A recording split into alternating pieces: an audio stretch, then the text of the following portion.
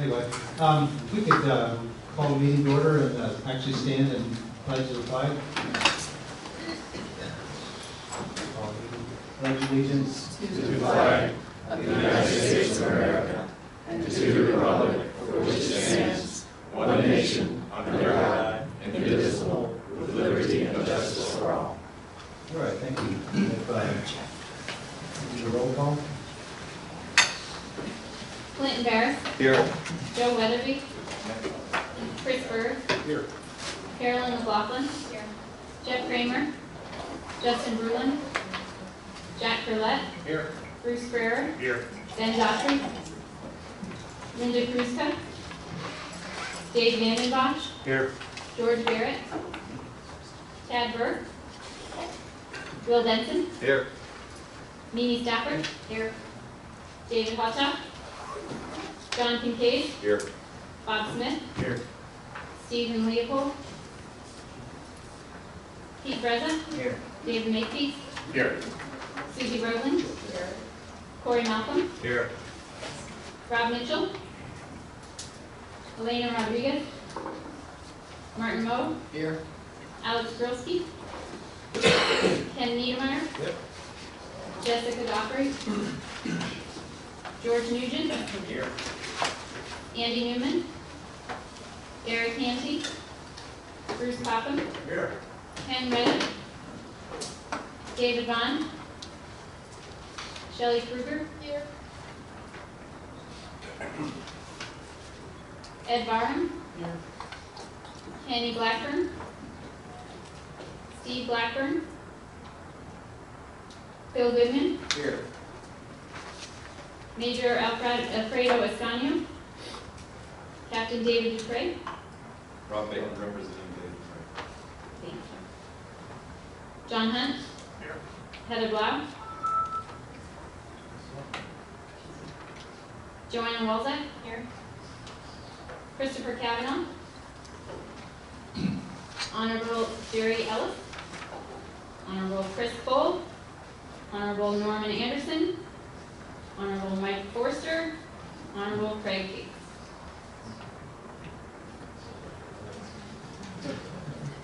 Okay, um, entertain motion to approve the minutes of last meeting. Who's that? Robert Nugent. Second? Second. Martin Bosch, second. Any discussion, any amendments, any changes to the minutes? See anybody? Um, Any opposition to opposing, or to approving them? See any? Consider them approved. Um, Entertain a motion to adopt the agenda for today? One, one quick thing is, is the regional report is going to be an extended regional report today. Okay. Do I get a motion? Uh, come on. All right, Mimi, second. Second. Chris, uh, Chris Burke, I know it's technicality. Um, there is one amend, uh, change to the motion, or to the agenda, and that's just an extended discussion from Billy, the regional manager. So, Any other comments on the agenda? All right, move forward. Um, Just a few little details, Uh, again, we're, I think we're street streaming live, is that true, or we're being taped? Yes, both. We're live and being taped, thanks to GoKeys.com and Clinton Barris, thank you. Uh, That means try to wait for a microphone to speak, I know sometimes it's easier just to ad hoc talk out loud and make things happen, but uh, if you can wait, Mary will be running up and down with microphones, and she will hand them to you live. Yes. So don't go pushing any buttons to try to turn it on or off. And uh, I know it's hard, but anyway, you do that. Um, Also, if you have cell phones, which everybody does, please turn them on mute or turn them off. And if you could avoid uh, surfing the web while we're having a meeting, that'd be good. I think you're here to pay attention to what we're doing, not you know, checking emails and shopping on eBay, so pay attention. Uh, We've just gone through a, a series of SAC recruitment, uh, whatever we do. Uh, There nine different positions that are open. And they- they've all been applied for, we've reviewed the applicants, and uh, are sending our recommendations up to headquarters, wherever that is, up in the DC area. And we should know by the next meeting who the new uh, appointees are, and we can move forward with that. Anybody in the audience, if you want to make public comment, we have uh, two different public comment days, times today. One is eleven fifteen, one's at two o'clock. These are for items uh, not necessarily on the agenda. If you want to talk about an agenda item, that's fine too, but if there's something else you want to talk about, that's a great time. Uh, There's comment cards, I think they're outside on this table right out here, so try to fill that out and give to Beth or myself. Uh, We usually take a break right before public comment, so that'll be a good time to submit it, but anytime you bring it up here, that's fine. You can also submit written comments, and those comments are distributed to the SAC. You can submit a comment to a SAC member, and those are usually distributed, they should be distributed to the rest of the SAC. Um, So anyway, we want, you know, we want to hear what you have to say. This is, uh, you know, a public process. We're all volunteers. We don't get paid to be here. And it, it, you know, we're representing uh, different uh, interest groups, but we're also listening to what other people have to say. So don't hesitate to, to comment on different things. Um, I'm supposed to have the chairman's comments at the beginning. That's kind of all I really have to say. There's a lot going on. Um, Anybody that spends any time in the water knows that we, we're in the middle of a pretty severe bleaching event, and a lot of things going on, a lot of- a lot of things cause that. The- What's happening in Florida Bay is partially to blame. Uh, El Nino is partially to blame, climate change is partially to blame, and then just the weather that we had for the last three months was to blame. So there's a lot of reasons why we're undergoing a lot of stress on the coral reef right now. Uh, It's, you know, the worst is behind us, but uh, we've still got a lot of, a lot of problems out there, a lot of problems in coral in uh, Florida Bay, which many of you probably read about. We'll probably talk a little bit about that today, and uh, I think the December agenda is going to talk quite a bit more about what's going on in Florida Bay. Um, So without beating that up too much, um, I'd like to introduce the first presenter. It's uh, Bill Goodwin. Where's Master Bill? Here I am. So, I don't know whether I should- so Bill, Bill's been with the sanctuary since forever. Uh, yeah, it was, the earth was still cooling Yeah. at that point. Uh, And still So here. Billy was there even before there was a, you know, cloud, a cloud of dust and gas at that point. I'm not talking about you, Billy. Uh, Yeah, how- what about this wind? I mean, this is crazy. I left the house this morning and I had a full head of hair. Anyway, enough of that. Huh? Oh, this? yeah, sure, why not? Okay. Do it if you want. Um, You know, Mark Twain once said, I have seen people who are slower than me and people who are shyer and quieter than myself. And I've even seen people who are more listless and lazy than I am, but they were dead. So it has nothing to do with the show, it's just my favorite Mark Twain quote that I thought I'd share with you guys. Anyway, I'm here to uh, talk about a really nifty, if a, a rest, coral restoration can be nifty, this one qualifies. Um, restoration that uh, the FKNMS staff did this summer, and uh, it involved uh, damage from a uh, aid to navigation buoy, the Crocker Reef uh, buoy number 16. And it was a very uh, satisfying um, project because it involved a lot of our staff, and it was just a great uh, uh, team effort. Okay, next. Oh, oh, I'm, I'm next. Golly, Keith, what happened? There's a bunch of buttons. Just keep pushing. It's all, I'm just gonna push stuff to some Jack is Paul's. I got it. You only get one side, you're done. There you go. Okay. Uh, Just to give you an idea of the range of projects that we've been involved with with the sanctuary, uh, this is what I would call a double extra large. This is uh, uh, the Wellwood. It was a a 122 meter freighter that went aground on molasses. And this is what it did. You can see it just pretty much leveled everything to just a flat pavement. Doggone it. Which one is it? I got it. Oh, okay. And a, uh, a grounding of this size requires um, a lot of planning, a lot of materials. Um, It was a huge monumental effort.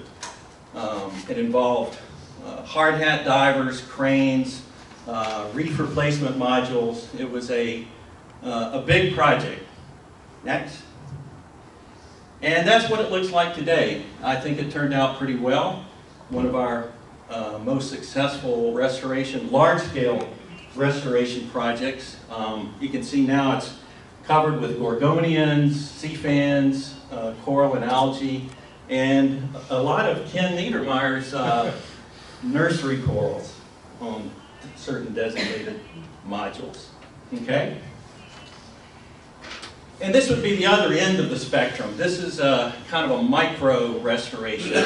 And um, uh, this was a recent grounding at South Carysfort. And we reattached about um, a couple of dozen um, small Porites, astreoides, mustard hill coral, uh, corals uh, back onto the reef. So that would be, that's really small, extra small, and extra, extra large. So the project I'm talking about today is what I would consider kind of a medium-sized project. And it's this guy here, the Crocker Reef Aid to Navigation buoy number 16, which is kind of a mouthful. So we've, in the office uh, and government, you know, penchant for acronyms, we just shortened it to the Craton. So when I talk about the Craton, that's what I'm talking about, is this big uh, steel buoy. The Craton, it sort of sounds like a Greek mythological creature, the Craton. And uh, that's where it normally resides at Crocker Reef. Um, and that uh, buoy is not to scale, by the way. Uh, neither are the other buoys either. Okay, next. And so, um, somehow, some way, uh, the buoy became unmoored. Hit, hit the button. Oh. Beth? Ooh, wow. And it drifted six miles, we spared no expense to bring you the best in computer-aided graphics.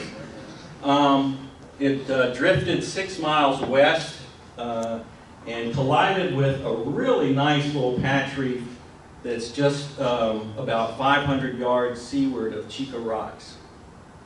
Okay? And uh, we were actually alerted to this uh, situation by some researchers from the AOML lab. Um, and uh, actually, they contacted Joanne Delaney first, and then she passed that information on to us. So we went out and conducted a biological assessment, and this line here represents the uh, injury track as the buoy made its way across the reef. And that track was uh, 64.5 meters in length, or approximately 212 feet. So it was a long track. Next.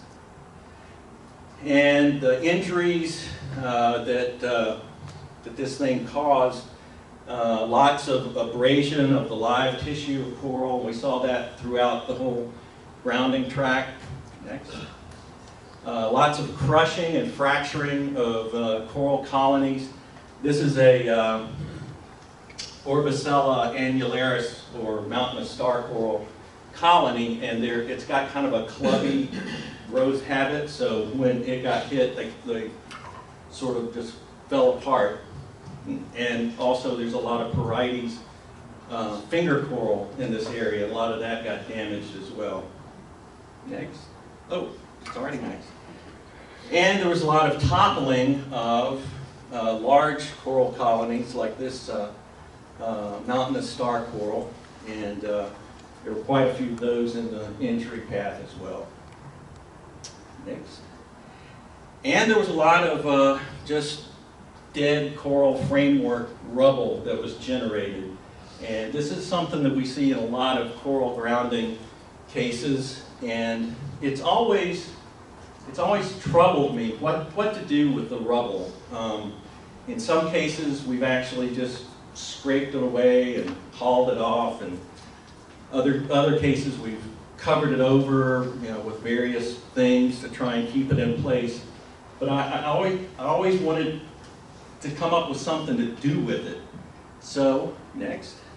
One day I was in Home Depot, uh, in the garden shop, and I saw these plastic pond liners uh, stacked up. And they had kind of a nice irregular shape.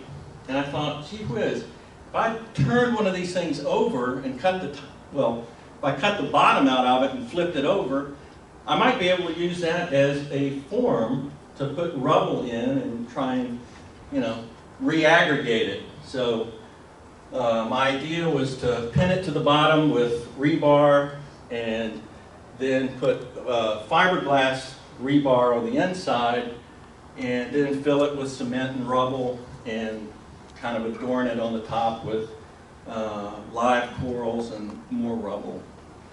And there's the first one that we did, that was uh, at a small grounding site called the What Doin' in 2009. And next. And that's what it looked like when we got through with it. Um, it was the first one we'd ever done, and I've changed the methodology a little bit. We, we use a lot more rubble and a lot less cement now, so it, they look more natural. But I think it turned out pretty, pretty well. Next. So we developed a uh, restoration plan and cost estimate documents, which we sent up to uh, sanctuary headquarters to get approval to spend out of a uh, general coral restoration fund. And uh, this was our estimated price tag to, to fix this, $78,149. It ain't cheap to fix coral. Next. So once the uh, um, money was approved, or the, the funds were approved, we purchased materials, uh, put a date on the calendar when we wanted to, to do the work, uh, worked out logistics with staff and diving and whatnot. It was, it was kind of a kind of a nightmare getting it all pulled together, but it, it came together thanks to uh, people like Mary and uh, Beth and and Steve actually shook the money tree for us and got that money. So uh, they're all to be commended. So, oh, Oh, back up, just for a second. So that we, uh, uh, our mooring buoy team uh, was good enough to lend us their boat, uh, their uh, mooring buoy maintenance vessel, the Agassiz, as a work platform, and uh, also to help us with uh, actually doing the work. And there's the, those are the, the pond form liners there. And as you can see, it takes a lot of, lot of stuff to fix coral. A lot of, lot of equipment. Okay. So we get out to the site, and the first order of business is to move the uh, rubble and live coral over to the area where we're going to reattach all this material. Uh, we, we decided not to try and put it back exactly where it was in the entry path because that part of the reef was very porous and had a lot of rugosity and we felt like the cement was just going to kind of flow down into the reef and go to China before it held on to anything. So fortunately, there was a really nice flat hard bottom area uh, just off the reef and uh, there were already small uh, coral, well, small patches of coral and lots of gorgonian, so it made for what we thought would be a nice natural uh, similar setting for these, these corals, and it would be a real stable place to put them. So we started moving the rubble and the uh, coral over to that hard bottom area. Next. And uh, my colleagues from uh, the Key West office brought with them this, uh, uh, it's a rescue litter net thing that they have on their boat for pulling an injured diver or swimmer back into the boat. And it worked like a champ for moving uh, coral. Uh, we were able to put lots of small corals in it and put a lift bag on the net and move it over to the staging area. Next. And it was also uh, really handy for moving large corals because We had some pretty big uh, coral colonies to, to, to move, and um, it was, again, it was just, uh, you know, greatest thing since sliced bread for, for moving those things. Next. So, uh, before we started reattaching the corals, there was a, quite a bit of prep work that needed to be done. A lot of the, the colonies have these long, irregular shaped, dead bases uh, that we needed to, that we trimmed off so that they would um, not be so top-heavy and, you know, make a better contact with the, uh, the cement and the seafloor. And, uh, and of course, in the process of that, that also generated uh, even more rubble. So we had lots of rubble to work with. Um, and uh, this is uh, a diver pre- preparing the site of attachment, which, you know, the seafloor has a coating of algae usually, and so we scrape that or scratch that off with wire brushes and then install uh, concrete masonry cut nails, and that gives a, um, the concrete that we use a, a more of a uh, surface to, to grab onto and stay in place. Okay? So, most of the uh, broken and dislodged corals wound up being attached just directly to the uh, hard bottom substrate. Next. But uh, we also, uh, we had our, our modules to build, and that's the, that's sort of the process there. You got the module pinned to the bottom with threaded um, rod, and then on the inside, we installed uh, fiberglass rebar, and um, then uh, took the, uh, moved the royal, uh, royal, moved the rubble over to the module, put it in the module, and pretty much filled it with rubble, and then started pouring the cement into the, the form around the rubble. And then, uh, last but not least, while the cement was still wet, we put even more rubble in on top of the, the wet cement, so it had a nice rough, um, natural looking uh, upper surface to it. Okay? and uh, this is the, the, the uh, ugly side of coral restoration, the dirty, messy side. And, but it's, it's the most important, well, well, probably the most important aspect in terms of uh, getting the job done is the topside support and people who know how to make cement and how to work hard and, and uh, um, make, make, our, make the materials for us that we use. Um, I wouldn't mess with those guys. They look pretty tough. And that's a, that's a little portable cement mixer, by the way, that we, uh, we use. And uh, uh, these guys actually kind of have like this love affair with it. it's a little weird, but they, they love that thing. Okay? So, after a few days of letting the, the modules set and cure, um, they, uh, you know, they're ready to, ready to be uh, unveiled. If you'll notice, um, notice here's a uh, stainless steel eyeball that we installed on one of the modules and a piece of big, that large piece of rubble. And that serves as a centralized permanent monitoring uh, monument. And we can use that to clip uh, meter tapes into, to, to, you know, take measurements in distance and bearings to all the reattached corals so that we can find them in the future. Okay? So it's time to pull the forms off and see what we have. Next. And that's pretty much the final product after all the after the modules were made and the corals were reattached. Um, and uh, you, can see uh, quite a few corals were um, attached directly to the modules, um, but then most of them are sort of scattered around it. And uh, if you, I don't, I don't really have a, a photograph of the, you know, the natural part of that area, but it, it mimics it pretty well. And the fish seem to like it. We had hordes of uh, angelfish and all kinds of, we actually had a pot of dolphins come by and check us out while we were working there. That was kind of cool. Okay? And then uh, the day after the, uh, we completed the project, we conducted the, uh, what we call the baseline monitoring event, which was, you know, your, your very first monitoring, um, so that you have it as a, you know, reference for future monitorings.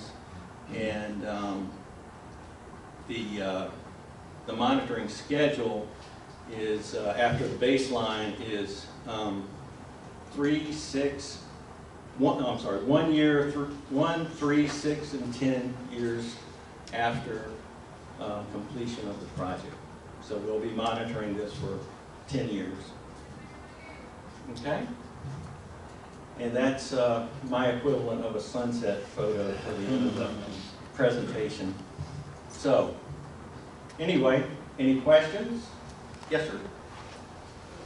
Do I need a mic? Yeah. Yep. Mr. Microphone.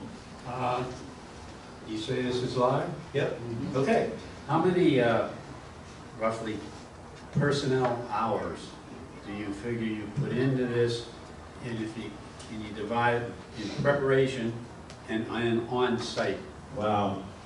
Uh, Well, that's a little tough to say because we, you know, there was the response, the assessment, for writing the assessment, writing a restoration plan, buying all the materials, uh, and, and in White County, there's a number of staff, so it was hundreds of hours, yeah, uh, easily. I mean, Steve, you might know the exactly, I guess if I, You had six, six folks working ten-hour days for, Mhm, for, for two weeks. for two weeks, And that was just on, and that was just That was, that was restoration? just the, pro- actually doing the field That was your work. on-site That was the time? on-site Couple time. weeks? Two, Two yeah, weeks. two weeks with Ten, uh, how ten. many people? So sixty hours, sixty man hours a day for two weeks, just to do restoration.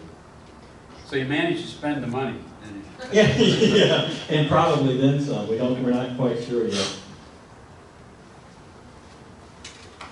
Yes, I have a couple questions. Um, Out of the 200, roughly 200 meters that was verified, about how big was the area that you, um, I guess you went to an area to mitigate or- or not in any of that area? Um, How big that was, how many of those modules you did? And I'm fascinated also by the mud mixer and um, um, how, I mean, I guess you guys maybe know this, but how do you get that to set up? Like, do you put special additives in the concrete? Like, that's weird, that's crazy. no, it just, it just sets up on its own underwater.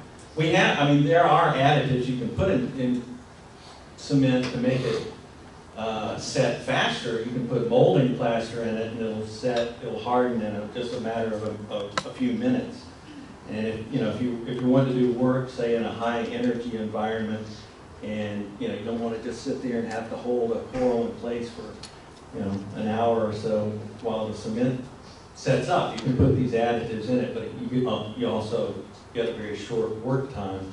And the other, answer the other question, there were two, two modules, all, all but we used all the rubble. It was, uh, I don't know volumetrically how much it was, but it was, each module took two square meters worth, you know, looking at it bird's eye view, two square meters worth of rubble went into each one. Yes, John? Bill, I, I have a question kind of on the fate of, of from this kind of restoration. Um, you've done a lot of restorations over the years, and I've always been curious if the fate of the corals that are damaged or broken, that you actually, that you use in the restoration, um, is the same or different from the nearby corals that are undamaged? Now, In, in other words, do those corals that are, are broken that you restore experience bleaching more readily in the lower temperature, or do they have a higher rate of disease, or, you know, something like that? Or is their experience, if you will, the same as all the, all the other corals? Um, they, the short answer is yes, they pretty much behave the same as the surrounding reef. Um, I, we've been to this site since, uh, the bleaching started this summer, and of course, the corals we've reattached, they, they have bleached, paled, whatnot. Um, uh, I know, um, that in past, uh, restoration projects, um, it's roughly about a seventy-five percent survival rate. It's what we, what we get. And, um, in fact, one, of the reasons why it took, uh, a full year for us to do this project was because by the time we had done the, the original assessment and got things, uh, in order to, uh, you know, to, to do the work, we had the bleaching of 2014, and uh, all the injured coral was bleached, and we just, we felt like it was just too much undue stress to try and move them around and re, you know, handle them that much while they were stressed out. So we waited until they, they had recovered from that, so. Um, Unfortunately, we didn't have any major storms or hurricanes or or anything, so it pretty much all stayed in place until we were able to reattach it. Yes. I'll just stand up and talk loud. Here, No, here. no, you don't. Those stressed corals that you've replanted, how did they handle this summer's stress? Replanted in the summer. They, well, they were, they were fine in July when we, when we reattached them, but they have bleached just like the other, the surrounding reef. In, to various degrees. Uh, other, um, another, uh, project similar to this, um, when we had the, the cold event of two thousand ten, um, those corals all died, just like a lot of the other patch reef, the un, uninjured corals. So they, uh, you know, they're, they're pretty much, I don't know if they're more affected by uh, in- uh, adverse conditions, but I think once, once they get, once they've been there a while and they get reestablished, I, I think they're, they're, you know, no more prone to, to disease or bleaching or any, any of those sorts of things than a, uh, uninjured coral, so. Okay, no more questions? How about some answers? Is, yeah, is there a responsible party for the buoy on Ah, Coast Guard I knew you were gonna- navigation? I was- I thought I was gonna get away So without having to answer that yeah, I guess. question. Uh, yeah, um, that's, that buoy is maintained by the US Coast Guard. But, um, Hands up. uh, Coast Guard does a lot of good things, and we felt like it would, it would be, um, uh, a, a good gesture on our part to, to, to do this, and, you know, accidents happen. So, yes, Bill, I can't, I can't help but uh, put in a little ad for AOML. Uh, In one of your slides, you showed the buoy at its final, at 16 at its resting spot, and right next to it was a yellow buoy. yeah, I don't know if the advisory council knows, but that's one of the uh, CO2 monitoring stations for ocean acidification. And uh, it's one of two we have in the Keys. yeah, I'm, yeah, there, there it is. You're just Oh, back. Right. Yeah, this, this guy here, there's, yeah, there's the, the craton and there's, uh, the, um, CO two. I thought it was put there by an extraterrestrial. but It, uh, I, I was wrong. Any other questions? Right. Bill, great job. Thank you. I'm using that one. Sean, did you want to introduce the next speaker or? Is he here?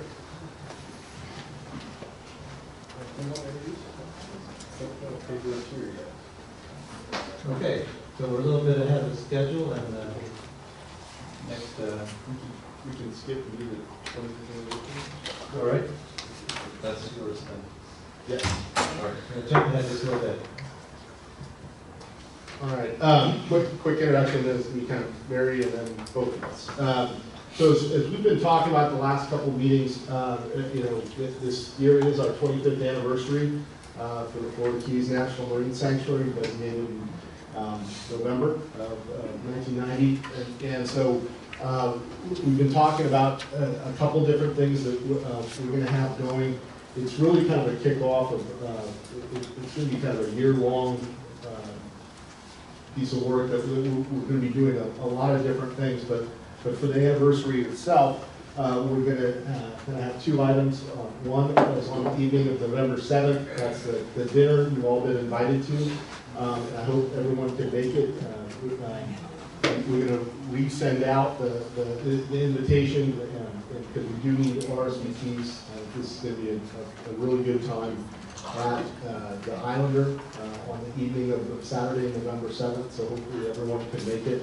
Um, We've got uh, from from NOAA, the the NOAA Chief of Staff, Renee Stone, is going to be coming down, um, as well as a couple other folks from the program, um, as as well as from partner agencies. Uh, So uh, encourage folks to come to that, as well as on Sunday, November 8th, uh, we're going to have kind of a family fun day. Uh, Also at the Islander, the Islander kind of Guy Harvey Resorts has just been a fantastic partner on this. Um, And uh, that's where we could actually uh, use a little bit of help. And- And so um, we're going to turn it over to Mary for this part. Okay. And then, and then she's going to go through some of the the different things. Thanks, Sean. I think I stole them probably. Yeah, I'm not, you know, Billy used to do it to me too. Nothing's changed. Yeah. So let me tell you, Mary's our Team OCEAN coordinator. Let me tell you all about Team OCEAN. And he'd tell the whole thing, and then he'd say, well, Mary, take it away. And it was always like, all right, what am I supposed to say? You know, so, um, anyway, just gonna be real, real quick. Um, so I just want, I know Sean talked about it being our 25th anniversary, but I also wanted to mention that um, it's kind of a uh, really super big year for those of you that know the history of the sanctuaries here in the Keys. Is that in December it will be the 40th anniversary of the Key Largo National Marine Sanctuary, and then in January it will be the 35th anniversary for Looe Key. Um, however, we are billing this, of course, since we are the Florida Keys now, as the 25th anniversary of the Florida Keys National Marine Sanctuary. But it really does go back um, for uh, um, quite a while um, here in the Keys.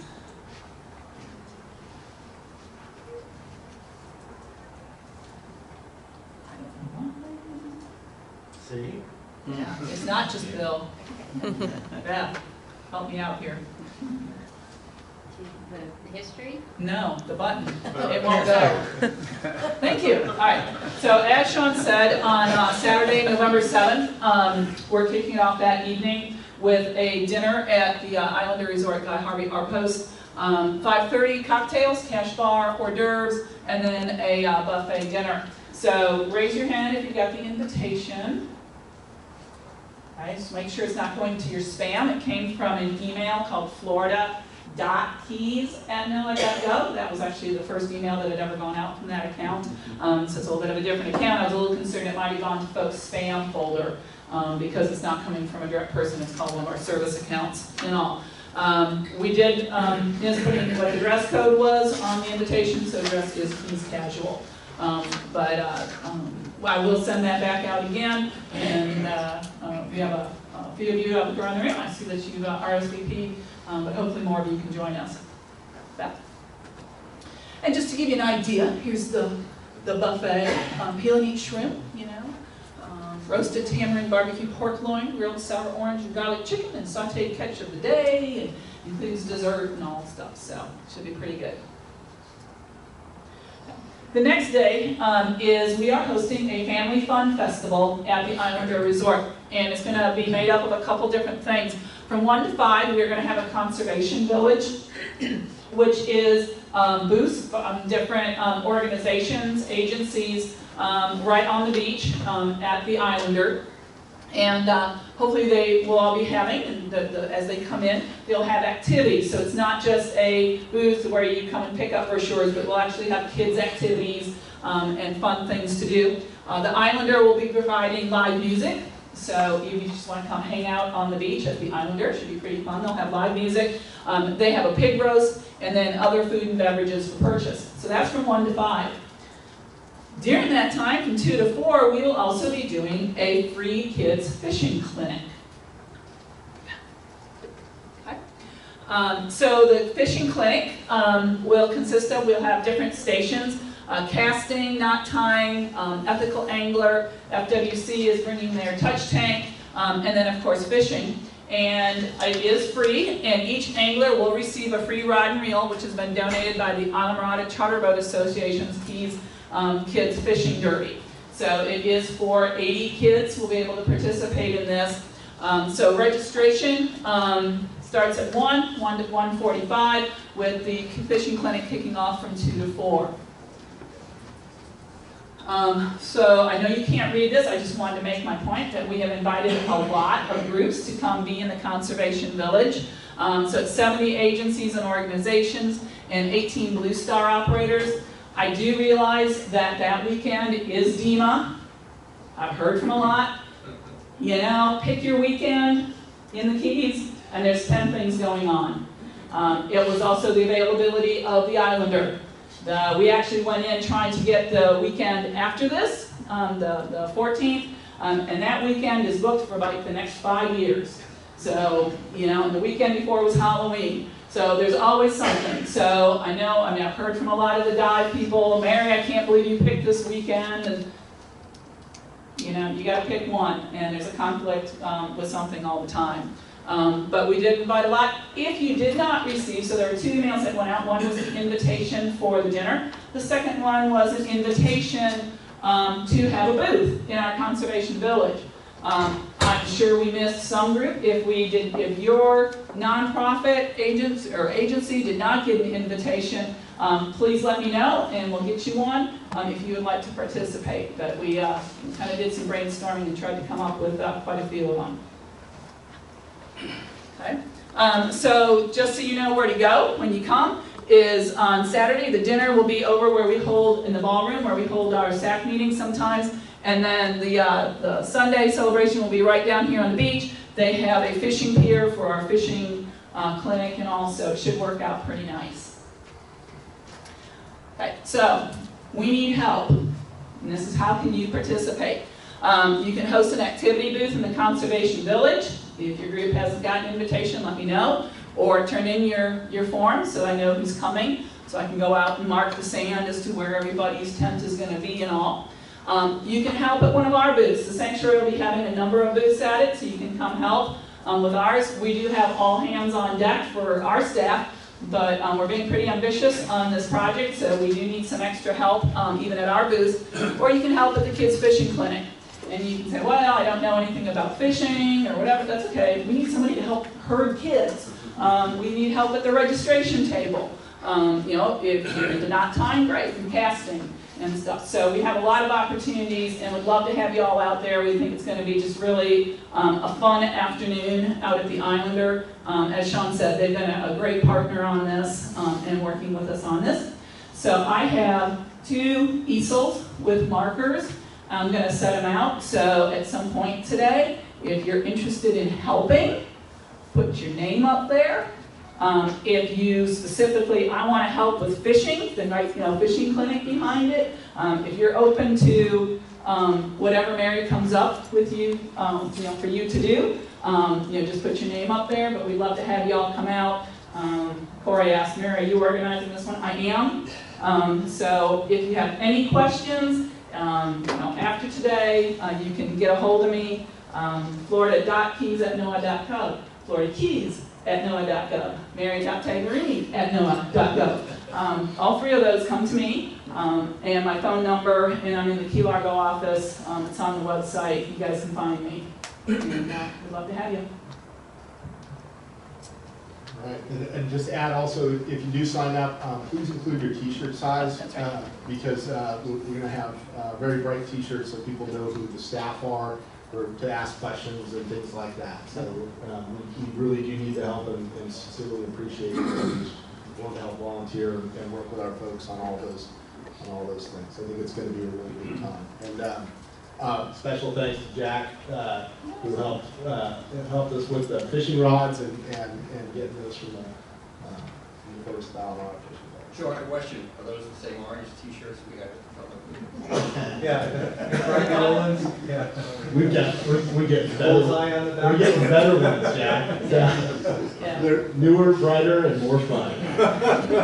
Uh, You know, I really laughed about this, but They as a were. person who, when we had, those of you that were in Key West, when we had, what, two hundred and fifty people in that room, and I needed a staff person, and I could look, and I could see who a staff person was, and go, you've come, and that's, uh, we're going with another really bright color for on that Sunday, so that as we have a lot of people down there, and I need somebody, I can find that person in that really bright shirt, so. Here's method to our madness. Any, any questions? Excellent. All right, well, like, like Mary said, she'll have those easels up there. Um, roll right? Yeah, go ahead. All right. With that wrapped up, um, the, the next item on the agenda is, uh, gives me great pleasure to introduce uh, Superintendent Pedro Ramos. There's Pedro in the back, uh, down at Everglades National Park. And, uh, and with him is, I believe, Fred. Uh, Yeah, Fred is here as well. Um, and They're here to talk about um, their, their management plan, their final management plan that was just released.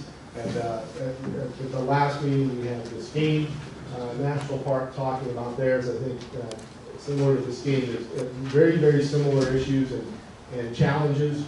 Um, And uh, I think, uh, you know, we invited uh, Pedro here, to- Pedro and Fred to talk about some of the things that they're looking at, um, so what kind of, what's going into their plan. And this is also to sort of feed you guys information about ideas as you make your deliberations in the coming years about, about our management plan as well. So Uh, I guess without any further ado, let me introduce Superintendent Pedro Ramos and and Fred Hurley, who's the chief planner. How are you?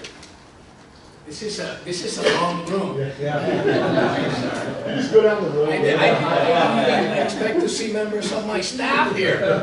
How are you? Mr. Causey, you are everywhere. How do you do it? There's three Huh? There's three. Fred. Hey, how are you? All right, how are you doing? Good, good to see you too. Okay, microphone and this. Fred, Fred's gonna be in charge of Fred, the, of Fred's, slides. Fred's I'm clicker here. I'm just gonna do a little intro. Good morning, everybody. Uh, It's, it's good to see you, Sean, and uh, Billy, and, and members of the, uh, of the advisory uh, board. Uh, If I'm not mistaken, this is a faculty meeting, right? Yes. So- Similar, yeah, All right. same rules. All right. Uh, Have a little experience working with uh, committees like this. Uh, uh, I'm Pedro Ramos, I'm the superintendent for Everglades and Dry Tortugas National Parks. You need to hold the Uh. I'm the, I'm the not-so-new kid uh, on the block, and I say that because I've been down here in South Florida now for about 15 years.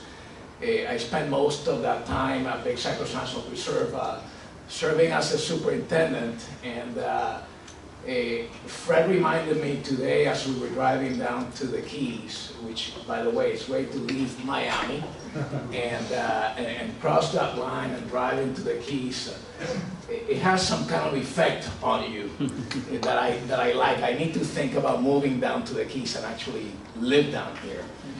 Uh, but as we were driving down, Fred was reminding me that uh, I got here nearly 15 years ago to South Florida.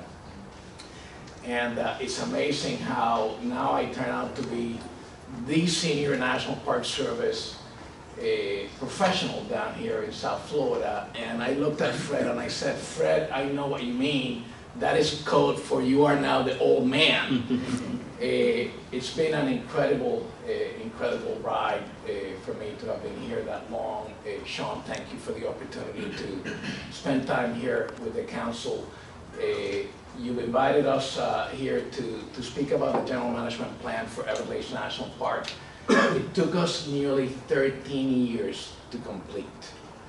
Uh, It has a lot of moving parts in it. We're very proud of the outcomes of that plan. We released it last uh, August. Uh, I know that many people that are in this room gave us their input throughout the course of that entire process, and we appreciate it.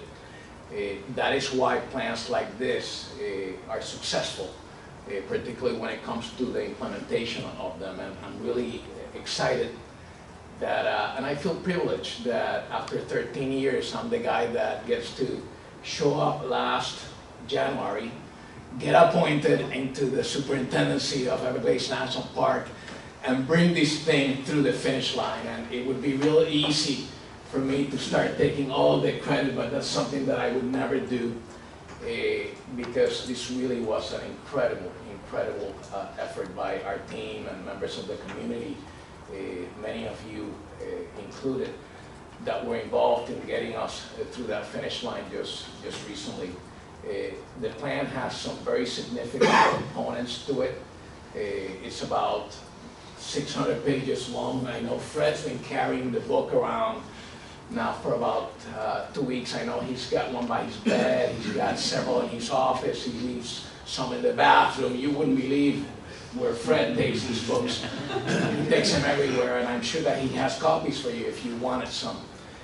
Eh, But, you know, some of the most important components of, of that plan involve things like eh, what we're going to do in East Everglades. And that's the, the northeast part of, of the park, eh, near the corner of Miami there and the Tamiami Trail, all related to restoration and responsibilities that we have, uh, for instance, to acquire lands that are still in private ownership in that area so that we can benefit from all of that restoration work that we've been doing now for years to bring the water south of, of the trail. And we've got we're already moving in that direction. We've got some really cool stuff that we're doing on the western part of the, of the park eh, related to uh, visitor experiences. And of course, eh, I think that one of the most important components of the plan is what we're doing down here in, uh, in, in Florida Bay, eh, neighboring to, to the, to the sanctuary and, and the community of the Keys. Eh, Florida Bay is a very special place, as, as, as you all know. Eh, It's one of the reasons I keep telling people why the park many, many years ago was designated as a World Heritage Site, a place that is not only important to us as Floridians and as Americans, but also eh, to the rest of the world. It's the largest seagrass prairie in the world, and, and things are happening. Climate change is really presenting challenges, it's becoming harder for us to forecast uh, weather and things like that, and, and, and we need to get accustomed to expecting the unexpected. And that kind of circumstance requires us to, to be thoughtful and to, to, to really eh, be smart about how we manage these special places.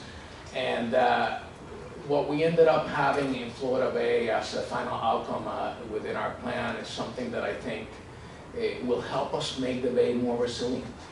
Eh, As, as many of you may know, the bay eh, has been suffering conditions that are not all that great. Eh, The salinity levels have been off the charts. Eh, The temperatures have been very hot. And uh, there's a, a- good amount of seagrass that, that has been dying.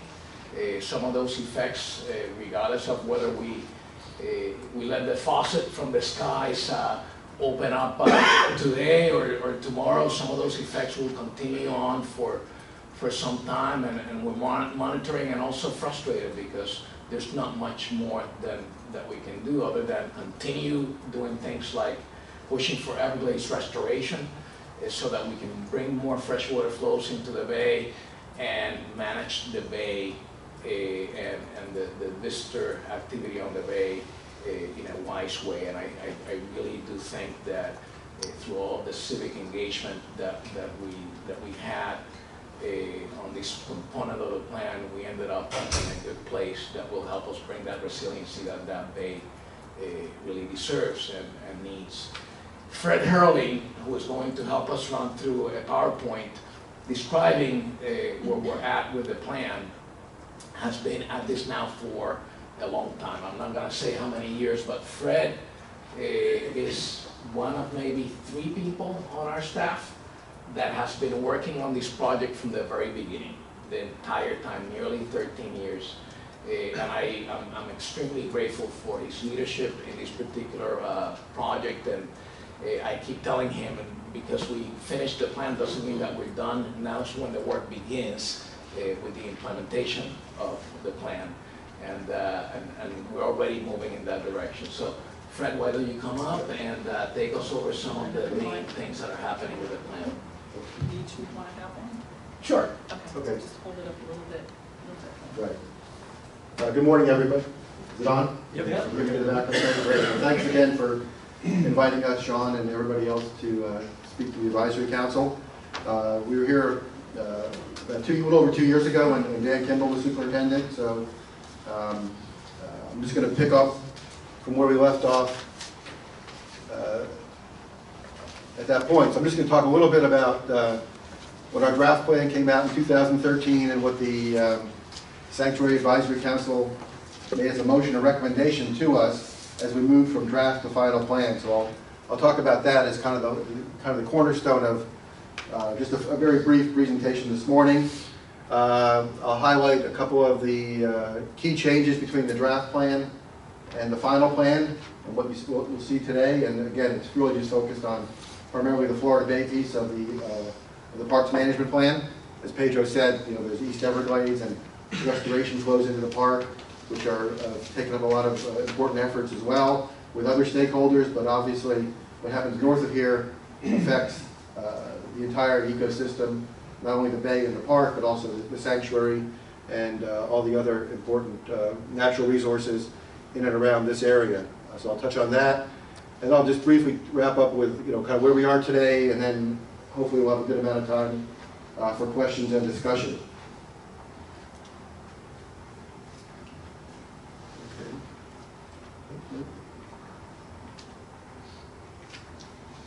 Okay, okay, so here we were, uh, about about two and a half years ago, uh, uh, Dan and I came, and I think we met at, uh, um, just up the street here at- at at Duck Key, and um, we had a uh, presentation about what our preferred alternative was, and uh, at that point, we were about halfway through our, our nine public meetings, and I think what the sentiment was from, from the public and and stakeholders was that for Florida Bay, they really liked the resource protection measures that we had identified uh, in our plan, but there was some concern about access and use of the bay and our marine waters uh, from what historically had been the case to what we were proposing, or at least what was reflected on the maps that were in our draft plan.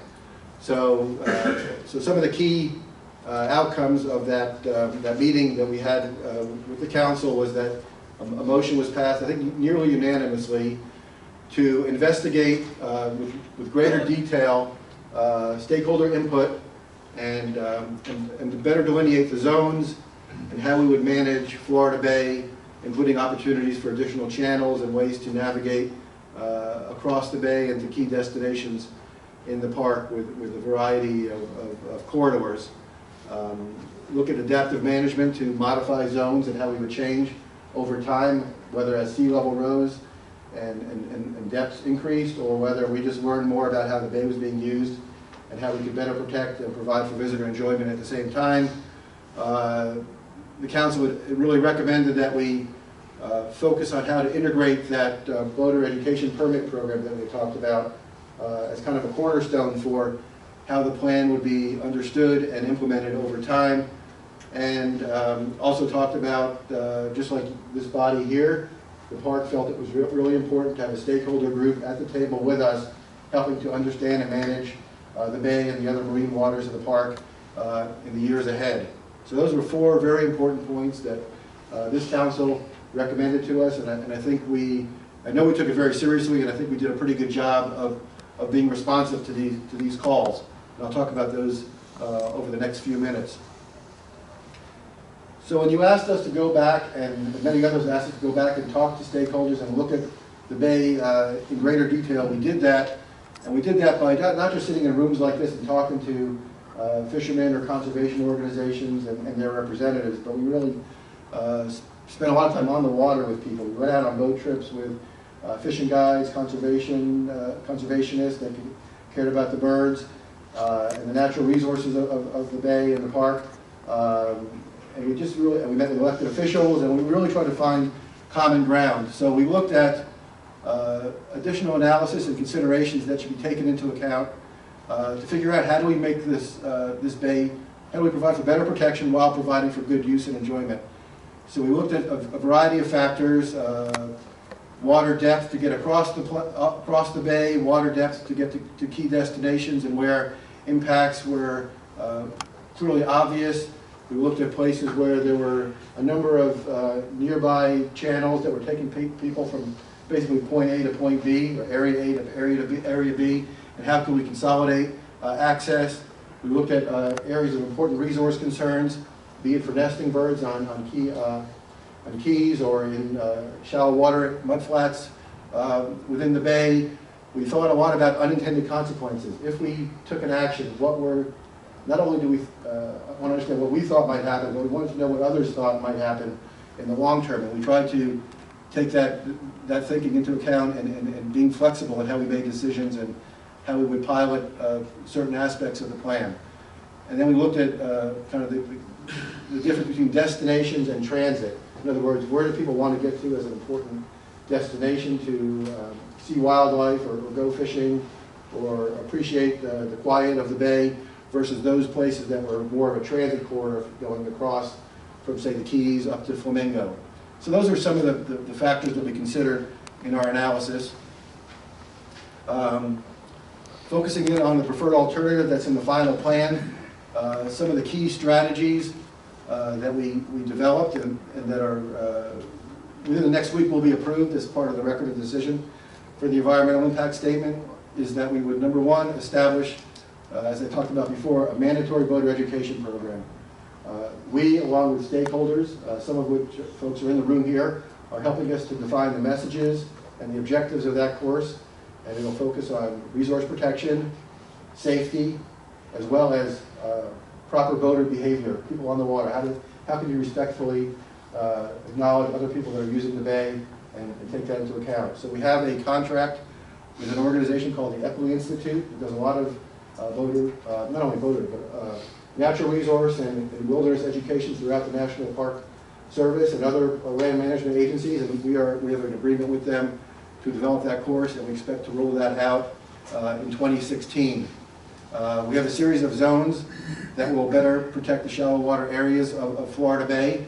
Uh, All told, there's about 144,000 acres of, of, of zoning. That includes uh, what, what most people know of as, as pole and troll zones, which will uh, be in areas of of roughly less than two feet at mean low water that will not allow combustion engine use at all. Uh, There's about 100,000 acres of that. There's also about 26,000 acres of a new designation we've called, what we're calling a pole troll idle zone. And that was actually a stakeholder uh, developed idea where we- where we would, particularly in western Florida Bay, where, where tides are much more, um, uh, very much greater uh, throughout the day. Uh, When, when water is deeper, we will allow, allow uh, uh, folks to idle through those areas, and you'll see a map of that in a moment. Uh, We also have some, some uh, paddle-only backcountry zones, and some special protection zones which are closed for important natural resource purposes. And we've added a fair amount of idle and slow-speed corridors, and you'll see those in, in a moment as well, which kind of gets to that point of balancing resource protection uh, with, with, with uh, appropriate and reasonable access. Um, And then the last bullet, again, we will have an advisory committee established. Uh, It'll be some version of what the, the group you have here, and they'll help us to understand how well we're meeting our goals, allow for adaptive management actions to take place over time. Again, this will be a 20 to 30-year plan, and it will allow us to modify our strategies uh, to reflect the, the real conditions that we're observing uh, over time. So here's a map of Florida Bay. I know there's a lot of colors and lines. Um, I'll just briefly, is there a pointer on this? uh, Or should I just walk up to the screen? Yes, the pointer does work.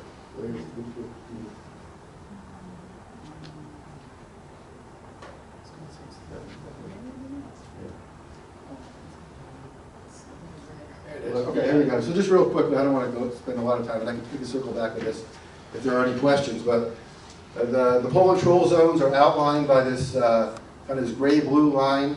So anything where you see the word pole and troll uh, outlined here, that's the about 102,000 acres of, of pole and troll zones. And clearly on, on, in the eastern and central Florida Bay, that, uh, they follow very closely the, the keys and the, and the shallow banks that, that, that that form these corridors coming off the intercoastal and across to the, the northern shoreline. So these are very much tied to, the- to the keys and islands that, that uh, permeate throughout uh, eastern and, and and central and western Florida Bay.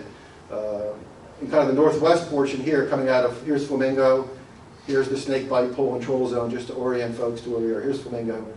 Uh, Snake Bight pole and troll zone, 10,000 acres, been in place since 2010. Um, So this western portion here, uh, we have areas that are much larger in nature. Obviously, there- there's no, there's not a lot of keys out here, but, but these are uh, shallow water areas like Nine Mile uh, Bank. Um, And here's this pinkish color here. This is the, the Pole Troll Idle areas that we talked about, about 26,000 acres that will allow for that flexibility. When water comes up over two and a half, three feet, up to five, six feet and more, uh, folks will be able to, you know, idle with their, with their combustion engine uh, through these areas. We looked at that as a viable alternative rather than putting on-plane uh, transit through, through these areas, which, because there are some deeper channels in here, but the trade-off of resource protection and and maintaining the quality of these areas was to make it a pole troll idle as opposed to putting in running lanes that went across uh, these important banks. Um, and then you see a bunch of, of, of- of lines, both red, orange, uh, yellow, and pink. So red are the existing channels that the park currently marks. There's about 53 of them, and you can see them uh, throughout the bay. Um, The key issue that we, that we added between the draft and the final plan were uh, yellow lines, which are slow-speed corridors, uh, which will take people across Nine Mile Bank as an example. Uh, Idle speed uh, corridors, which go to key destinations. You see them up in, up in each of the bights, just like we did for Snake Bight, where we have an idle speed area in Jimmy's Lake here, in Garfield and and Rankin and, and the others, we're providing, uh, when water is deep enough, idle speed to get you up through much of these areas, so it enhances the opportunities to explore uh, these shallow water areas. Um, We also have some new on-plane uh, corridors, such as uh, these coming out of Flamingo, which basically take people, uh, it's deep enough that you you can actually run on plane through some of these areas. There's one over here by Coon Key in the middle of the bay that was important for, for people coming out of the Keys and getting across the bay. So we made some, uh, again, through on-the-water analysis, went out, measured depth, figured out where it was appropriate to protect the resources while providing access. And a lot of these locations are, are are are local knowledge areas, and and we felt it was, it was the right balance of protection and access. So we're going to try it out, and uh, uh, again, this will all be documented as part of the boater education program. We're also working with Bonefish Tarpon Trust and the University of Alabama uh, Geography Department to develop a a GPS and apps that will be tied to the boater education and and people can download.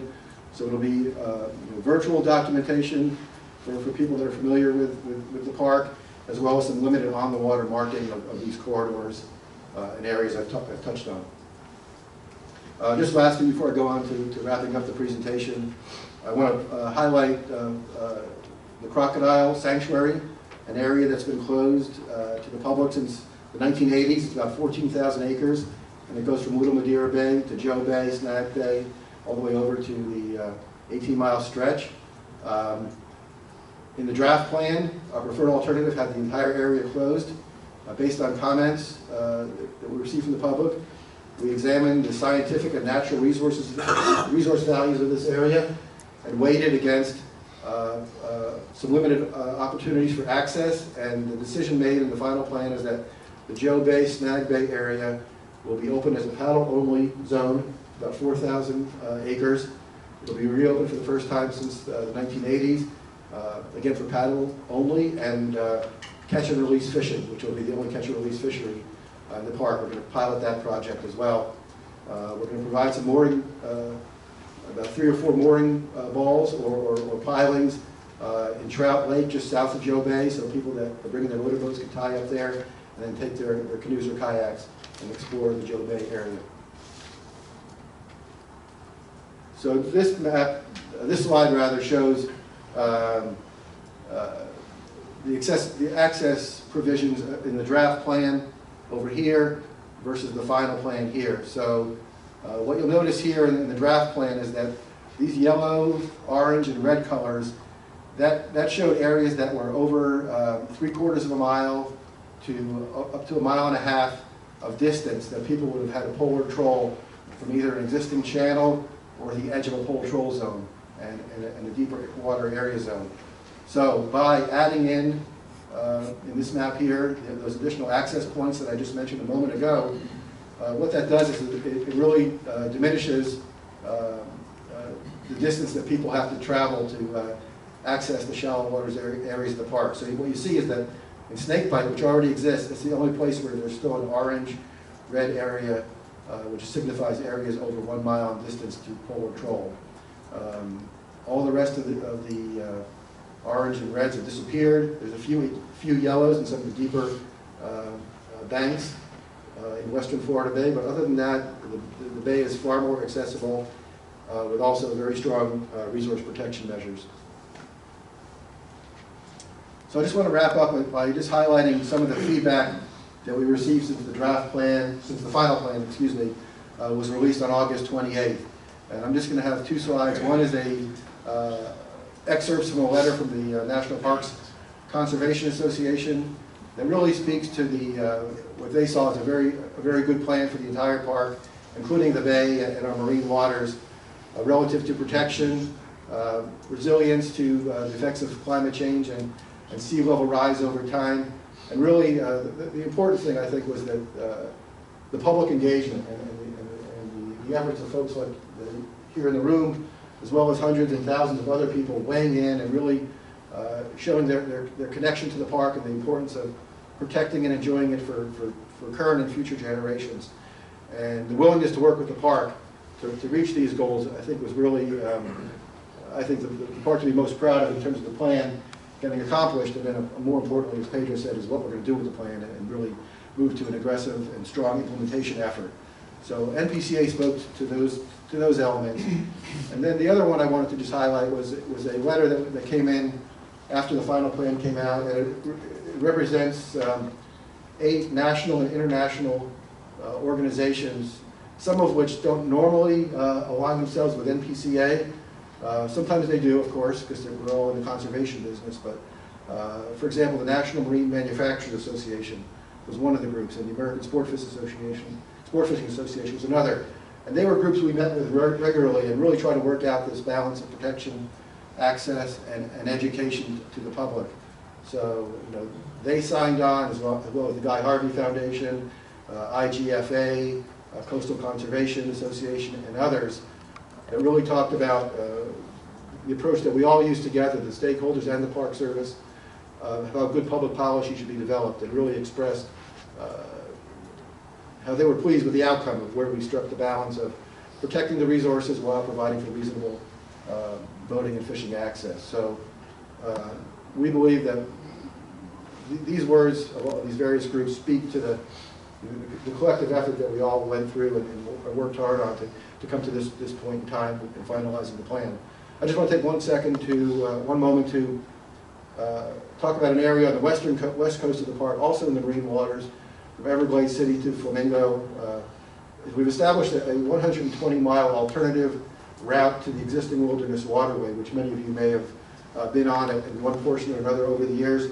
This will be an alternative, uh, what we're calling the Everglades Paddling Trail, 120 miles uh, from the Turner River headwaters, or the Turner River, where it leaves Big Cypress, along Tamiami Trail. And it takes uh, sometimes parallel, but often separate, less traveled routes that takes people all the way down, whether you're traveling from north to south or south to north. There's a variety of opportunities that uh, will highlight uh, a more wilderness type experience for paddlers uh, and, and motorboaters to some extent. There are certain segments that uh, during the peak November through April season will be designated as no motor or slow speed segments to improve the backcountry recreation experience, but it'll largely be kind of a, a less traveled route that people could take if they wanted to experience uh, that portion of the park, um, whether they're coming from Florida Bay or from the north end. Uh, and it'll tie in the natural and cultural resource histories of the park, uh, we think in a, in a, in a real exciting and new way. Um, So where are we now? We, as I mentioned earlier, August 28th, we released the final plan. Uh, We expect the within the next week or so to have uh, Regional Director Stan Austin uh, in our Atlanta Regional Office to uh, sign and approve the record of decision, uh, which basically completes the the planning process, uh, finalizes the environmental impact statement, and allows us to begin implementation in 2016 and beyond. One of the key pieces will be uh, getting that boater education program in place in 2016. The revenue from that program will help us uh, hire additional law enforcement rangers. It will allow us to better mark the- the channel, excuse me, the channels and the travel corridors that were identified in the map, and will actually allow us to do some active um, seagrass and and benthic resource uh, protection and restoration over time as well. So with that, I'm going to, again, thank you for your time, and uh, Pedro, if you wanted to wrap up or go on to questions and discussion? Uh, Thank you, Fred. I think uh, that covered a lot of ground. As I said earlier, a lot of moving parts to, to this planning effort and and the outcomes of it.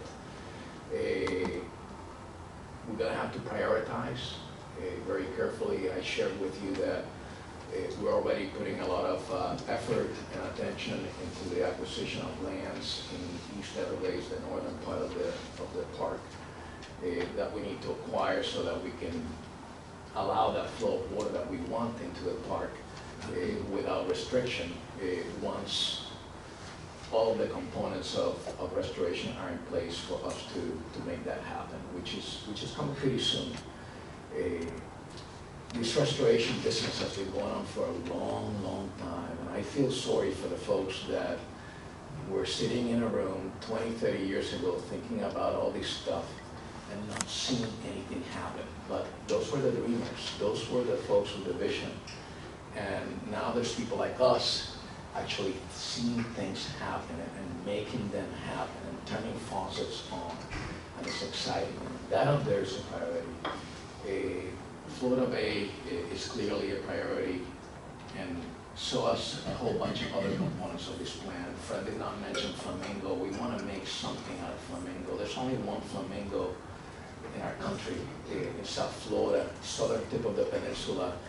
What a special place. And when you visit Flamingo nowadays, it doesn't really feel like we have, we have done what we should have been doing with it throughout the years. It doesn't, doesn't look well maintained, doesn't feel eh, like the type of place that you visit when you eh, perhaps get on a plane and go out west and visit the Grand Canyon or, or Yosemite. And I'm, I'm not suggesting that, that we're going to, to try to build a Disneyland eh, out of Flamingo, but we need to do something more appropriate than what we've got in Flamingo right now so that we can all be proud of, of that place and so that we can attract visitors, particularly visitors that have not been coming out to the parks. We've got an issue of relevance in the national park system.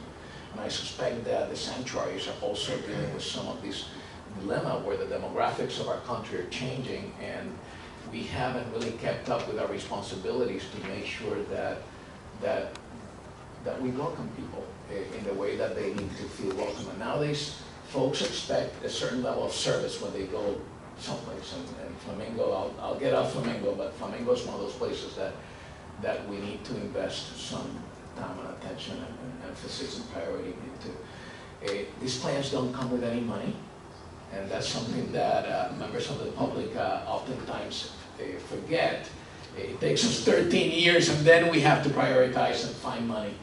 And for, for the primary components of this plan, I know that money will, will come a little easier. And uh, things like Florida Bay, we're already on it. And I mentioned earlier, we're extremely concerned about the conditions that we're seeing in the bay.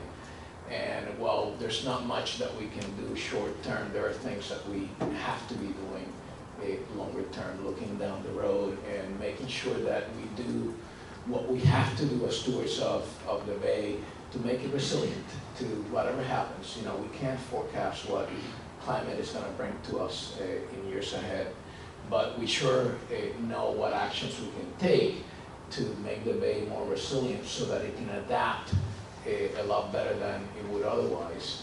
Uh, And, and, you know, that's, that's where we're gonna put our money into, and that's where we're gonna put our science into, and that's why uh, this outcome for Florida Bay uh, seems convoluted to some people and complicated. I've gone on the road a little bit on this, not as much as Fred, eh, but, you know, I've, I've gone on a plane, I've gone to DC on this topic a few times, and you put a, a map, uh, like the ones that you saw, eh, to people in DC, and, you know, it's, it's just too complicated.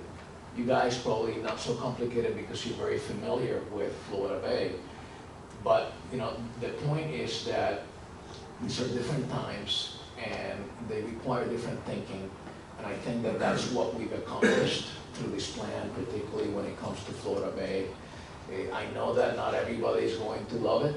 As I tell people, eh, I believe that the outcome of this plan eh, gave, uh, it did not give anybody everything, but it gave everybody a lot. And, you know, that's a good place to have the needle and work from there. Nothing is set in stone. This is gonna be a learning process. Implementation, you know, is something that we're already engaged in. And one of the things, in my last comment, is that I really eh, commend you guys eh, in the sanctuary, Sean and Billy, that eh, for your leadership in having a group like this and, and for the members, for your participation. I know that you don't get paid to sit around this table. You guys do it because you care. That's the same experience that I had at the Cypress National Preserve with our FACA committee. eh, And we are committed eh, to building a committee that will help Everglades National Park with these Florida Bay issues. Florida Bay eh, Advisory Committee, I think is going to be called. And and that's one of those implementation efforts that, that we're going to be putting emphasis on early on. So with that, I'll shut up eh, and take any questions that, that uh, you'd like to ask. Billy's got the mic. Fred, you're gonna have to help me with this, so make sure you have a mic too. Yeah. Yes, just, uh, Pedro and Fred, thank you very much. That was really clear. Uh, I'm so excited for what you're doing. I'm really pleased that you're using marine zone, you're the zoning and the the pole and troll areas. I think that's going to really help resolve a lot of the issues that you've been dealing with. But What I wanted to state, back, back to this committee, uh, for your information, I want to make sure it's clear. The very first advisory council that was formed in 1992, actually started in 91, was required un- under FACA, it was covered under FACA. But in our reauthorization of our National Sanctuary uh, Act, um, we are uh, exempt from following FACA per- verbatim, but we still follow the procedures for each of the advisory councils that are formed. So we, it's a little easier for us to put together advisory councils than strictly following FACA. It took us over a year to seat the first advisory council using the FACA process because of the- the steps, and it had to be signed off on by the White House at that time. Yeah, that's the way we still have to do it in the service, and it takes a lot of effort, as, as you know, you, you've done it, this is how you started this committee, it's good to know that, that you're not covered by it anymore. May- Maybe look into some, some, some way to get uh, some sort of exemption, because we got it. Yeah. Oh, The- thanks. The last, the last thing um, I, I want to say is, um, what we're seeing this year, um, I mentioned this to Ken a while ago, and I, I think it's good, I want to, I'm getting to a question here about CEPP.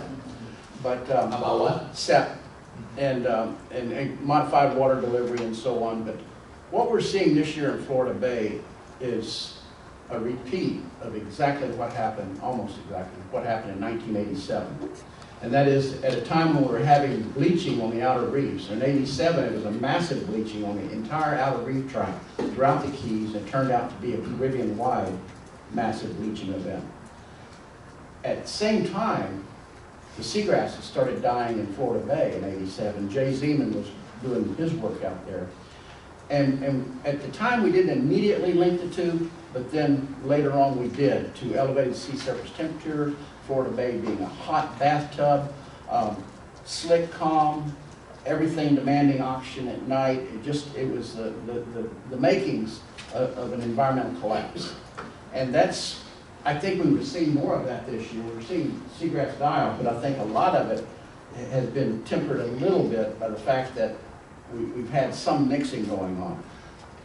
What we looked at at that time, and it was this advisory council at their very first meeting in February of 1992, that George Barley, Allison DeFoor, Mike Collins, Alison Fahrer, Sandy Sprunt, a whole group said, we need to go look at Florida Bay. We need to deal with Florida Bay problems.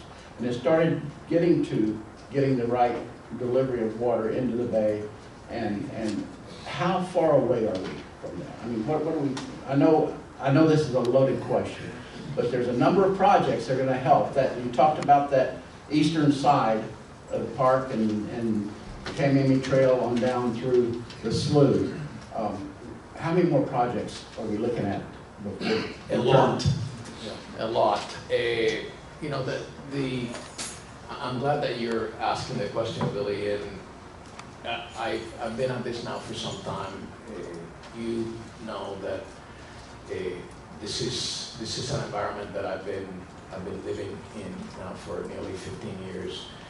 And as you see people come and go, particularly folks that come down and work for agencies, whether the National Park Service, Fish and Life Service, or some of the other agencies involved, they come and go, and some of the fundamental things eh, are oftentimes forgotten. And One of the things that I've noticed that is oftentimes eh, forgotten is that the, one of the main reasons why we got into Everglades restoration wasn't just to hydrate the wetlands in the northern part of the system or even in the park, is because we needed to get water down to Florida Bay. Florida Bay is the ultimate benefactor of all of this work. I've been talking to people uh, over the past months about what's happening in Florida Bay, you know, how it relates to restoration. And another thing that I, that I want to, that I, I want to put out that comes to mind when, when I think about your question, is the fact that even if we had full restoration, freshwater flows into the bay, we believe that what's happening in Florida Bay this summer will still be happening to some degree. Yeah. We don't know to what degree, but to some degree. We, we have rainfall that started very late uh, in the year. It just hasn't been enough. Uh, Weather, you know, climate changing is more difficult to forecast. So uh, it, it highlights the importance of making the bay more resilient. But let's make sure that we don't uh, get into our heads or believe that somehow restoration of those freshwater flows that we're going to get back into the bay are going to make it bulletproof to, to what's happening. It- it- what's happening highlights a lot of things, and, and that's one of them.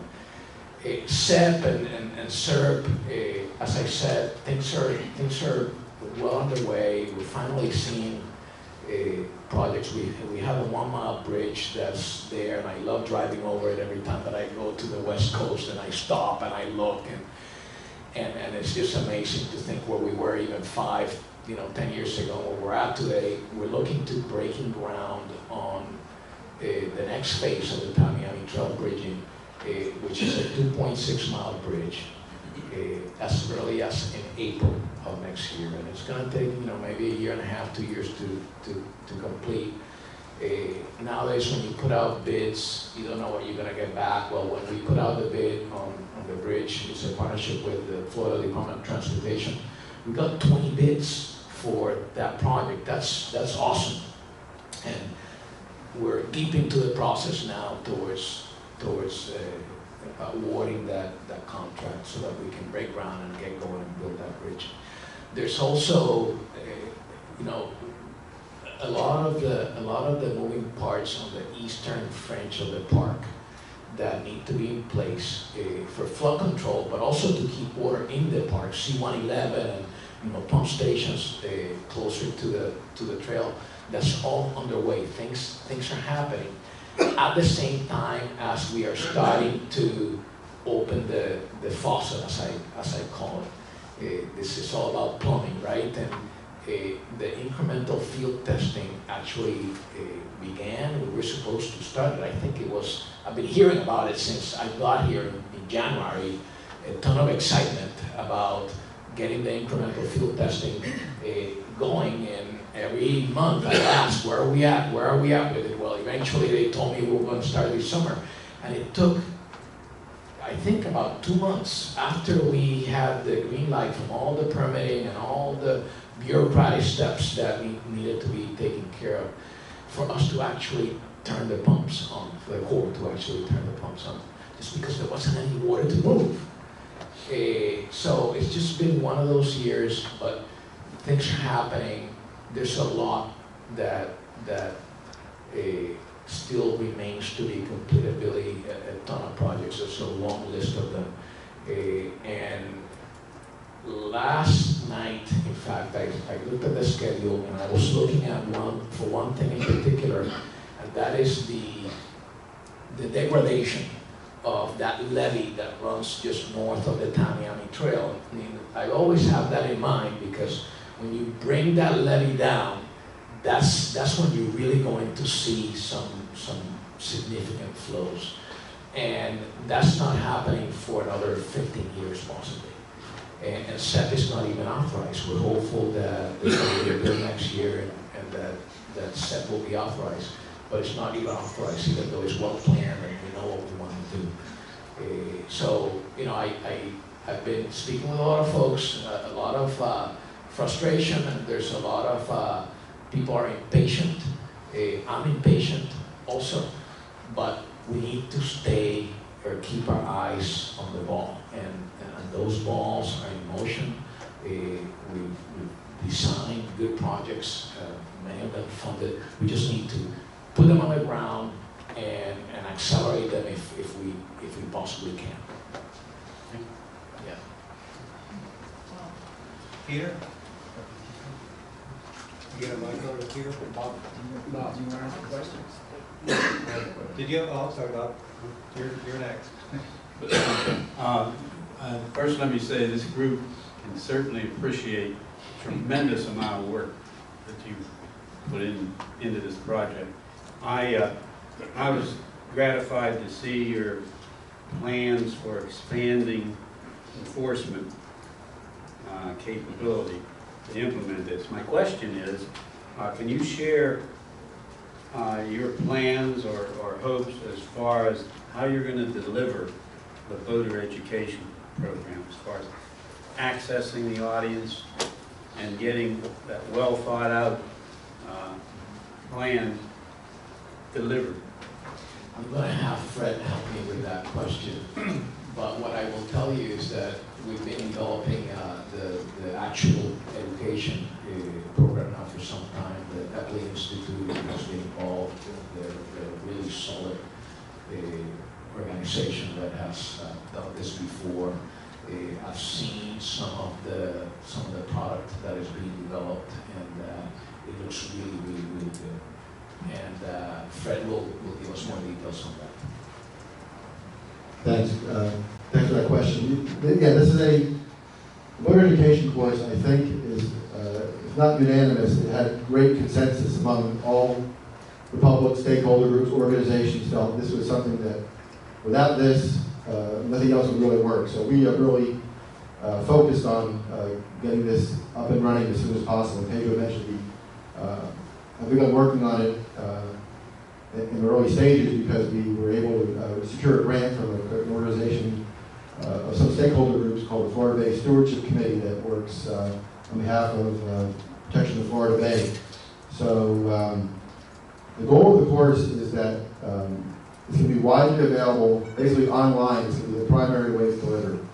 Whether you're sitting here in a hotel, at home, on the other side of the globe, and you're planning a trip to Florida in six months, or what have you, it's going to be uh, a web-based course that you can take on a computer, take on your, your tablet, on your phone if you happen to be, you know, coming to the park and realize, oh, I just, I want to rent a boat, I want to take this course.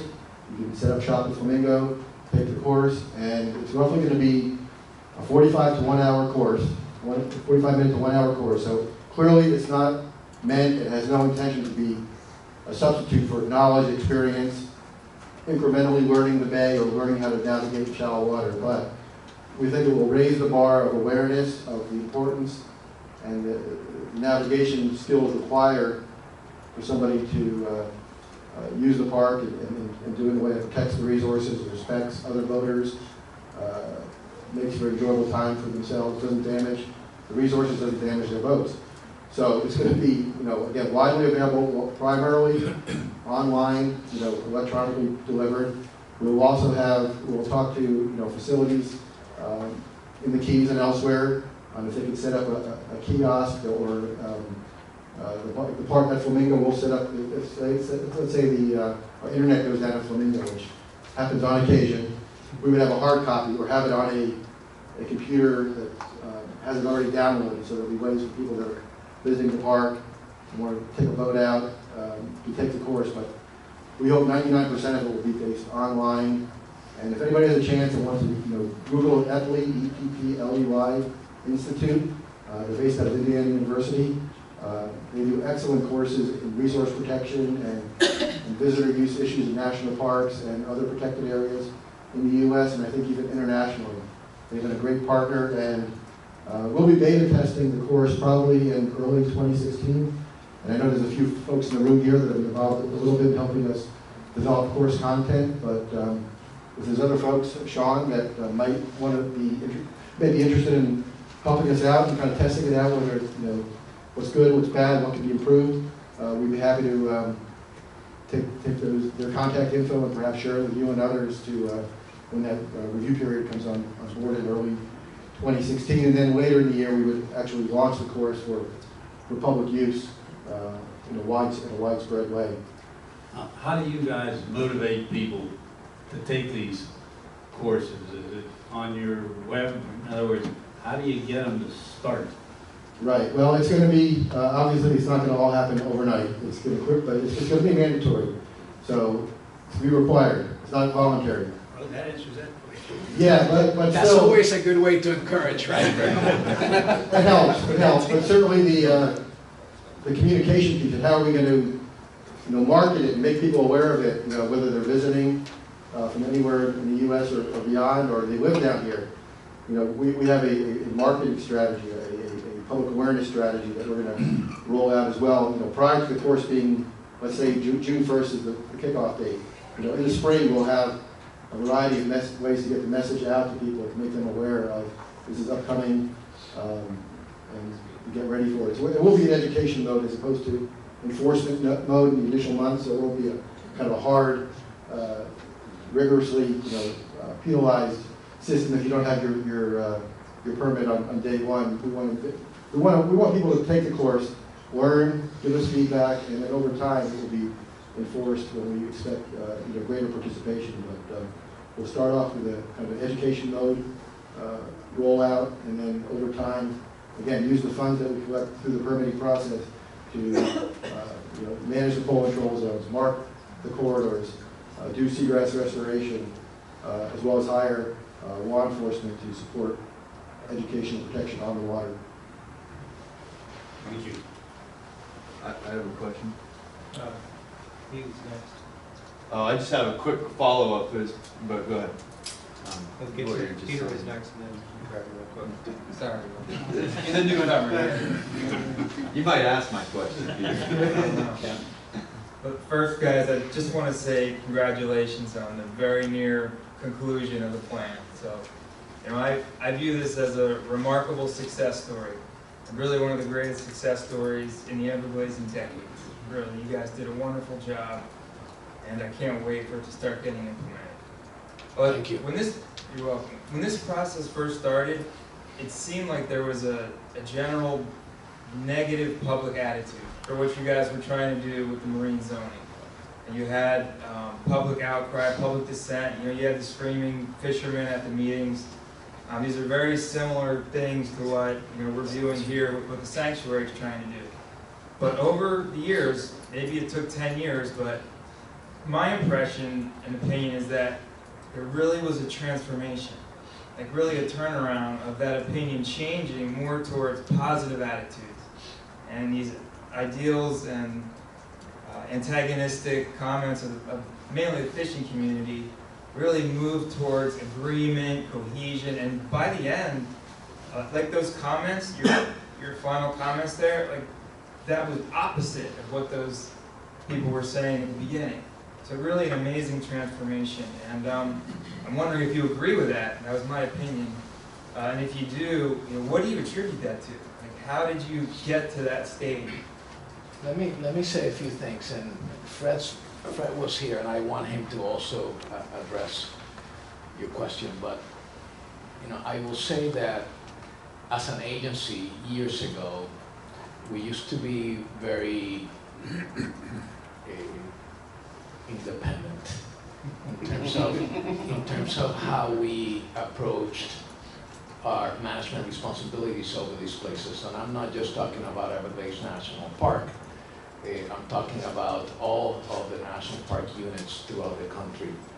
And, you know, over a decade ago, eh, we realized that taking that approach just wasn't gonna work for us. And, you know, there's a reason why we were taking that approach, and part of that reason is the history from which we come from. We used to be ran by the military in the early days. These places were patrolled by, by military people, and, you know, the agency was also seen for many years as almost a quasi-military organization. So you have to understand the history there and why we were doing things in a certain way. But we realized, and we've left behind eh, that approach because we know that that working with the communities around us, not just in Everglades National Park, but throughout the country, yields results that people can really own and feel strongly about and defend and stand up for and help us implement and, and, and, you know, folks eh, understand the values of these places besides just the natural values also. Eh, For many communities, eh, these places present an incredible economic eh, influx of, of, of opportunity. And so, you know, Everglades National Park and this planning effort of 13 years is an example of us taking that approach.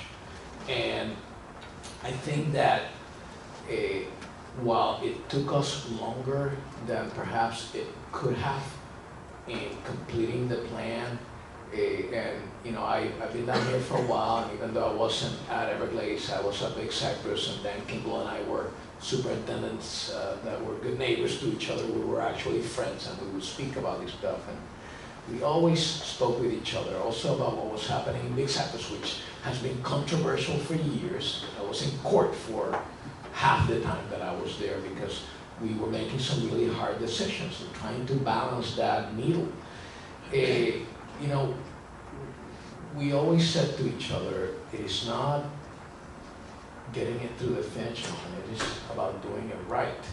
And in this case, eh, we as an agency used a lot of discipline to slow things down and, and to, to spend time developing that kind of interaction and relationship with the community that, that really in many, in many instances knew more than we did about this place that we are responsible for. And we took that approach and we took our time and, and we listened and we were willing to not just listen, but go back to the drawing board and, and, and, and redraft and rewrite and, and, and take input seriously and represent it in the work that we were doing. And that, that cost an incredible amount of delay. It cost an incredible amount of extra money that we didn't have, that we had to go back to the agency to look for, to, to keep the, the, the effort moving forward. But it resulted in, in a, in a plan that, that I think, it, while not everybody's jumping up and down saying, yes, you did everything right, we, we, we have an extraordinary amount of support uh, to really move forward and implement it in a way that will be significant not only to the resource but also to the visitors. So, you know, it was about taking that time. And the last thing that I will say is that no matter, no matter what it is that we're talking about as an agency, I always tell my folks that it is not about the goal that we're after. It is about the people aspect of the work that we do. You know, what, what's driving people, people that are involved, what's, what's, what's really happening there? And when you pay attention to that, which is what these guys did, everything else kind of falls in place. And I think that that's, this is an example of that. Just to add what Pedro said, I agree everything what you said, that was uh, exactly the key, uh, I think, that got us to the finish line, and, and, the, and the process was, was key. So, but I think what, kind of a cornerstone for us and we heard a lot of the the criticism that you had mentioned, Pete. Uh, Back in 2007 and 2008, when we kind of took that step back, we did uh, some science work on what's going on in the bay relative to the seagrasses and the health of the the submerged resources of the, of the bay. We did, uh, completed a really strong visitor use analysis and trend uh, study with the University of Miami to really document kind of, you know, to kind of couple the natural resources that are being affected by what's going on demographically and by, by impacts of this escalating level of use that was uh, trending upward and showed no end in sight except for a little blip when the 2008 and 9 recession kicked in, which kind of turned things down and gas prices started going up, you know, use dropped. But other than that, I mean, the trend is, is, is basically going, you know, ever increasing use, coding and activity. So that's why education is so important, because people are continuing to move into Florida, to want to go out of the water. So I think the science piece was important, and then once we uh, communicated that, and again, we didn't do it, we did it in a shared way. We did it with, with stakeholders, and, they helped us develop the scope of those, those projects, and they helped to uh, help us shape the, the final product so that it was actually understandable. And I think that's began to build trust uh, among the various parties. Uh, I think what Pedro said is also true in the fact that, you know, folks in this room and, and, and thousands elsewhere know the park, know the resources better than we do most, most, most of the time. And we take the time to just understand that, acknowledge that, and incorporate that into our decisions and also into the notion of flexibility and adaptive management over time. Saying these are not lines on the map etched in stone, but these are things that we're going to start with and learn from and uh, refine over time. I think uh, really helped uh, everybody get on the same page. So while not unanimous, I think there is also over, overwhelmingly strong support here. I think the East Everglades piece actually got more controversial and more, more challenging and pushback to us um, in the last few months after the plan was released, as opposed to Florida Bay. And, and, and- and years prior, this area had by far the most contention and challenge to, to, to re- reaching the finish line. So uh, you, you never know what's going to happen, but I think the fundamentals that Pedro laid out, coupled with doing the science and getting the data, uh, I think really helped all of us uh, collectively understand where we were and what we we're trying to achieve. Will, did you have a comment you wanted to add earlier? Yeah, I just, uh, I wanted to ask, uh, you had mentioned quickly about uh, GPS maps.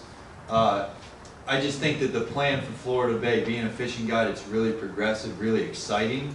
Uh, and I just wanted to know what you guys have in mind in terms of getting it out to the public uh, and interfacing with GPS.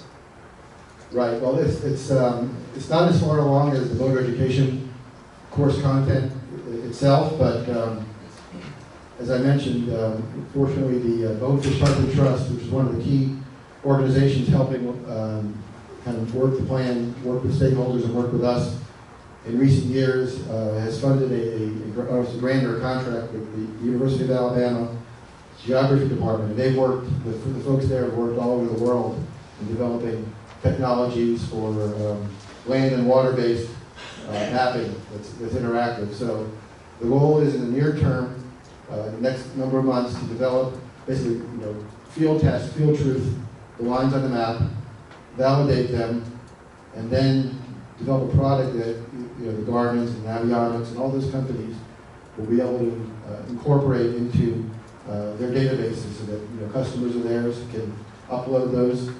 Um, uh, And there, you know, there might be other apps and other technologies that I'm not really up to speed on or familiar with that, that we want to make it, again, as widely available as possible. So we'll be having conversations with BTT and others, and perhaps there's folks in the room here with a knowledge and experience that may want to um, share and help us kind of figure this out. Because, you know, we know that the Great Barrier Reef and other places have developed, you know, really good technologies to, uh, to map uh, marine areas, but um, uh, we are interested in kind of learning, and the technology is ever changing, you know, right, day by day, right?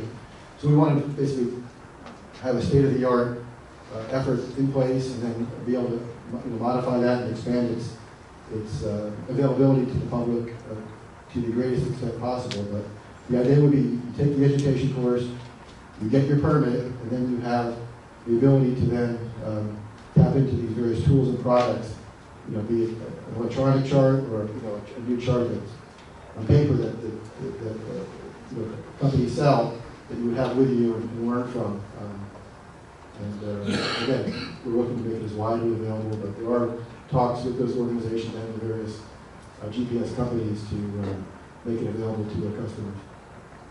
I, I think that that is probably, if not more important than, than the education program itself.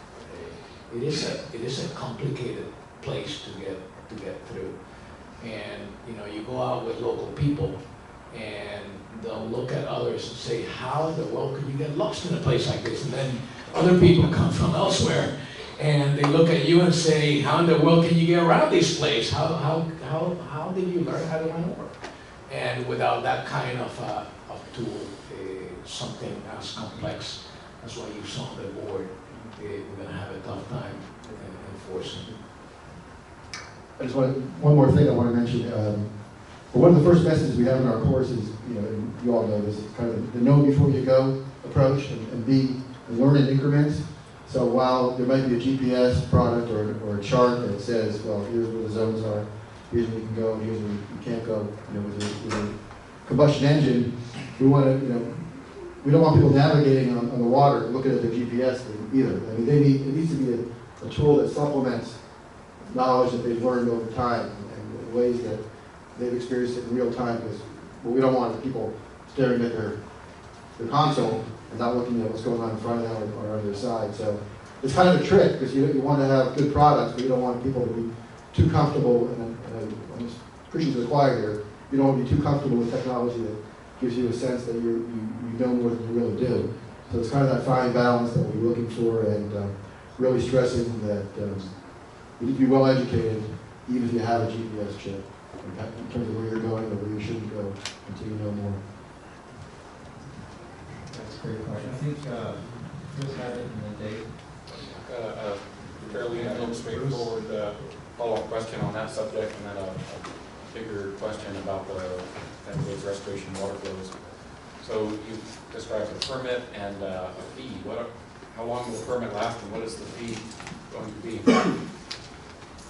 Well, here, here's, uh, as you may have seen or heard about, um, October 1st, the park, for the first time, I think since 1997, and again, this is going on across national parks all over the country, is uh, we were given the ability to uh, raise fees to better support our operations and our facility and and management responsibilities. So uh, a number of fees have gone, went up October 1st for entrance into the main gate and various other fees that will be uh, Some of them are- are going up um, uh, to a certain amount that'll be in place in 2016, others will be phased in over, I think, a couple of fiscal year period. Uh, The concept of the boater education program, obviously since it's not on board yet, is that uh, we- there would be a introductory period, perhaps um, six months, where people taking the course um, and then getting their permit, it would be free for the first year as a way of enticing people to uh, take the course, learn, become better stewards. Um, After that, so there's two parts. One, the course will be, the course will be free. Anybody can take the course, whether they visit the park, want to go to the park or not. We want to maximize education. If you plan to come into the park, that's where you will need to purchase your permit. The permit, again, I think for a six-month period, we talked about making it free for the first year. After that, it would be, uh, I think, fifty dollars a year, um, perhaps going up as high as seventy or seventy-five in, in year two or three. Um, but one of the things we don't know about the, the cost of it is, we don't know how many, uh, people will actually take the course and pay for the permit. We've estimated, uh, based on visitor use statistics of boats, but we know some people go in the park once a year in their boat, some people go two hundred days a year. So we have some kind of a range of of estimates, so uh, we may adjust the the price a little bit, but it'll probably be somewhere, it'll probably wind up roughly in the fifty to seventy-five dollar range annually. Uh, And again, over time, we may learn that certain people don't need to take the course every year, maybe a a two or three-year cycle. Whereas new information uh, becomes available, people will have to take that module. So that's kind of where we're thinking of it at the moment. But it could be changed as we learn more. Great, Thank you. And if other people have questions on that subject, I can wait for my other one. Mine's on that side. A, a follow-up. A follow-up, uh, to that. Is there a minimum age for the permit? Uh, We don't have a minimum age, we would, we would basically go along with the, with the state of Florida requirements for, you know, how they require, uh, you know, uh, youth, there's a certain age limit where you're born a certain year, you're required to take certain, uh, certain boater safety course through the state of Florida. We would basically go along with that and not, not say that you have to be, you know, sixteen or eighteen years old or fourteen years old. So it's basically the- going along with what the state of Florida requires for for, for younger people to uh, be able to vote in the state, and then if, if you meet that requirement, then uh, taking the park specific course would be open to, to that person. And, and have you considered, um, either waiving or at least reducing the permit fee for minors? Uh, I wasn't involved with the, with the, with the, with the fee structure per se. I think it's all, I think there's a little bit of flexibility there, Pedro. The other part I wanted to mention, there's actually a, that's the annual fee that I talked about. There's actually a, a much a lower price if you're coming for a week or two to visit. Just like if you drive into the park and you're coming for a vacation for a week, uh, your fee is reduced for your vehicles. There will be a reduced fee for kind of a short-term uh, boating permit. But uh, thoughts about uh, young people having a reduced fee, I'm not sure if that came up when the, we had our public meetings last year, but it's something that uh, uh, we have time to consider and and fine tune. Well, I would encourage you, especially for residents, you know, you've got all of these kids that live all up and down the Keys that, that, uh, you know, fifty, seventy-five dollars is a lot for, you know, fifteen, sixteen-year-old kid to pony up, you know, and yet, potentially, they could become the best stewards the Bay could ever have if you can get them involved as opposed to chasing them away. And that fee structure may actually chase them to jet skis off on the ocean side, side instead of angling out in the bay. So just a consideration. It's an Making note of it. Make- Excellent point, thank you. Thank you, Chris. So, um, this is a a deja vu question, I think I asked it of Dan the last time he was here. Um, Back to the subject of water flows, water delivery, Everglades restoration. There's a a pervasive rumor, uh, or, Uh-oh. or perception that, that there's water available, and I'm not talking necessarily about the, uh, I'm not necessarily talking about this recent droughty summer, but that there's water available and that the park won't let it into the park because it's not clean enough to meet the, uh, the consent That decree is law. absolutely not true. Can you, can you expand on that a little bit, because I- I- it you keeps know coming that- back like a bat. Yeah, you know that uh, I've, I've heard about that a lot, uh, actually not a lot, but I've heard about that some. And I've been, uh, as, as conditions in the bay have deteriorated over the summer and into the fall, uh, I've been concerned that people may, may start uh, taking advantage of what's happening in the bay to, to, to speak about specific concerns uh, or, or move certain agendas that they may have. Uh, So I've thought about this and, and I've, I've spoken with our scientists and colleagues in other agencies uh, quite a bit about it.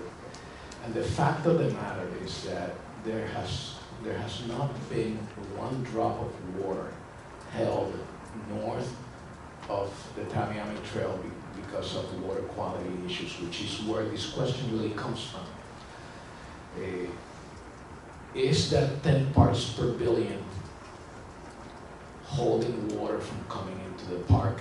Are there ways and should everybody think about relaxing those, those rules, which is not really a rule, it's a, it's a consent decree, it's a- the outcome of a case in court. The state has to uh, comply with that kind of uh, water quality uh, by the time it comes in, into the park. Uh, So, again, water is not being held north of the Tamiami Trail and kept from coming into the park because of that water quality issue. In fact, the water quality issue is one that we're very happy with. Uh, the trending over the past three, four, five years has been great. Our scientists are pleased with it, and we see that trend continuing as we continue to uh, implement Everglades restoration throughout the entire system. Somebody asked me yesterday, so which is the most important project uh, out there? And I said, that's like asking me which one of my three kids I love more, you know? You're not gonna get an answer out of that because you love them all the same. And each one of those projects uh, is important to, to get the water right in terms of quality and the volume and, and all the factors that need to be in place so that it can come into the park. What's keeping water from coming into the park is the fact that we don't have fully implemented projects, particularly on the eastern fringe of the park, that are designed and will be constructed to keep water that's supposed to be in the park in the park and water from flooding at higher levels than the regular flooding that those adjacent lands east of the park have seen over time. So flood protection and pumping back into the park. Until we have, we can do incremental testing and we can bring some flows into the park and that's happening. Eh, and I shared with you earlier that we, we've been, we've been waiting, we just didn't have enough water to do it, even, even if we wanted to. Eh, it was delayed for a couple of months. So we need to focus on the projects that are, that are on that list of projects to serve hopefully get set approved. And if we continue focusing on that, everything else will fall in place. Water quality continue, will continue to get better. Eh, We'll get to where we need it to be, and water will be able to be, eh, to flow into the park eh, at at the volumes that we would like it to be. And not only at the volumes that we would like it to be, but also at the distribution, which is equally important as the volumes, not just the quantity, but where we put it there, so that it hydrates that whole system and ultimately makes it out to Florida Bay, eh, so that the salinity levels that we're seeing can be mitigated to some degree, even at times when Mother Nature throws us a curveball like the one that we got this year. Make that answer. Very much, thank you. Thank you. Bruce, Popham? Uh, Pedro and uh, Fred, congratulations on bringing this planning for landing. Uh, We used to have a saying in management, if I'm gonna be there for the crash landing, I'd like to be there for the takeoff. Fred, you've been there since the took off. I Sure have a question with regard back to the, uh, to the licensing aspect of it. I see that you have the National Manufacturers Association on board as a supporter. Are they involved in some of the, the, uh, the building of the boat education portion? Uh, They're not involved with the boater education portion, but they and some other organizations have expressed interest, and uh, we haven't, we're waiting for the plan to be finalized, but there is some interest in uh, doing some uh, stewardship projects of some sort. Uh, We haven't really figured out what those might be, but I think there's wide interest among those organizations that were up on that that slide to participate in enhancing the park protection as well as promoting responsible use and enjoyment of the park. So those are just, some, you know, conversations we've had with representatives from some of those organizations, but we haven't really scoped out what that might be. But that will be a follow-up task, one of those implementation efforts that we, we talk about, you know, where the resources are gonna come from to actually uh, put the plan more than, you know, not even on the bookshelf, but actually see results um, in the resources and on the water. Uh, We'll be talking to those organizations, uh, like we do with many other organizations, to help um, uh, work through how we see action and improvements uh, within the park. So we look forward to those discussions. Well, I think it's a, a good benefit for you to make sure that you get linked in with the MMA because they are, the- like they are popular when it comes to boating industry and boating in general. I also see that you have the recreational boating and fishing group in there too, or, or, I see all of the partners. Oh, um, which group was that? I'm sorry. Recreational Boating and Fishing Foundation. Um, I'm not sure if they were on there or not, um, but I know, um, uh, I'm trying to think who, so yeah, it was NMMA, uh, American Sport Fishing Association, IGFA, um, Coastal Conservation, Association, uh, Guy Harvey, um, and a, and a few, uh, Billfish Association, uh, and a few others, but, uh, but yeah, we've had, our primary discussion has been with NMMA, and they've, um, again, I think they represent, or they, they work closely with, as you know, uh, a number of other organizations, we look forward to, uh, uh, working with them directly or uh, in concert with others to, to advance some of these, uh, these next steps. Great, thank you very much. And then if if there's more comments, we can uh, take a break and we can come back to this after the break. We can do a little bit of extra time. And then Billy Causey's uh, regional report up to about eleven thirty, so we do have a little bit of time afterwards, but I think maybe after Caroline, break, and we can come back with more questions after a break.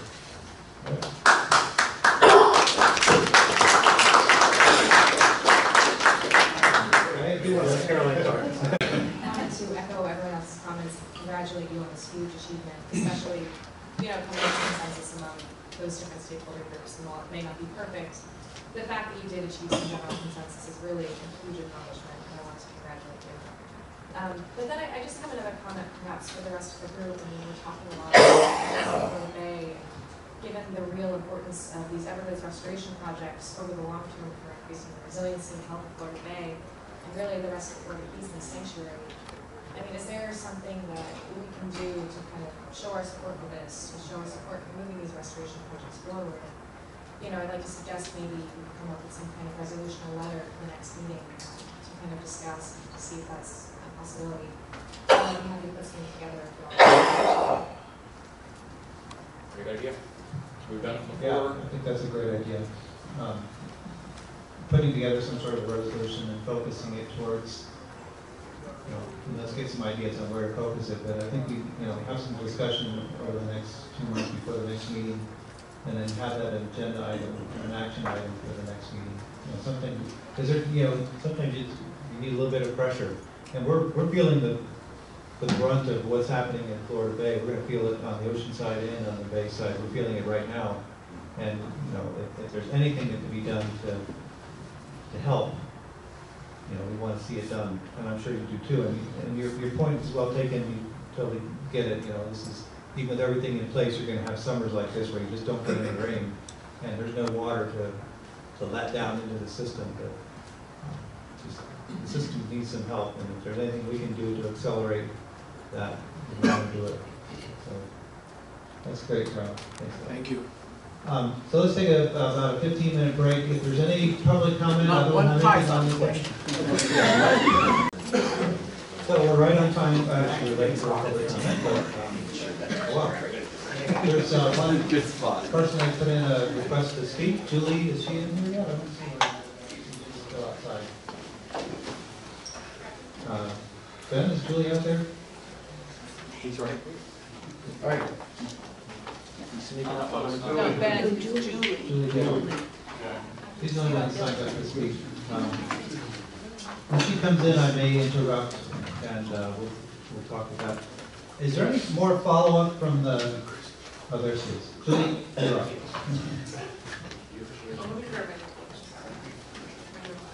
So Julie Dick from Everglades Law, you've seen her in talk to before, and you're the only one. Thank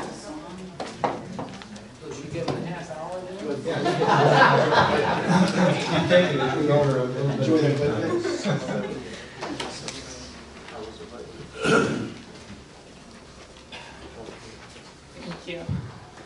Good morning. I'm Julie Dick from Everglades Law Center. I'm here today on behalf of Last Stand and the Florida Keys Environmental Fund. Um, Wanted to, first of all, congratulate Everglades National Park on the um, management plan and the success and the protections that are in that. I think it's a great example for the sanctuary and, and what can be done in terms of shallow water protections. Um, and, and the process as well. Um, you know, through the pole and troll zones, the pole and troll and idle zones, there will be tremendous seagrass protection in, in Everglades National Park. And there's gonna be significant contribution to fish and wildlife protection. Um, so these are all great examples of what can go into the sanctuary management plan, and, and I hope that the sanctuary staff will look to that um, as they go through the process of developing this plan. It's also very interesting how the public view of, the- of this plan really changed over time. And I think maybe the, the Florida Keys is going through this, a similar process in relation to what, what needs to be in the sanctuary management plan um, to really protect the resources here.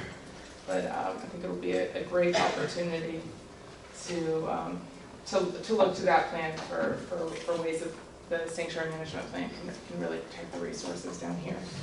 Um, further, on the Florida Bay issues, um, I wanted to sort of second support for, um, what Caroline said, it's some kind of resolution, I think, from this body, really asking for some movement forward on restoration projects will be very helpful. It's, it's really devastating what's going on in Florida Bay and this yellow fog up there and the dead seagrass is- is terrible to see. Um, so th- this, this body actually has a lot of influence. Speaking, I guess, as myself, as Everglades Law Center, not on behalf of my clients here, I've been involved recently in sort of Mi- Miami work and there's some South Bay workshops going on um, through the South Florida Water Management Districts. And there, they're talking about a lot of the um, operations through the C-111 spreader canal, some of the operations that are going on right now. And agriculture is disproportionately represented there. And uh, unfortunately, sort of a lot of the decisions that can be made, they can be made sort of to benefit Florida Bay or to provide more flood control for for ag up there. Um, I, I, it's, it's unfortunate that there's sort of that juxtaposition going on, but it, it, it's kind of true, and there, we need to be keeping the water, the canals higher, the heads higher, so that we have, um, water in the wetlands down there that can be distributed to Florida Bay. Um, so, folks in this, uh, in, on the SAC would actually be very welcome voices in that process and through the, those South Dade workshops, through the South Florida Water Management District. Um, so if, if anyone would like to participate or learn more about those, please get in touch with me and I'll, let you know, but I, I think it's really gonna be important, um, in this situation in Florida Bay. The people are, who are affected by it as users are engaged in the process and engaged, um, through, through these discussions going on and how we're gonna address operations and how we're gonna be better distributing water to Florida Bay. Or providing flood control in South Miami-Dade, who should pick, pick which one, but, um, we, we we need more voices down there from people who are affected in the Bay. So thank you very much. Thank you, Julie. Um, One of the things I've tried to do, or wanted to try to implement is, uh, after a public discussion or public comment, a brief, just a period of discussion, if anybody has comment on things that are brought up during public comment. It's a time for just a SAC to, because I've gone through a lot of time, I've gone to meetings and you bleed your heart out and then they go, thank you, and they move on. And it's like they never even heard you. And I want to at least, without engaging one-on-one the people that speak up there, I'd like to, after a public comment period, just, you know, a, a brief SAC discussion. If there's something that we, somebody feels needs to be acted on, I wanted to give us a chance to talk about that. So even though Julie's the only one that spoke today, if there's somebody, sounds like Susie would like to make a comment, I would like to have that period of time. Yeah, this is in line with what we were all discussing before the break and as well as what Julie brought up. And again, a discussion about possibly having something on the agenda in December for some sort of resolution um, from this body and, you know, to support um, what Everglades National Park has done and is, is implementing and also to, you know, kind of join in with uh, the idea of we are downstream, the entire sanctuary, not just the Florida Bay portion of it, but all parts of the sanctuary are affected by this water, um, you know, having this restoration going to affect them, getting the water back here. So in thinking about putting something on the agenda, we should be maybe thinking about what type of issues to address.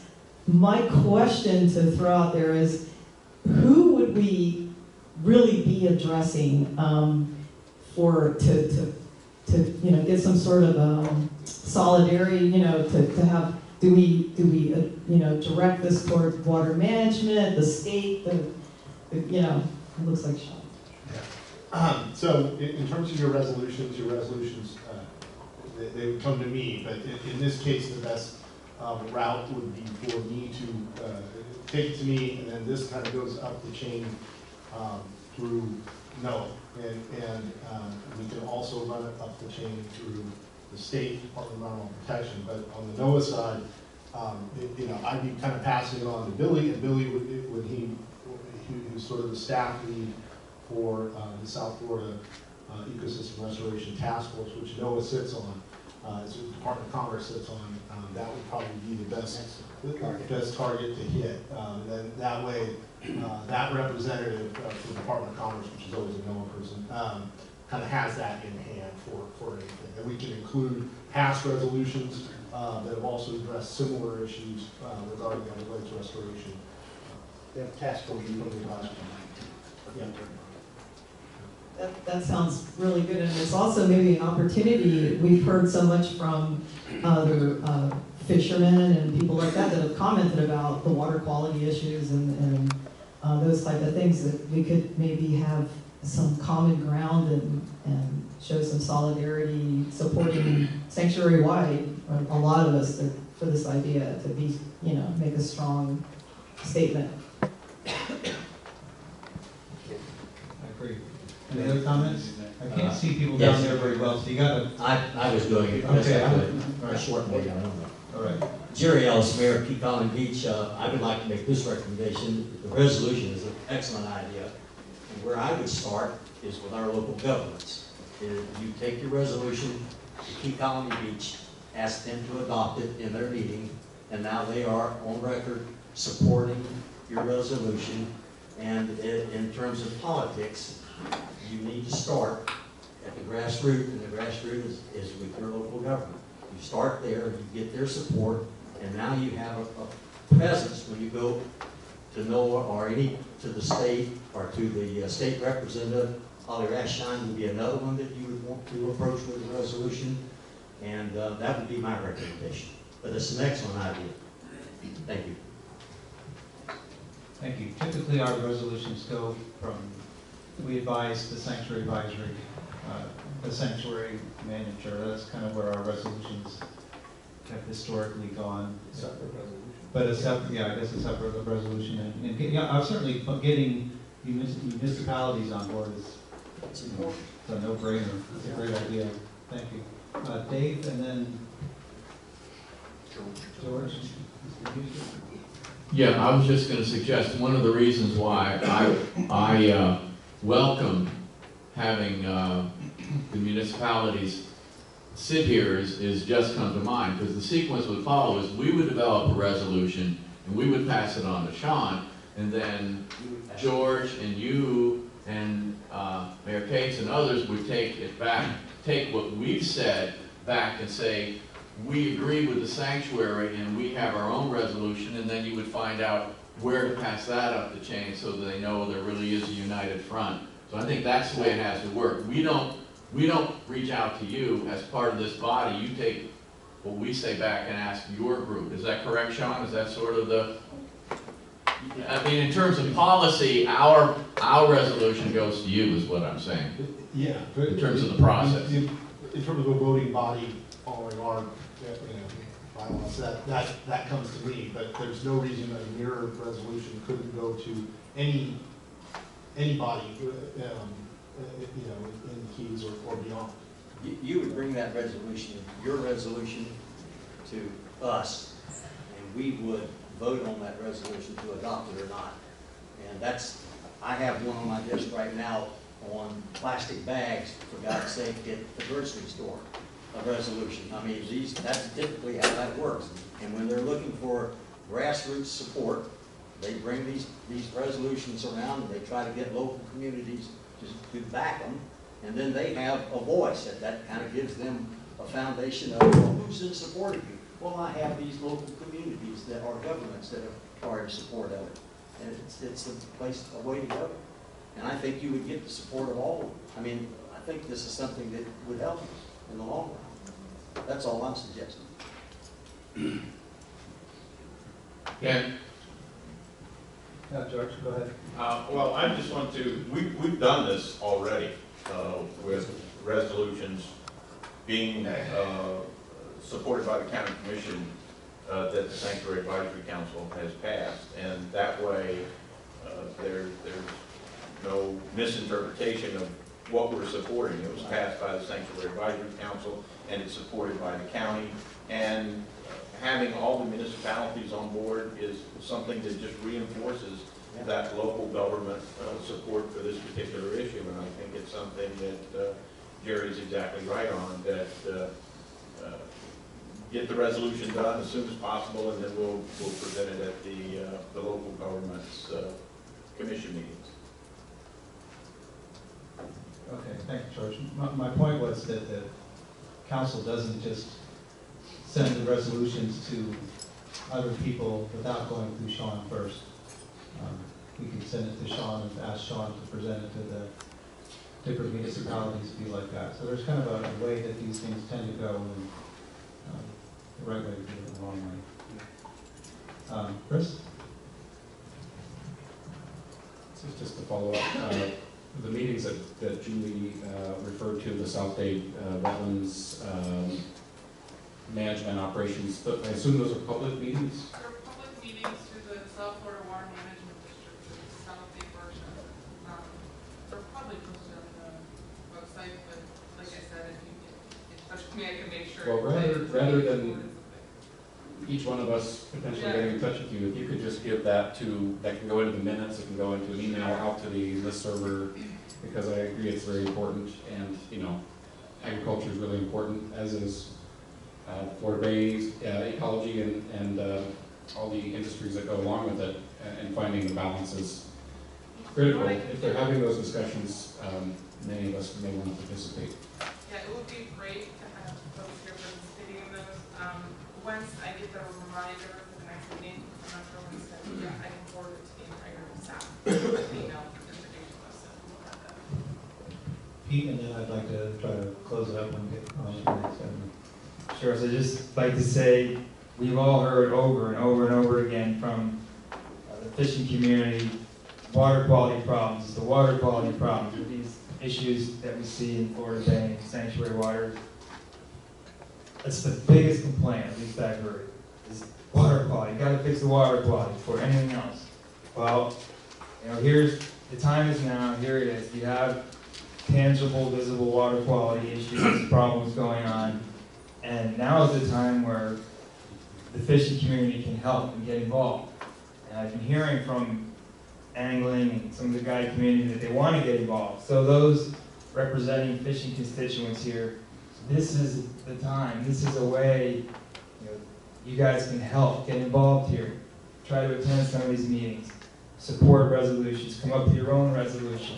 Because this is it, and, you know, we can talk about it, or we can do something. So I hope we can get more involved with what's going on.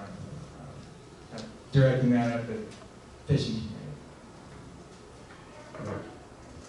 Great, and uh, so with that, I'd like to turn it over to our next agenda. It's not actually on the agenda until two o'clock, two fifteen, but it's agency reports, and we'd like to move uh, building regional director's report up to right now. We talked about that earlier, and, uh, you know, you got fifteen minutes, but take more if it runs into it. Well, I just know how these things go, but, but I think this is an important discussion. though. Don't give him more. He's supposed to go the I'm gonna take it anyway. Ken, Ken, you're very tactful, very good tact. Let me, uh, let me go up here, Sean. um, Keep in mind that there was only 15 minutes on the agenda for the whole agency reports. Okay. And and so you're getting 15 extra bonus rollover minutes. These are extra rollover minutes. All right, first, uh, I'd like to first uh, ask uh, Lauri MacLaughlin, would you, would you come up here, please?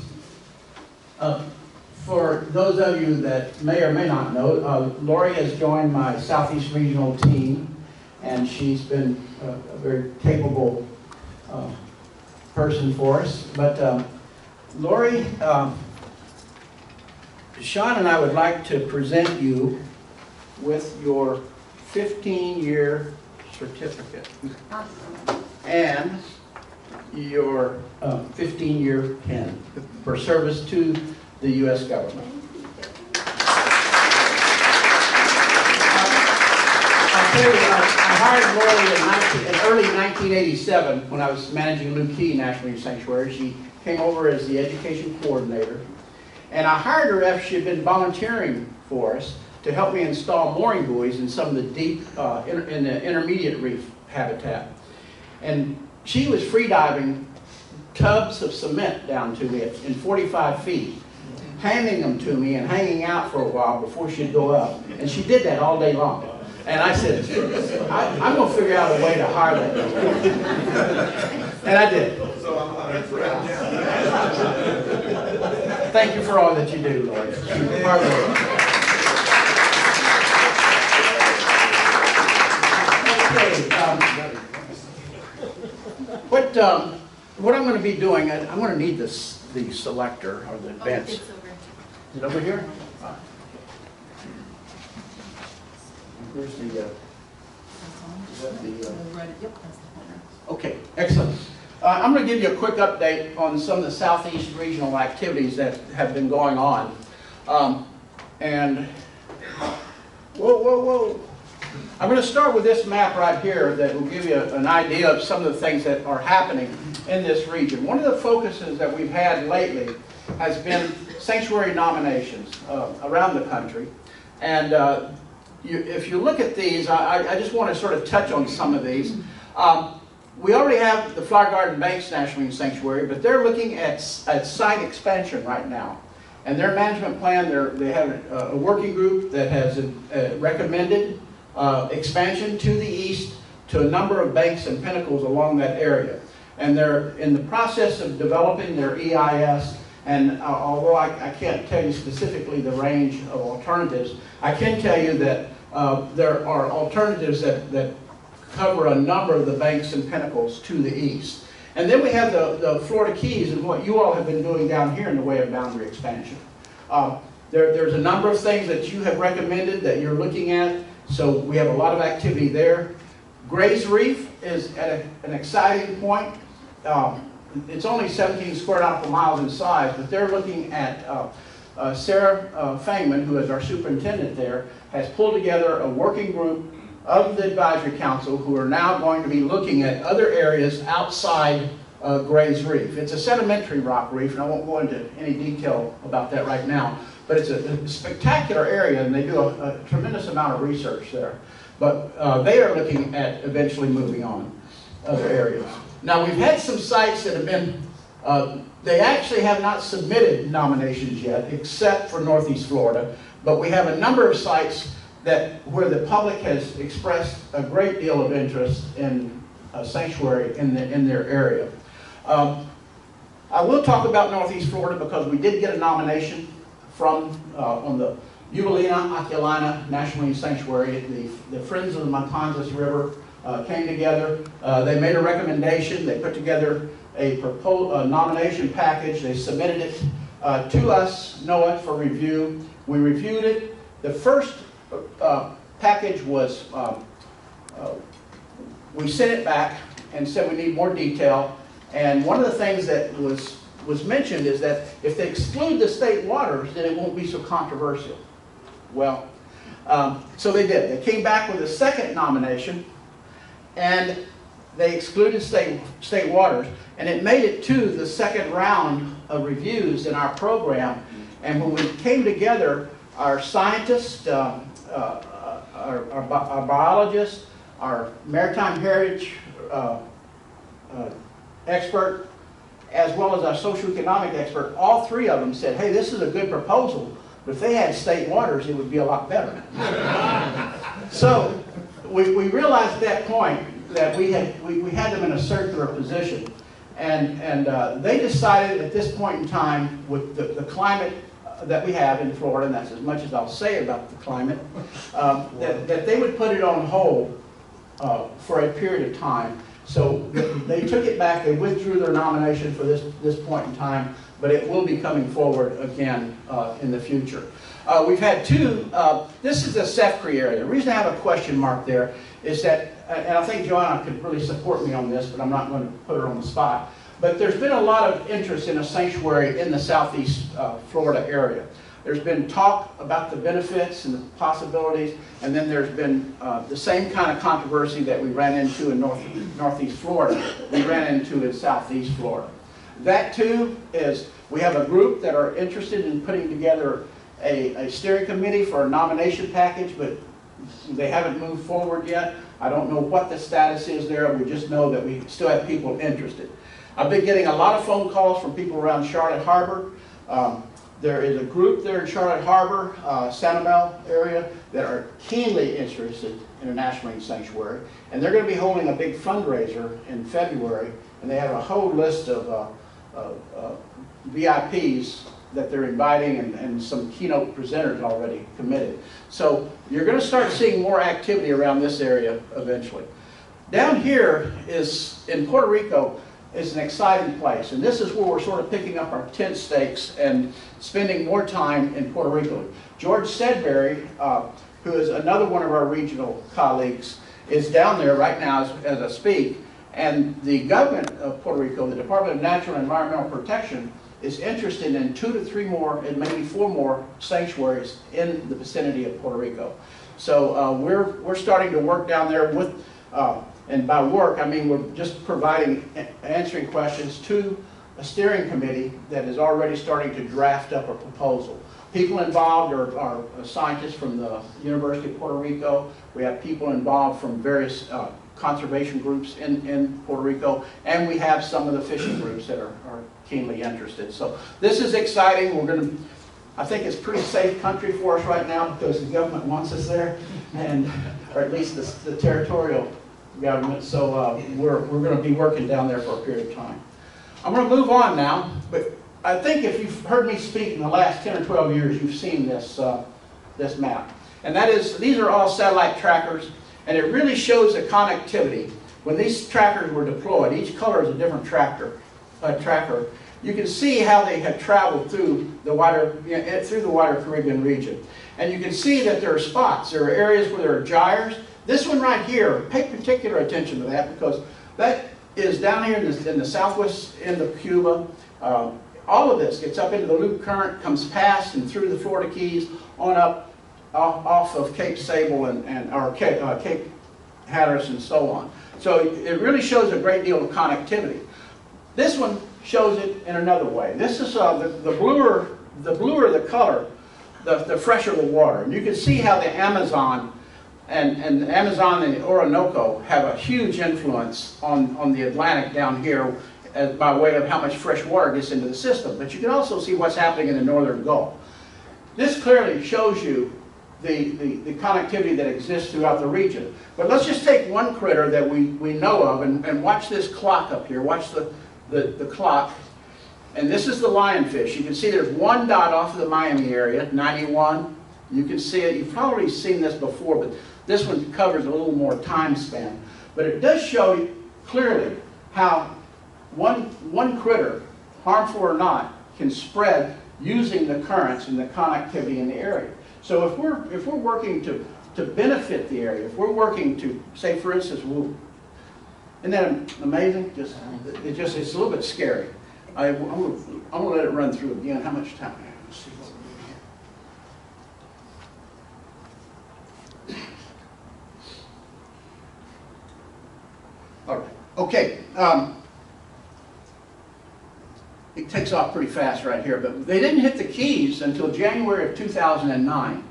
So you, you, you may recall how quickly they moved in or on around, all the way around uh, the Gulf. So this is, a, this is an issue, but also not only bad things are carried with the currents, but also uh, other forms. You've heard me talk in the past about um, some of the banks and pinnacles that exist throughout the region. Uh, this, these are just some of them. And the reason I put this up there is that we have been working since 2007 with uh, the Mexicans and the Cubans in informal venues.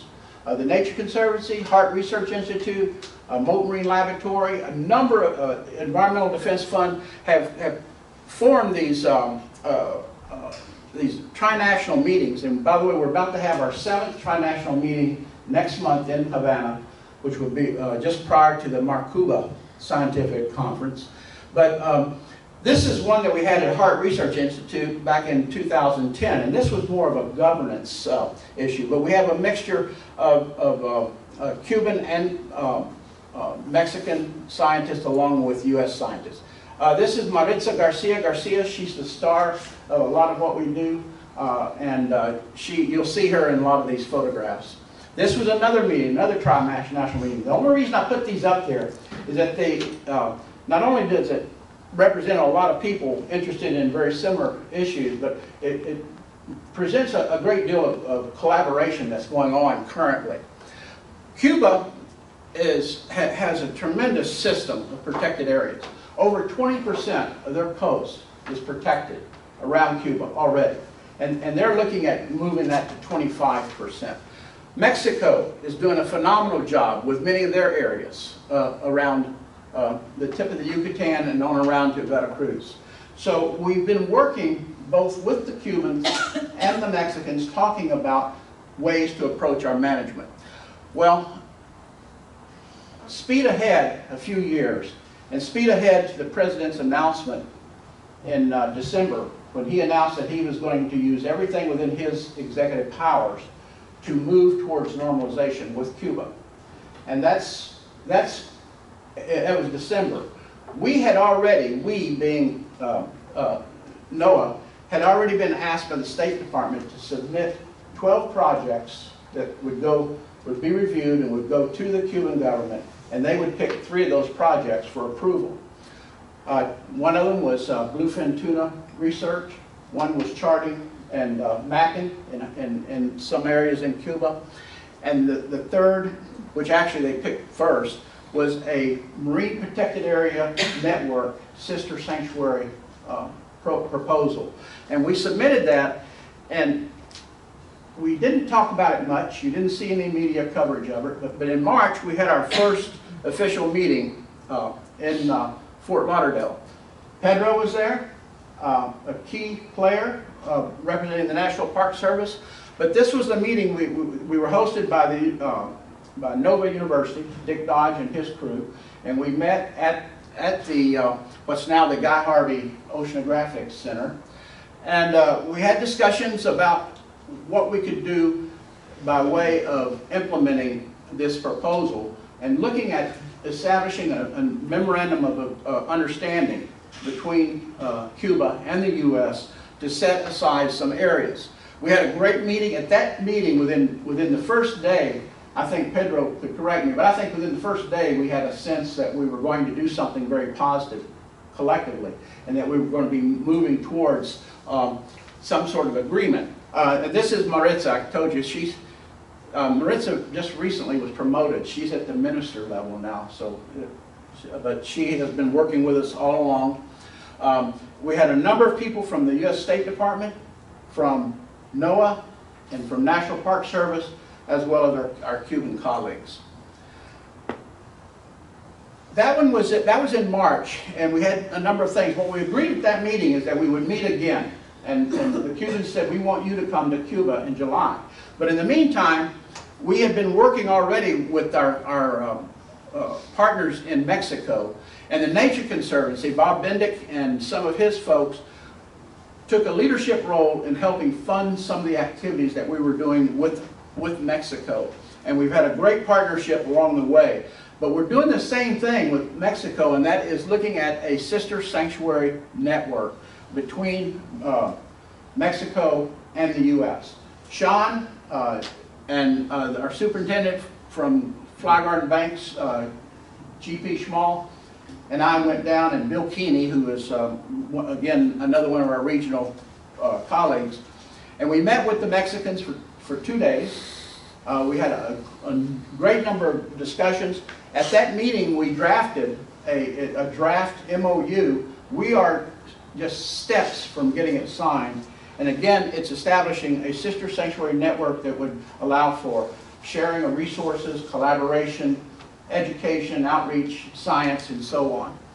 There, we're also looking at the, the sanctuaries, that, the areas that would be uh, included there would be the coral reef system off of Veracruz, off of Lobos Tuxpan, off of uh, uh, uh, the Alacranes, uh, several whale shark sites out here on the tip, because the whale sharks that are out here make their way up to flower gardens. The whale sharks off of Cuba make their way, they mix here, they all make their way up there, so there's a lot of connectivity between our resources already that's naturally. But we're looking at, at, at sistering uh, the, the Florida Keys and, and, and these sites out here with, and with the flower gardens and also, well, and, and- this would be the, the network of Mexican sites that would sister with the flower garden banks and Florida Keys. Again, we've made a, a great deal of progress. Uh, great meetings. This uh, person here, Ricardo, he's my counterpart in the Mexican government. He has all the, the marine protected areas and all the parks on the tip end for all all of the Yucatan. Um, jump ahead to July. Just this July, Pedro and I had the, the privilege and honor to go down and join, oh gosh. Go ahead and finish.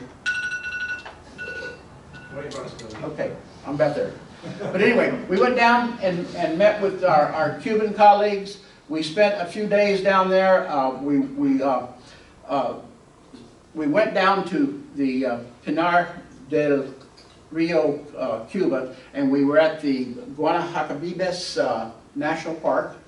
And I'm going to show you a little bit about that. But we had, again, we had very formal meetings, very formal settings, interpreters back and forth and back and forth. But we, we, cert, we also uh, agreed on a number of things that we felt that we could do together and start moving towards uh, implementation. Again, a great group of people. Uh, uh, uh, besides Pedro, there he is right here, Elsa, you may know Elsa from uh, Biscayne National Park. I think she was here at your last meeting. Uh, They were partners as as well as some of our other representatives. Our acting director, John Armour, led our delegation. And we had, again, people from the State Department and uh, uh, NOAA that were represented. This is uh. Um, It is the southwest tip. If you go out here, we went to some of the turtle nesting beaches, and if you go out here to this very tip, that's the westernmost part of, of Cuba. And it, it's an exciting area, and what we plan to do here is that um, if you look at this portion, this is the Guanahacabibes National Park Biosphere Reserve, and then up here is an area called the Banco de San Antonio. And um, we're planning on sistering the, the park with the Florida Keys National Marine Sanctuary, with Dry Tortugas, Biscayne, Everglades, and we're going to sister the Banco de San Antonio with the Flower Garden Banks National Marine Sanctuary. The reason is that the features are very much the same at the two locations. They are just starting to experience more tourism in that area. It's about a five mile, five hour drive out of Havana. Pretty rough drive, sort of bouncy, but, but they're, they're still a little bit remote, but you can see that they're ready to, to ramp up. And uh, so there's a lot that we can share with them uh, in, in various ways, catch them while they, they have, the resources are healthy. The Banco de San Antonio, there's going to be a lot of, of research opportunities there comparing what's going on at the Banco. They're, they're very similar to flower gardens, except flower gardens does not have any soft corals, um, none whatsoever. So that's the only difference, but they're, and some of the fish species. But for the most part, they both are about, the shallowest points are about 58, 60 feet deep. Um, they are very similar in structure, very similar in, we have more boulder corals at, at flower gardens, but still, there's a lot of similarities there, and, a, and they have a lot of threats uh, to that area. They're concerned, they have threats, they, they ask us questions about oil and gas development, they ask us concerns about cruise ships, all the things that we talk about here. We can't be in a conversation with them for five minutes, either the Mexicans or the Cubans, without talking about lionfish and what we can do collectively about lionfish. So there, there's a lot of opportunity there for us working together. We're really excited. We're real close, and we're wordsmithing an MOU with Cuba. Uh, Secretary uh, John Kerry at the uh, um, our, our Oceans Conference in Chile in the first part of October, the first day, he announced this uh, agreement along with, he announced the, the uh, we were moving towards nomination of two National sanctuaries in the system. But the thing that was most exciting about his announcement is that his announcement was on the, on the first, first part of the first day. The very first panel was a Marine Protected Area panel. And at the end of that, they took official comments from delegates in, in the audience. And one of our counterparts from Cuba stood up and read a proclamation that, that they had put together identifying and recognizing our sister sanctuary relationships. So it was really uh, gratifying and certainly uh, rewarding to all of us. Pedro, what did I leave out? You did a good job, and I think we're over 15 minutes. I did, I did. That bell was 15 minutes. Chris? Question. Um, um, So sister sanctuaries, it sounds like that's not establishing new uh, marine protected areas, it's taking existing ones, sharing information, sharing science, sharing whatever, resources, is that accurate? That's, that's very accurate, and uh, we've done this before in the sanctuary program.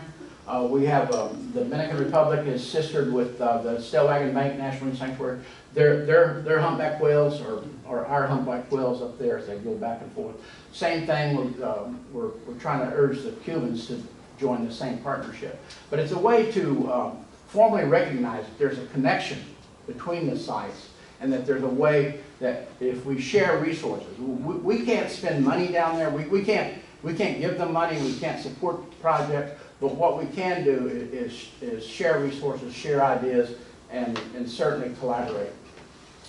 I would just editorialize, I got to visit the Guanahacabibes Park um, three years ago.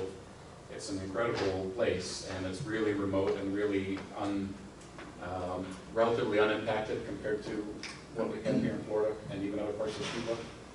Uh, But speaking of um, money and resources, uh, their scientists and park rangers were bumming rides off of tourists to get from one end of the park to the other. They have they no resources. And, um, you know, there's obviously the, the argument that that's one of the reasons why the place isn't uh, so degraded. But uh, it- obviously, development is coming uh, to Cuba, and I think it's a great opportunity uh, for us to share lessons learned, uh, bad ones, good ones, and uh, it's really exciting to me. Very Do they have advisory councils? Hmm? Do they have advisory bodies? No. The party. But Billy has offered out of his regional budget to take the entire Florida Keys National Sanctuary. Down to one, four, four assignments, plus alternates, and non-voting government members. It'd take us ten years to get those visas. That's why I need to get the money.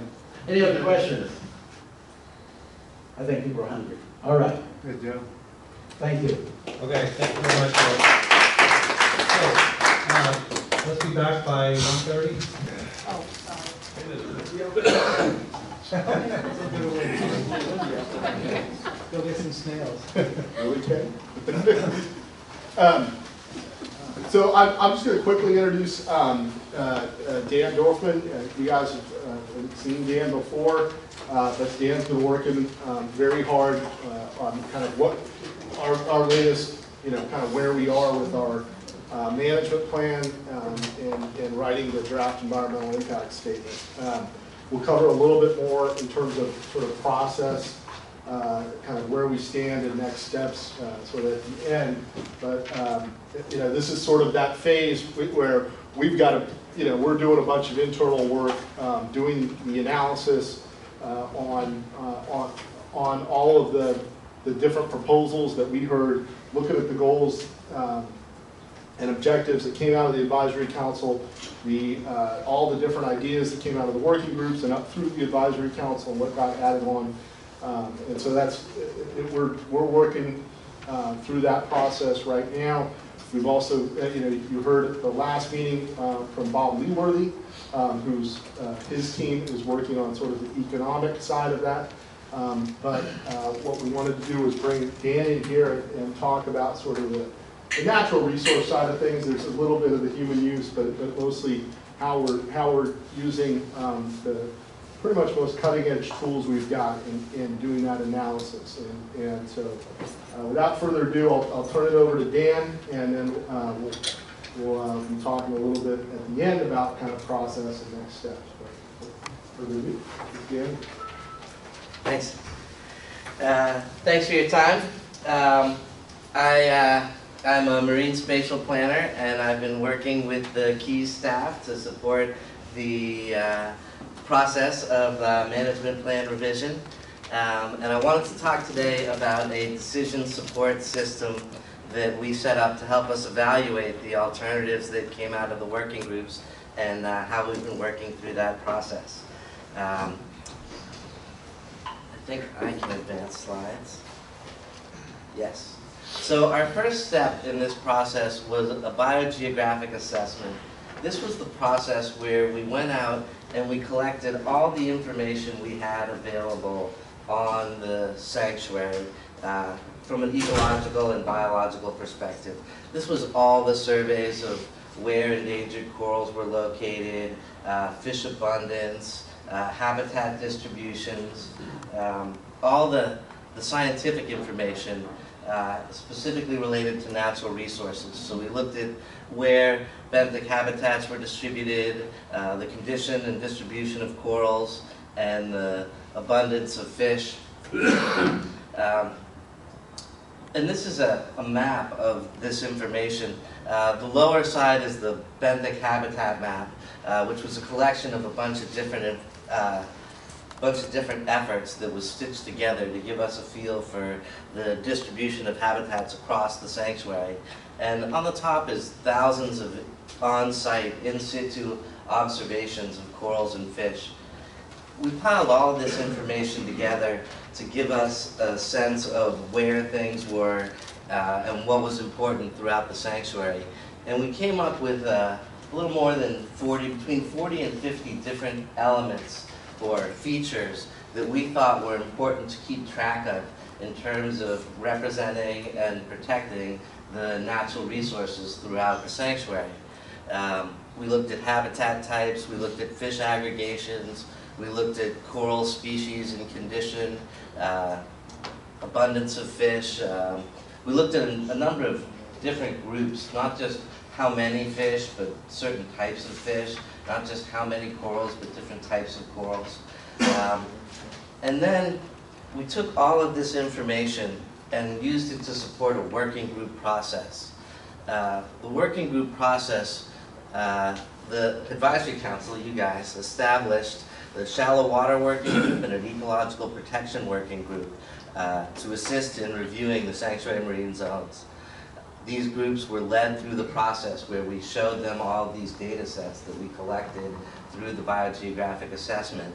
And they took this information along with information that they brought to the table, that they collected from their stakeholders, their understanding of the local environment, and they used this to propose a suite of recommendations for how these uh, existing areas might be modified, particularly management zones within the sanctuary. Um, so they were looking at things like wildlife management areas and where they were and maybe where they ought to be. Uh, and then finally, the, uh, the Sanctuary Advisory Council reviews and provides additional input for analysis to draft an environmental impact statement. Uh, the Shallow Water Working Group looked at the wildlife management areas, 27 of them. Uh, they reviewed, reviewed 25 additions, proposed new ideas, uh, and came up with a final recommendation out of that working group process uh, to remove two of the existing zones, to keep seven the way they were, to modify 19 of the zones, and to add 24 new ones. The Ecological Protection Working Group went through a similar process. They reviewed the sanctuary preservation areas, the special use areas, the ecological reserves, the existing management areas and the boundaries as well of the sanctuary, as well as the areas to be avoided. Uh, and they came up with a set of recommendations to modify 11 of the existing marine zones, uh, to modify the sanctuary and the areas to be avoided. Uh, they proposed seven new zones, and they removed catch and release by trawling, exception for four of these zones. Uh, so, coming out of the working groups. We wanted to review the working group recommendations and the advisory council recommendations. And essentially, we wanted them to meet this set of goals. We want them to improve the diversity of natural biological communities, to protect and where appropriate, restore and enhance natural habitats, populations, and ecological processes overall in each of these subregions. We wanted to reduce stress from human activities. We want to protect large continuous, di- contiguous, diverse, and interconnected habitats. And we want to increase abundance and condition of selected key species. This is a tremendously complex problem to try and solve. The, the answer to how you would accomplish these four goals across the sanctuary is not an easy nut to crack. Uh, the decision, the working groups did an excellent job of taking advantage of thousands upon thousands of pieces of information and trying to sort through that along with local knowledge and figure out what was happening. Um, to evaluate what they came up with, we want to apply a decision support system, uh, which we can use uh, in an automated way to review all of these different possible scenarios and come up with some sort of criteria by which we can evaluate the, essentially the merits of each of these proposed alternatives. So we went looking for an appropriate tool and settled on Marxan. Marxan is a decision support tool which is used for identifying ecologically important areas and designing net, networks for natural resource management. Uh, it came out of the uh, Possingham Lab at the University of Queensland, um, and it's been in wide use now for maybe 15 years, a little more than 15 years. Uh, it's a software tool that supports the use of a systematic optimization algorithm, which is to say that you give it a set of criteria and it optimizes or finds the best possible or, or uh, most efficient solution to a given set of criteria. Uh, it's been used all over the world to support the design of marine and terrestrial reserves, and it's the most widely used conservation planning tool with more than 5,000 users in 180 countries. It's broadly accepted, well supported in the scientific literature. So we felt confident that this was an appropriate tool to apply to this kind of a problem. So Marxan is designed to find efficient solutions to complex problems and incorporate spatial considerations. So it's not just a, a optimization tool, it's a spatial optimization tool. It looks across space and finds areas which, when configured together, produce an optimal result for a given set of criteria. Uh, in this case, it's the criteria that came out of this committee, the working group goals and objectives, that we then feed into this decision support tool and ask it, what would be an appropriate set or area, portfolio of sites that would represent the goals that we established. To make this operational, we took the sanctuary and divided it up into 21,000 planning units. We used hexagons. Uh, they're each about a half, they're each exactly 50 hectares or a half a square kilometer. And what the tool does is it sorts through and evaluates if you were to select some of these hexagons and establish them as management areas, then what proportion of your criteria from your original objectives would be met? And we sorted through more than 120 billion possible combinations of these hexagons to say, if you were to look at different configurations of these hexagons, which setup would best meet your criteria? And the criteria we gave it was specific representation goals for benthic habitat types, for fish and for corals, uh, for resilient reefs, for reefs with high rugosity, um, all of the different aspects that we established prior to the working group process that we said these are the things we're looking to protect or to represent. Uh, we then uh, chose to represent these things across their range of variability, which is to say, across the five regions of the sanctuary. Uh, and we ended up with 235 specific goals or representation criteria we wanted to see met in an optimal scenario. Now, it's important to remember that when we use this tool, it's only using the spatial information that we provided based on the benthic habitat map and the exist, existing scientific research that we had available. So it, doesn't take into account local knowledge. Um, it doesn't take into account uh, human use patterns. Uh, purely based on an ecological and biological set of criteria, we said, what is the best way to represent these 235 different things across the space of the sanctuary? And we get a result that looks like this. Essentially, if we used 8% of the analysis units in this particular pattern, then we represent all of those 235 goals in the smallest area possible. Um, but it's not the only possible configuration. It's important to recognize two things. One, that this may be most optimal according to the criteria, but there are many near optimal solutions that could be spatially different. Um, and also, the, the set of criteria that we punch into this decision support system is not the whole ballgame. There are other considerations which will cause us to, to change our final answer from being what pops out of a decision support system to uh, acceptable criteria for managing natural resources. Uh, so we ran the scenario that pops out that one answer 100 independent times. And we said, in 100 independent scenarios where we looked at 100 million different versions of the configuration of the hexagons, we find this as a sort of a heat map or a summary of the results from 100 independent trials. And what this tells us is where we can find variability, spatial variability in particular, in how we might choose to represent our goals. So these are, the red areas are good places for us to go to reach uh, representation of ecological and biological criteria. What I'm doing now is showing them with the outlines of the existing spas, SUAs, ERs, wildlife management areas, etc. Uh, so that you can kind of get a feel for how this looks compared to the existing system.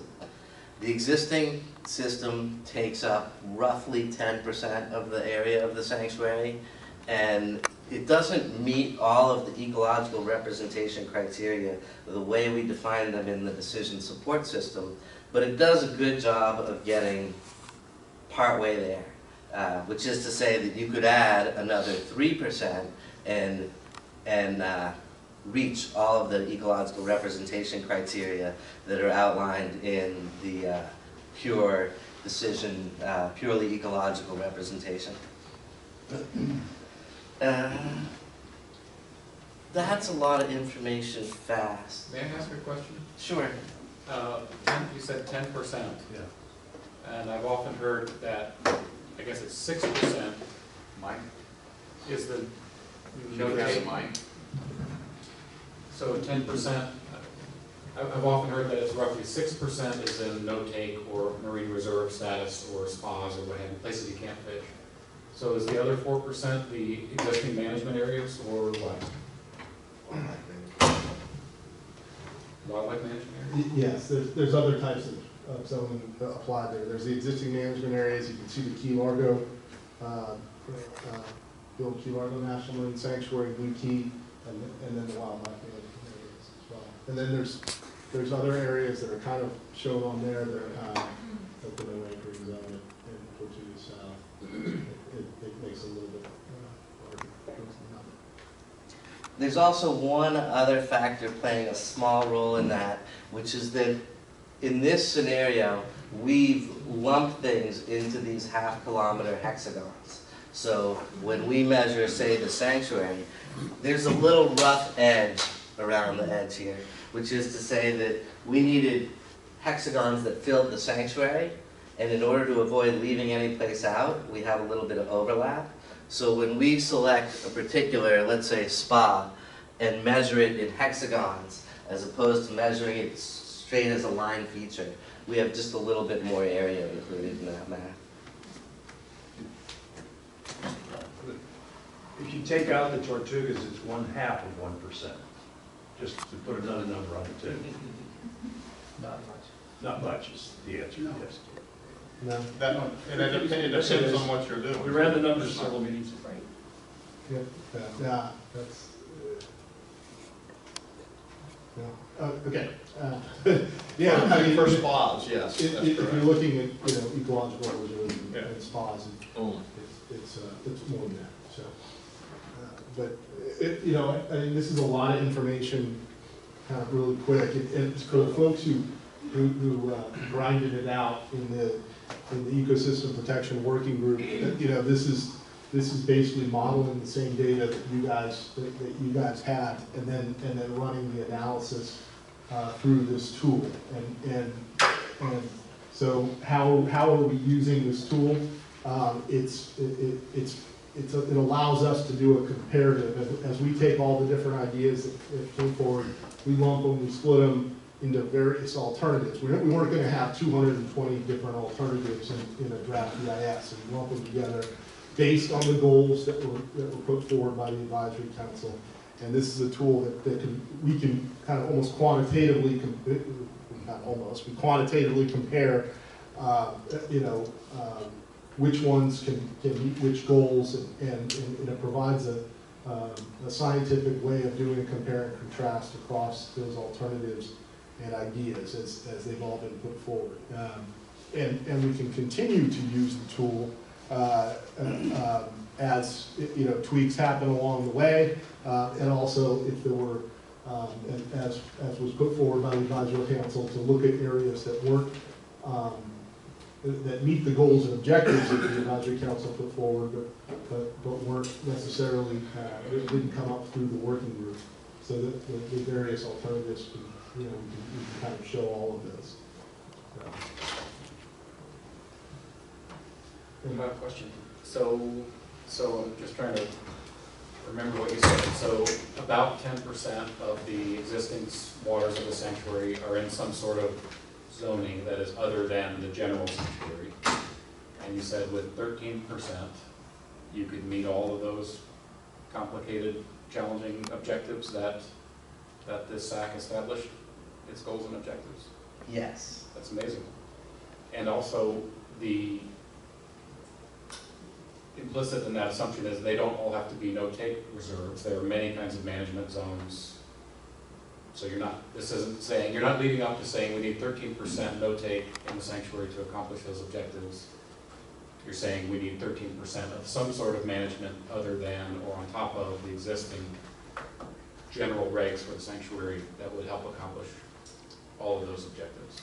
Right, we made no attempt to determine what exactly form of management would be required to protect a particular or individual resource, but just said, if we wanted to achieve this set of goals, uh, ecological representation, then these are the areas where we would do it, but we didn't decide how. So then, uh, another related question, uh, those of us that put a lot of blood, sweat, and tears into the working group process, I think we put a lot of ideas forward, recommendations as you described them, and it it would be sure interesting to all of us, whether or not they ended up looking good or bad or indifferent through this analysis, just seeing how our recommendations square with this uh, analysis. Is that something that we'll be able to see all of the working group recommendations in relationship to this and how they would fare? And, and that's what I was trying to say, is we, we, as, as we've been talking about, you know, we're not gonna parse them out, all two hundred and twenty, and we had to do some lumping there, and so we tried to lump them by goal, and that's basically what our next step with, with Dan is, is taking these sort of optimized results, um, you know, and, and kind of compare, as, as we've lumped, you know, your ideas, and I'm gonna pick on Ben's, and yours and Ben's, you know, you know, if that's how it came together, you know, for that one goal, you know, and, and if it was Susie and Pete's, uh, you know, kind of idea over here, that's uh, meeting a different goal, that, you know, we can kind of compare and contrast there. As you move through the process of, okay, well, you know, we've got alternative one, two, three, right? Well, let's take a little bit of two, a little bit of three, a little bit and see what happens there. That's, that's where you can kind of do a little bit more iterative work as, as we, as we, as we move along. But right now, it's, what you kind of see right here is, you know, this is, this is one way to qualitatively, from a science perspective, analyze all the things that have come forward and to meet, and to address the direction we got from the advisory council is to look at what meets the goals and objectives. And, and that's kind of what Dan has been doing 120 billion times, so.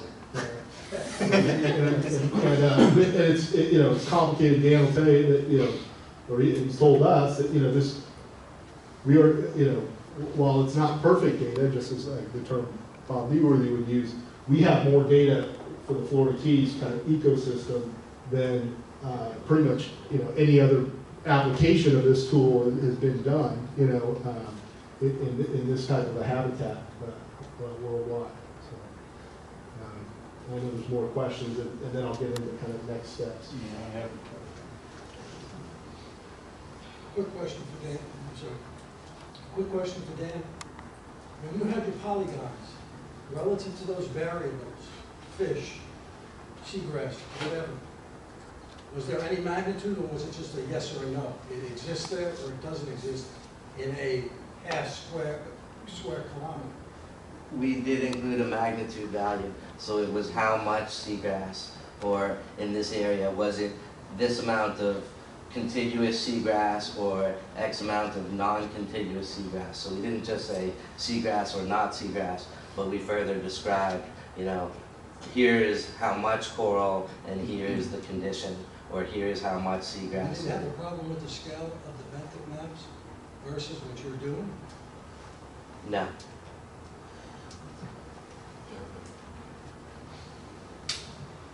Um, Just, uh, my impression was that those orange reddish spots would have been the thirteen percent. If you notice, it's not the same ten percent that we have now. There's a lot of different areas, so um, fitting your, so there's a, there's a, a complete rethought on what would be protected if we went by just that. And that's not, obviously, that's just a, this academic exercise. I mean, I, I guess, you know, you have the whole nat, uh, Key Largo Marine Sanctuary is one of this, part of this ten percent, and yet the orange space is not, you know, it's like about a third of that. So there's other orange spaces, so, you know, we can't just add three more percent to what we have and voila, we have it. It's not gonna happen, that doesn't happen.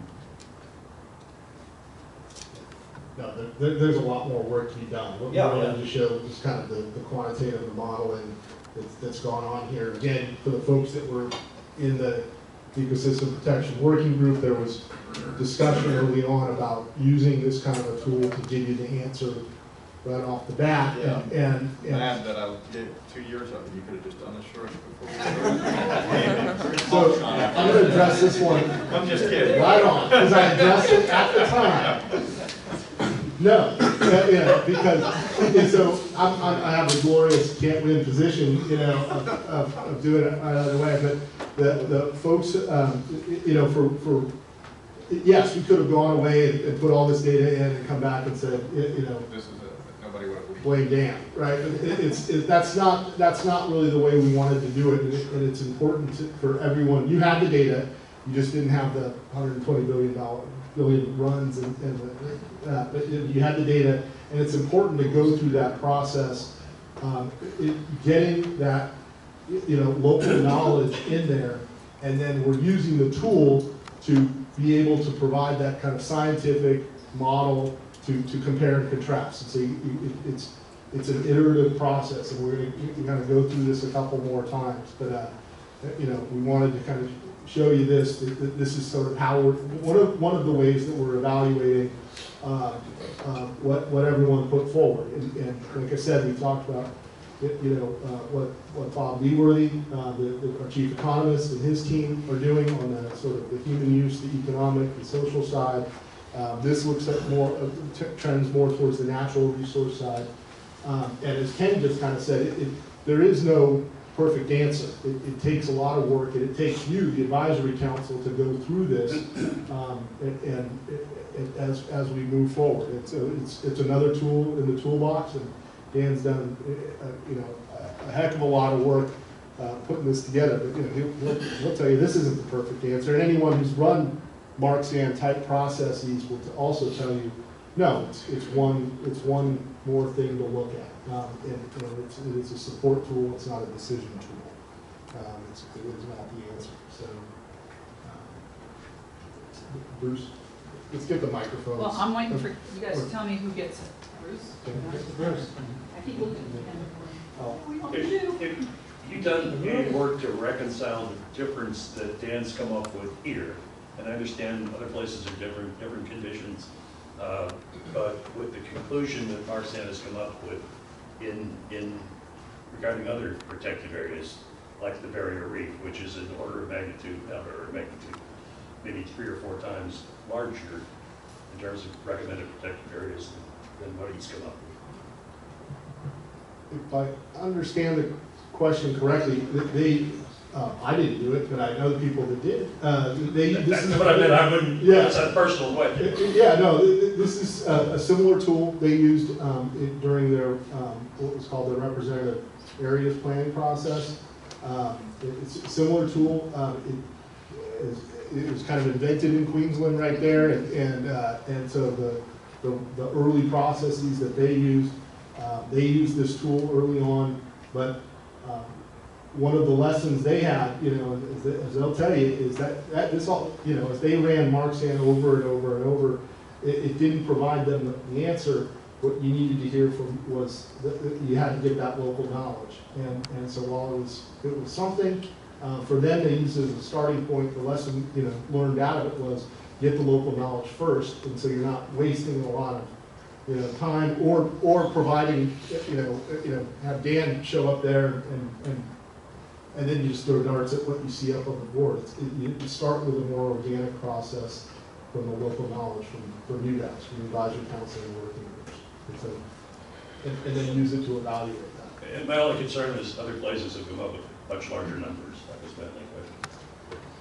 There's a lot more work to go here. I mean, it, it, you know, if, if you look closely at the map, you, you know, we're, we're not taking over private, private property, you know, I'm not going, you know. Some, of- some of those very efficient, you know, solutions and results, uh, are people's islands, you know, because remember, you've got all the different habitats, and so, you know, you saw, uh, I took Will's house, you know, it, it's one of the results, you know, because that's, that's, lo- yeah, that's Sugarloaf, or that's, that's some of the. you know, I like I like Will's house, it's a good spot, uh, but, you know, I mean, that's, those are, you know, it's, it, what it's looking for is, you know, where's the best, healthiest, in, in that case, um, you know, coastal mangrove habitat. I like the scientific approach, I'm Yeah, not yeah, you know, it, it's a tool. Thanks, Will. So, um, very interesting, I appreciate what this is, what its limitations are. Obviously, it's one piece of the puzzle, then you've got the Bob Leeworthy et al. socioeconomic info, like what if we did this, what, who would it, whose ox would it gore, or who would it help?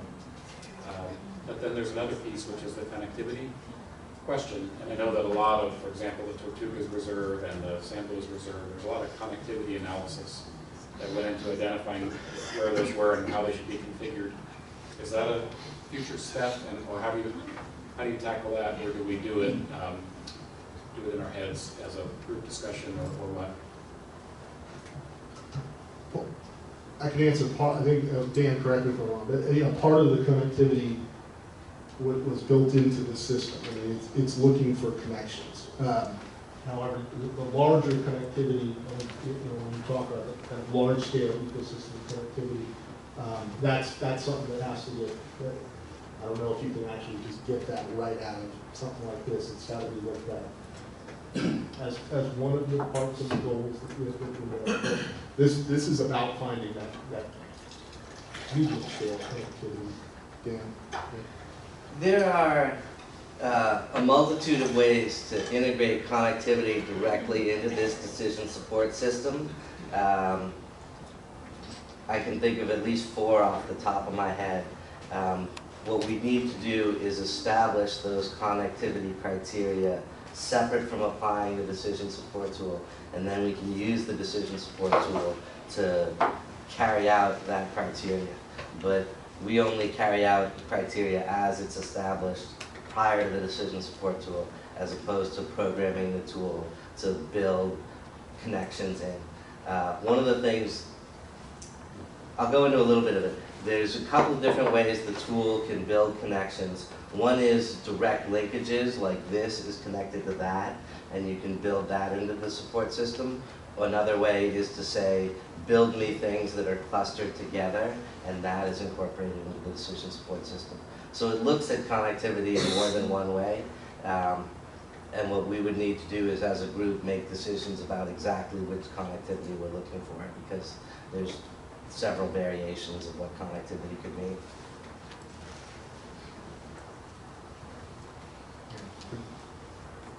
I've got a couple people down here. Okay.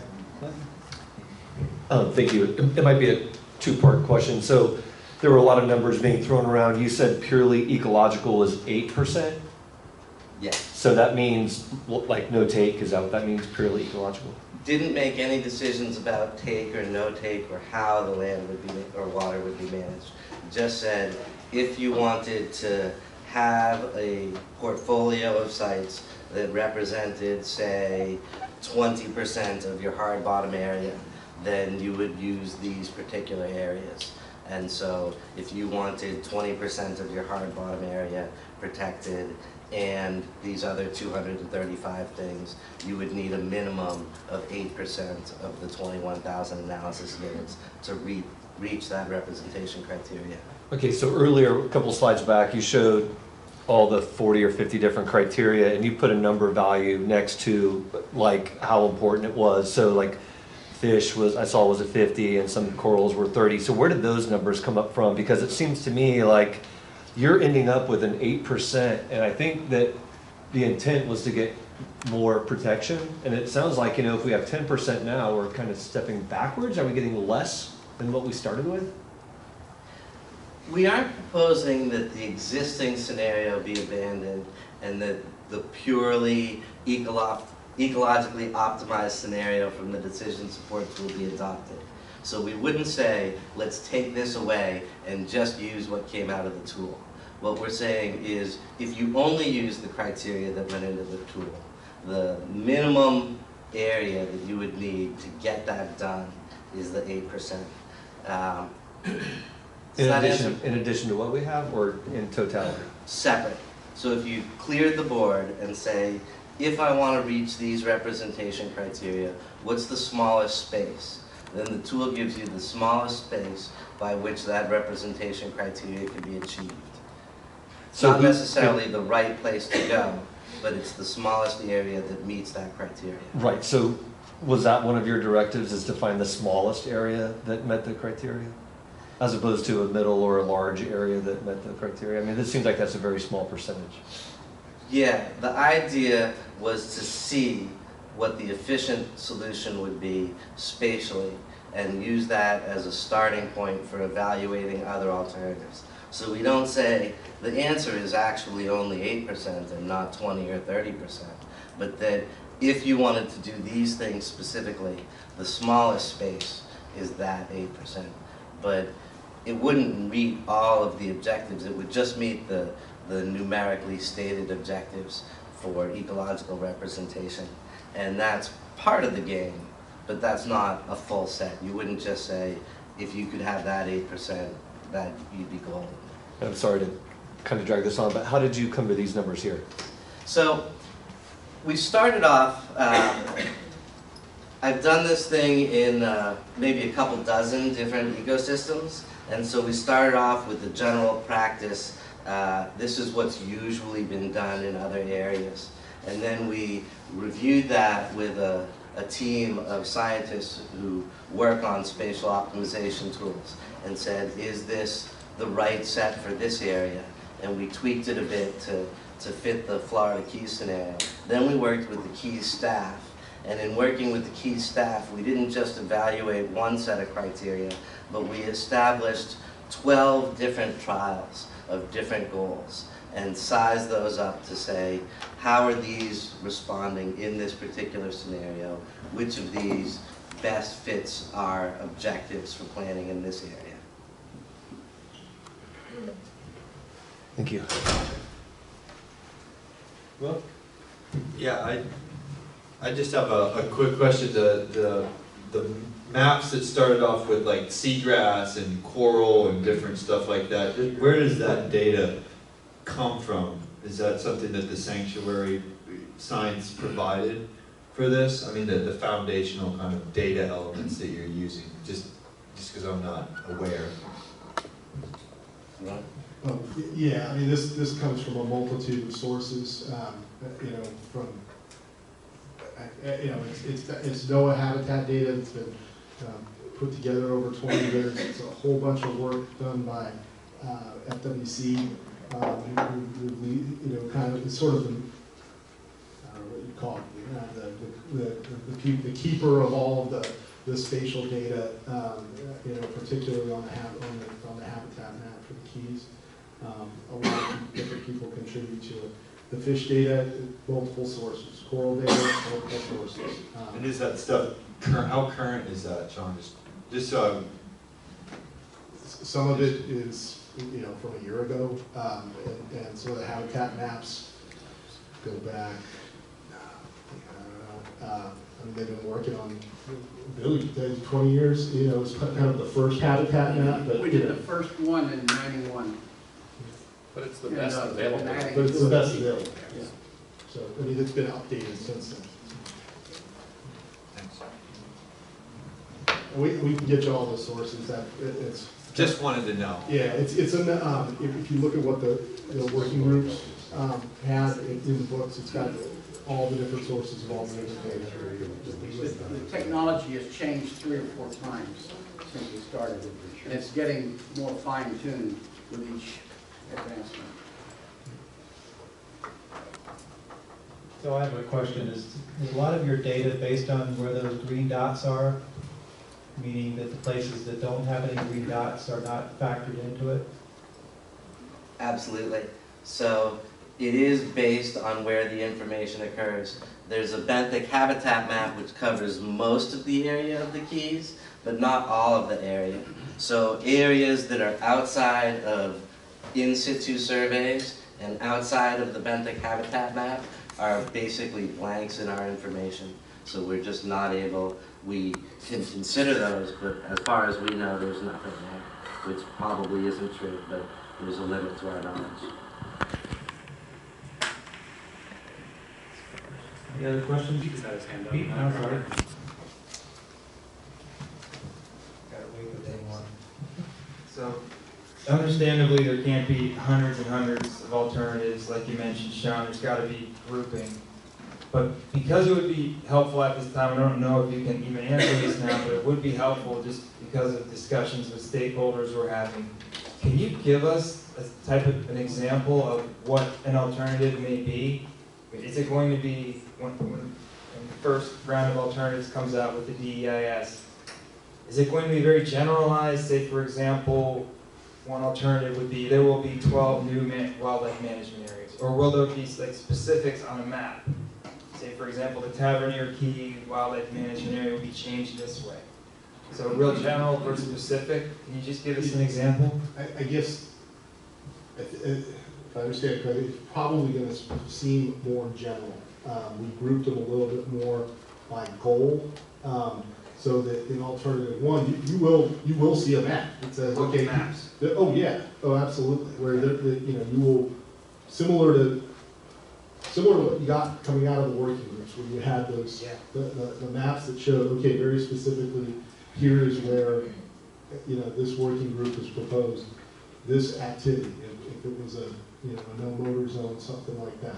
Now, so you'll have a whole series of, of alternative one, you know, and, and then in alternative two, maybe there's nothing there in, you know, in Peak Key, you know, but maybe there- it's, maybe it's bigger or smaller in alternative to But those, that's kind of how we grouped it based on the different goal. We're not completely there yet, but it- like I said, it's uh, iterative, well, with, with some of these tools. Oh, that's helpful. Dan, some of the point data there was set up to be gathered at a, at a point. So you go out and you dive down and see what's there and get your information. Other, other of those points were set up in uh, probabilistic sampling design. So the visual census for the fish, the reef resilience program, disturbance response monitoring data, the screen team, um, Stephen Miller et al. data were designed so that you would go out, because you can't visit every reef, you go out and visit a subset of reefs, and it was done in such a way that by sampling those places, you would know something about all reefs with a margin of error.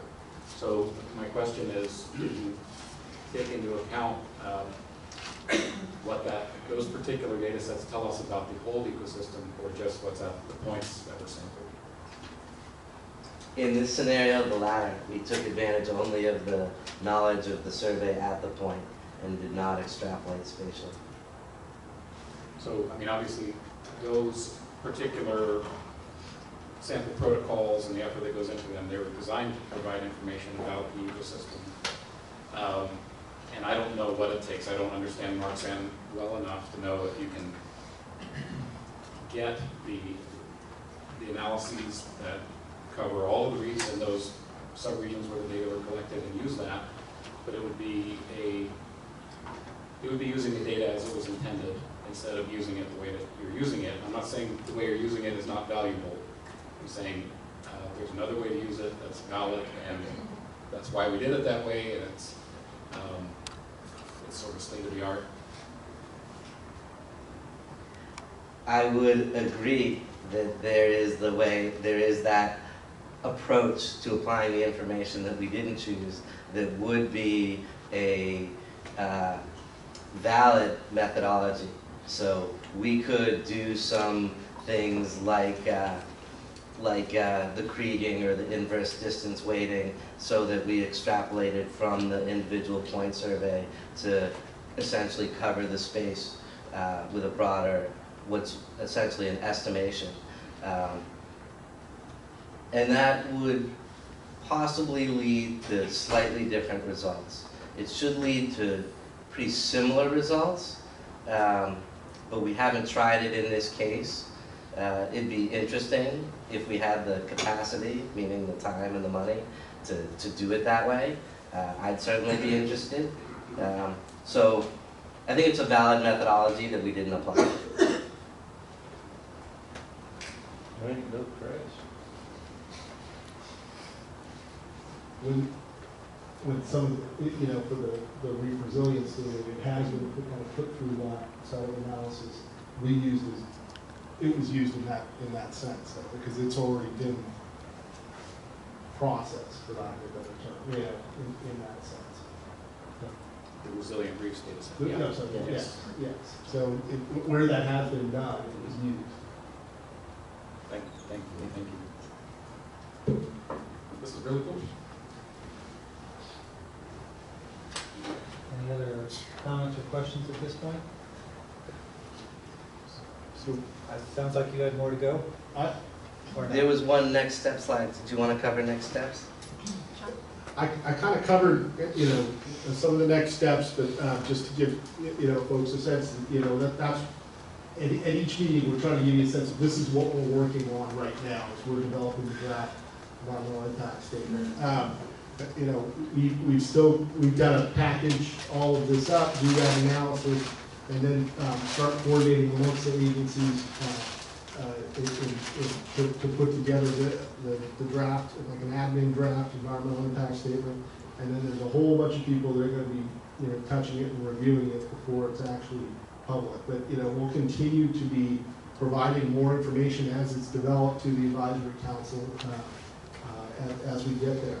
Um, we're, we're, you know, the last meeting I talked about spring, um, that's what we're going for. Uh, it- it- You know, we'll, we'll see how it goes. I, the- you know, the, the timelines, uh, it- it's affected by, you know, how fast we can get work done. And, and get it reviewed and coordinated amongst the agencies. But, you know, we- we're going for something around there, and, you know, give you another kind of update in two months and see where we're at. But, you know, there's a, there is just a heck of a lot of work, um, going into this. Any questions about kind of process, uh, timeline? you know, for-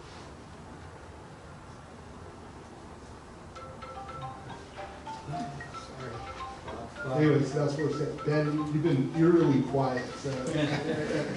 Makes me nervous. I'm jet lagged. I I just got back midnight from, uh, from the Canary Islands, so you guys are lucky. I'm taking it all in. I'm, I, actually, I'm, I'm impressed with it. It's, I'm still mad I lost those two years of my life.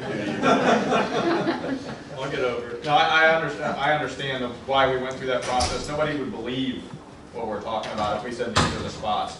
And it would definitely probably have affected us in in making some decisions, because you would see those hot spots. So I think it'll be, it will be interesting to see where that overlap is, and, and whether we, we did a good job to what the computer model says, and I think all of that is, is gonna be interesting as, as we get to see more and more of it. I see the number little two point being a struggling point, but I think you guys know that and going through that, and that's why we're looking at spring or summer-ish or October-ish or whatever it develops into. You guys got a lot of work still. A lot of work on your guys' end still, so. Your kids will be grown by then. Um, What, you know, what Ben kind of pointed out, bullet number two, that, you know, what we're showing you is a lot of the qualitative stuff. It- It's, I'm not saying it's easier, it's definitely, uh, very complex in terms of the model and, you know, where you can apply the numbers and the science and, and do that. The, of the, of the hard, you know, the the qualitative side of, you know, is this more enforceable than that? Uh, you know, what, you know, how many buoys does this take versus, you know, marking this area? That kind of, that, that stuff takes a lot of iterative process, and that's, you know, what we'll be going through. Um, we did, uh, did want to, I guess, kind of leave it, and Beth can pull this up. Um, I need a. we, we did, uh, make some up, also some updates to the website, um, uh, for, for Florida Keys, .NOAA.gov, the- the, you know, the specific marine zoning, uh, website. And we think, um, hopefully made it, uh, a little bit easier to understand in terms of kind of process and, and ability to find, um, of the work that folks did, and, and so just great work by, by Beth and Rachel and Mary putting this together. Uh, All right. uh, Can you, take- can you hear? Yeah. Okay, so I'm just gonna go through, um, real quick, high level. Um, as Sean said, we have revamped the entire pages for this marine zoning and regulatory review process. Um, to try and make it an easy go-to place where everything is there. Hopefully, people can find it. We've maintained the pages for the working groups because people did use those a lot and we wanted to maintain the information and how it was and where it was. Um, but I'm just gonna go through high level here. This is our homepage, floridakeys.noaa.gov.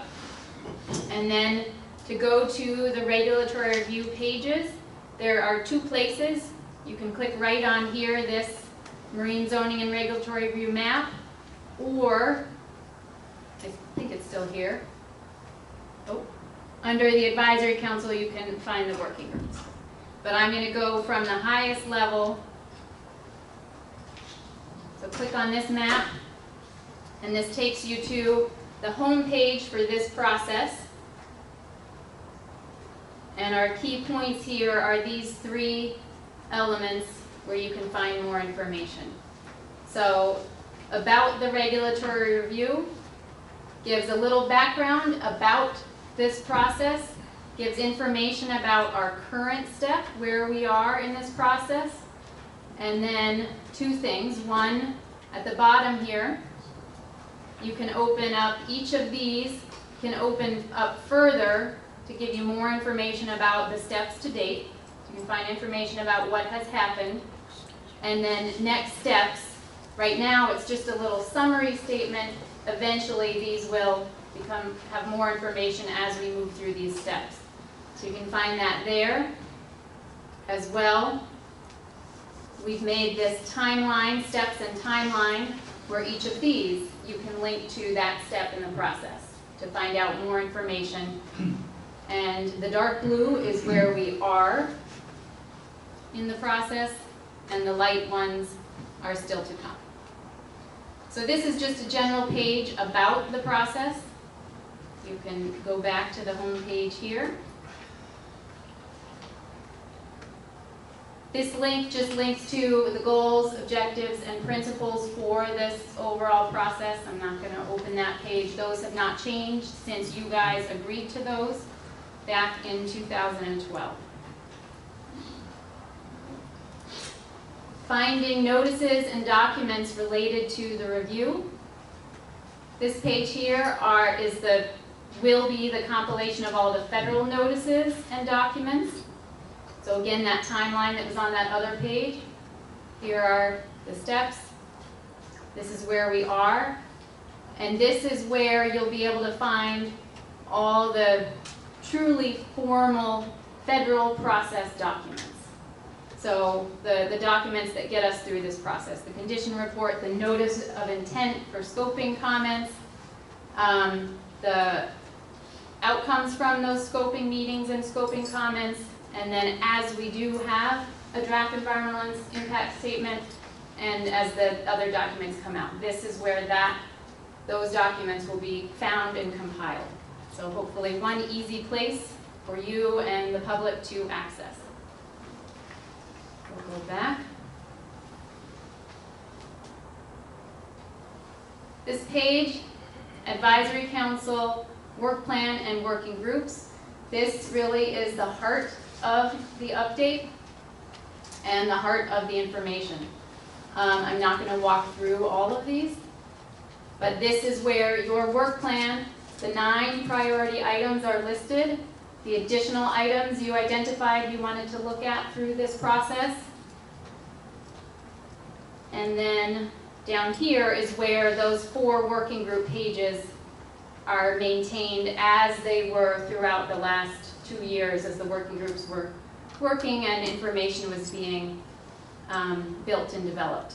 But each of these priority items, I'll choose permit procedures and adaptive management. You click on any of these, you can go a little bit deeper into what is the summary, what is the issue, what is being looked at for this topic. And then here, we talked about these issues a lot at our meetings. And so here's where you can find the relevant advisory council meetings, the agendas for those meetings and minutes for those meetings, and presentations that were given. You can also link to that, the larger documents that you guys got that were compilations review for these issues. You can also link to those pre-meeting material packets on each of these pages. So each of the nine priority items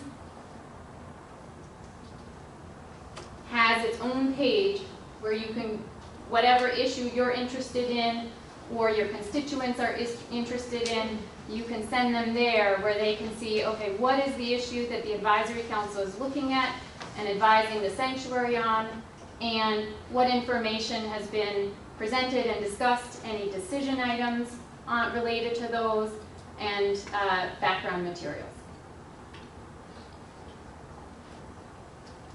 Back to the main page. And finally, the big, other big element is how you can get involved.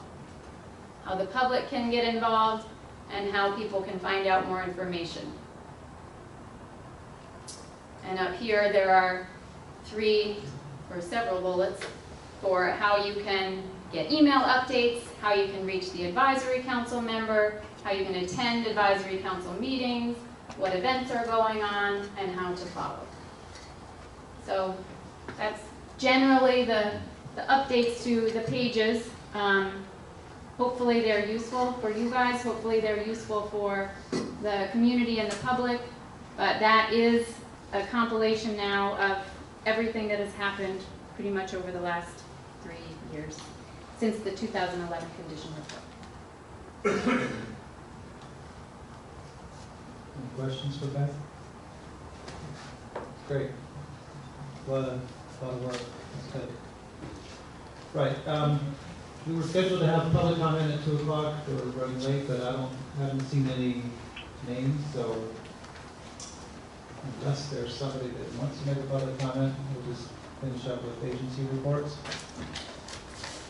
All right, I'll give it to Sean. Um, kind of, the, the- one thing we've really been working on, and I wanted to highlight was the, obviously the twenty-fifth anniversary stuff. Um, um, Other than that, I wanted to quickly go over the fact that, uh, at our last meeting, some of the issues we've been talking about, I- I, said I was gonna be giving a talk in front of the FWC's Boating Advisory Council. Um, I was in St. Petersburg, uh, last week, talking to them about some of our kind of general zoning stuff that, uh, they had on their agenda, uh, uh, two things that, you know, we've been following and you have been following. Um, one of, uh, one, they had a pretty extensive discussion about, uh, the congregation of vessels. And, and, and so they, they, as I said the last meeting, this is definitely kind of a statewide issue, that they, that they've been looking at. Um, uh, They, they've been primarily looking at it more on the public safety side, so it was a really good discussion when I was there about some of the resource impacts. Um, And uh, what I'm going to be getting from them is all the presentations and the kind of the materials that they went over at that meeting. And so you're gonna see that come out from me, out to the advisory council, and you guys can kind of review that and see how other people are looking at different things. I I can say in in a general term, FWC, um, you know, they, they look at their role as kind of, um, uh, they want to facilitate local agencies, uh, coming to local solutions. Uh, and, and, and, and they kind of stand ready to help.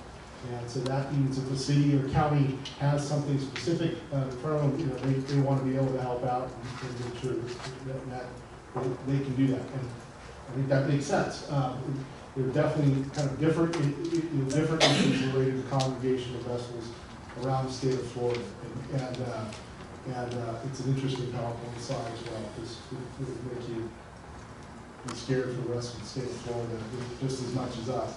Um, the other issue that they, uh, you know, that they took up was kind of a report out on uh, the public meetings they have around the state uh, uh, addressing the derelict vessel uh, problem. And as you guys recall, I had sent out to the advisory council, uh, the, the meeting they held in Key Largo, um, about the, the, them kind of really taking a close look at derelict vessels.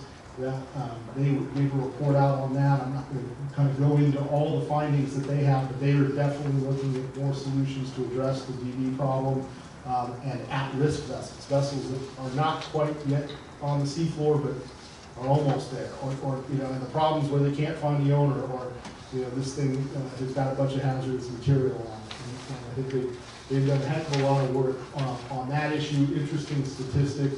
Um, uh, and, and, and it it was, it, and a little bit proud to be there, uh, oh, very proud that, that, with- that with the meetings all around the state, uh, the, the highest turnout, uh, was definitely the Keys meeting, um, for the derelict vessels. So I'll get that information out to you as well, and, and then further information on how to plug into the the boating advisory council as they look at this. It's, it's run by, uh, Florida Fish and Conservation Commission, the Division of Law Enforcement, and, um, and, uh, think they're, they're looking for input, and they're always interested in these issues. So, just wanted to report out that I did kind of follow through on, on, on what happened from the last meeting, and, uh, and, and that conversation is kind of continuing at this, at the state level on the statewide issues as they try to address it locally around the state. Um, John Hunt, I to read very quickly from John Hunt, so I'm, I'm now John Hunt, uh, agency report. He, he just wanted to report out, so it's gonna sound like an FWC report, so, uh, but John Hunt wanted to report out, FWC is taking up mutton snapper management at the, um, at their meeting in November. Uh, this is, this will be an initial discussion regarding possible bag and trip limit changes during the spawning season. Uh, If the commissioners uh, approve, if, if the commissioners approve staff developing options for consideration, we can expect a series of public workshops during early 2016. To learn more, go to myfwc.com and access the commission meetings link. So obviously an issue that's been discussed many times, advisory council and and in particular. All right, with that two done. Joanna? Good afternoon. Um, On behalf of the Florida Department of Environmental Protection, I've got a couple updates. So uh, last SAC meeting, I gave you an update that uh, Miami-Dade, Broward County, and um, even going into Biscayne National Park is experiencing an unprecedented coral disease outbreak. Um, I'm somewhat happy to say that we've not received reports beyond that, and so as far as we can tell, um, we hope that that is the extent of the outbreak. Uh, We are still continuing to track and receive reports, um, and this particular outbreak was particularly concerning because there was multiple species of coral and multiple types of disease. And so we've seen large outbreaks before, but never kind of this scale and um, as many different species being impacted. So stay tuned uh, for information. We anticipate that we're going to have some data coming in from Florida Reef Resilience Program surveys uh, that were done throughout the season, uh, as well as some supplemental information that we were able to fund. Um, We hope to have some idea of what the, what the expanse of the outbreak looked like sometime with preliminary information coming in November and more detailed analysis coming later in the, hopefully, December, January timeframe. Uh, Quick update from Pennekamp uh, State Park. Uh, Keep an eye out in the local free press for the news section called Nature's Corner. The Florida Park Service is, as staff and volunteers are going to be discussing a variety of nature-themed topics. It's just a new uh, way to uh, provide outreach to the community.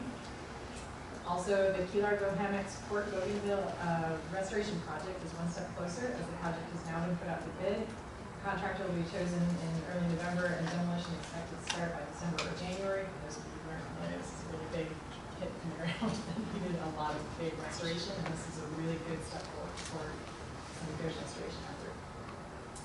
Uh, The final update I have is I wanted to actually take a moment to introduce Karen Bohnsack, who is sitting here a little away for me. So most of you guys know my role for the Florida Department of Environmental Protection is that I oversee all of the Florida Reef from Martin County to the Dry Tortugas and the two programs that DP has that work on coral issues, the coral program in the north and the co-management of of this national marine sanctuary. Uh, Karen is starting as of October first, transitioning from my coral program in the north to be my eyes and ears on the ground here in the sanctuary. She's going to be based physically here to help strengthen and expand the state's. Uh, So she's also going to be taking on the uh, management of the two aquatic preserves that are down here, Coupon Bight and Lignumvitae.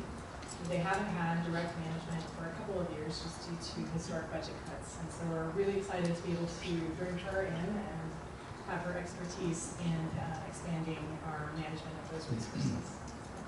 Please feel free to reach out and say hi to Karen. We'll be sure to pass out her uh, contact information and it probably won't be until January, February that she's done here full time, but we hope that she'll be based somewhere in the Key Largo Marathon area.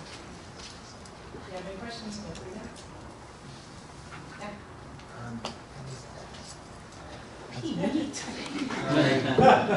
Really quick. Since you brought up the Coupon Bight Aquatic Reserve, something I've been trying to find out is if Picnic Island is included within that aquatic preserve. It's right on the boundary, on the maps, and no one seems to know. You happen to know? I don't know offhand, but I can get that information for you. I don't, I would love that. I don't think it is. I don't think I don't so. think, Really? I don't, no. Hmm. but either way, people will. Okay, thank you. Any other questions? All right, uh, I think the next name on my list is, well, for FWC law enforcement. Thank you. And for those of you uh, who have not noticed yet, I am not Captain David Dupree. Um, Better here. He's got hair. We did, uh, he's growing his out now, by the way. Uh, We did a reorg back in August, um, so part of that reorg is I have the uh, sanctuary squad, uh, Josh and the uh, Scotty and Steve Golden, um, Josh's crew, and then Gladding, um, along with several other things. I'm also the investigator captain for Collier, Dade, and Monroe County, uh, and dispatch, and the office. But uh, I should have prepared a brief bio, but uh, from the personal side, uh, born and raised on the water in South Biscayne Bay, Old Cutler 152. Um, started fishing here in the early seventies with my dad, when there were wooden catwalks on the bridges and only one barn at Tavernier Creek Marina. So I, I've been in the Keys a long time, it's been a passion of my, uh, family and myself. Graduated FSU, uh, went to Five and oh. Um, uh, went to the academy, started, Monroe County was my first choice with the Marine Patrol. Started here in eighty-nine, so I'm my twenty-sixth year. Was here as an officer in the Upper Keys from Dade County line to Marathon for most of that twelve years. Went to Tallahassee headquarters, did a lot of stuff up there. My last three years in headquarters, I was involved with the South Atlantic Council, Gulf Council, um, LEAP, the Law Enforcement Advisory Panel, our Law Enforcement Committee, so a lot of interaction between different working groups, and so I'm not totally unfamiliar with uh, the process.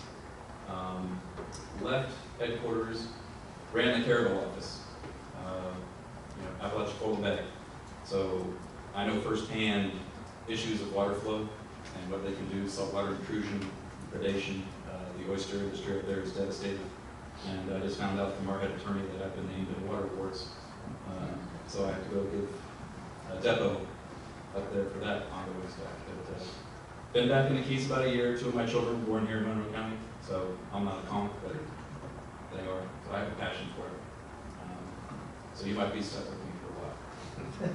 But uh, Sean took some of my comments back. I was looking at the uh, notes from the last meeting, a 19-page document. Eight of those pages were focused on the, uh, the voting congregations. And I won't say too much about it. It's probably been, been beat around, but, you know, just, just remember, and it's, it's always good to have law enforcement involved in any rulemaking process or, or rule recommendations because it helps manage expectations. Um, you know, if we put somebody at the sandbars, everybody behaves, but then there's another group, you know, Bill Kelly and the, you know, the commercial fishing. All they do is babysit the sandbar, they don't care about traffic, uh, because we're not up there, or the guys association. You know, they're always at the sandbar, but nobody's chasing these jet skis away from you when I'm trying to hook up a bonefish. So we're spread thin, um, you know, I saw a lot of comments in there about, you know, we can handle it ourselves, some of the, some of the local people in there, but, uh, it's tough. White Marlin Beach was handled because the association there came up with money to pay the sheriff's department to be there. So they weren't technically on duty having to patrol. They were dedicated to White Marlin Beach. Um, and then once the beach stuff settled down, then they complained about the parking. So they hired another deputy to sit in the parking lot and control the parking to the beach. But, uh, you know, unfortunately, we can't do that. I've had lots of people come to me and say, why don't you do anything about the boats anchored in Tavernier Key? It's like, they can anchor there. No, they can't, they can't have a boat a motor in there. No, they can't motor in there. But again, we have to sit there, watch somebody actually motor in and motor out. And again, there's another user group that feels like all we're doing is basically the same thing. So enough about that. Um, what we've done, uh, taking it from a public safety point, we've really stepped up our DUI enforcement.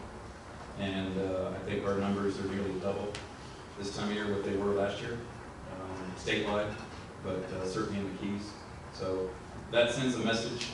Um, but yeah, it's people are still going to party. They come to the Keys and they think it's it's what you're supposed to do down here. Uh, we'll deal with it. Um, that's about it. We've been uh, happy that the boat's running. Josh is happy. I get to go to the Tortugas and patrol. Uh, our big focus right now, of course, is you know our voting season slowed down, uh, so our big focus is on track running. And we're doing a lot, a lot of work on that, making a lot of cases. That's it. Skip, go ahead. No, just a small, small point. Uh, Okay. Uh, Just a small distinction. Uh, On, in the White Marlin Beach situation, the, uh, the subdivision, the, the community that hires the deputies is Port Antigua and not White Marlin Beach. But both White Marlin Beach and Port Antigua share that stretch of beach. where there's uh, terrible things that happen on uh, holiday weekends in the summer. Um, Heather Blough with uh, NOAA. You mine? Thanks, Jen. I have uh, several federal fishery items to report. Since we last met, the Gulf Council approved their action to increase the recreational minimum size limits for gag and red grouper to be consistent with those in the South Atlantic. They also uh, voted to change the recreational fishing start date for, uh, to June one, and to eliminate the fixed December season closure. And they begin work on a new action to also increase the commercial minimum size limit um, to the same level. The South Atlantic Council has identified their five preferred alternatives for their spawning area management amendment, and Warsaw Hole off of the Keys is included among those. They set a control date for the commercial dolphin fishery and began work looking at establishing trip limits in that fishery to slow down the rate of catch.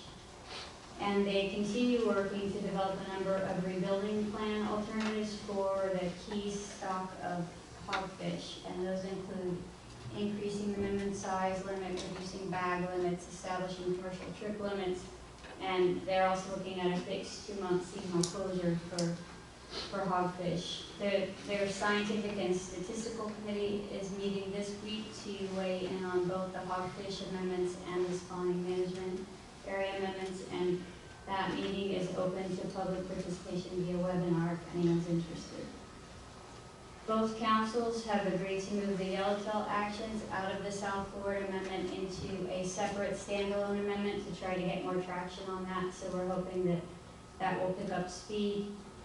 Um, the South Atlantic Council will hold public hearing webinars on Yellowtail, the dolphin action, and their spawning, uh, management zones in November, and they could take final action on those at their December meeting in Atlantic Beach. Both council- councils have also agreed to split their joint amendment that would require charter boats to report electronically, and the Gulf Council could take final action on, on their amendment as early as their January meeting. A few weeks ago, we notified both of the councils that spiny lobster has exceeded its catch limit this year, and so that will trigger the requirement for them to convene a review panel to determine whether any corrective action is needed. The Gulf Council has proposed that the two councils get together their APs to suggest measures before the review panel picks this up. And the South Atlantic Council will consider that approach at their next meeting in December. And last week, uh, the Fishery Service approved the South Atlantic Council's proposal to shift two and a half percent of the commercial dolphin alloca- allocation, uh, two and a half percent of the allocation to the commercial sector, so that will increase their quota by thirty-five percent.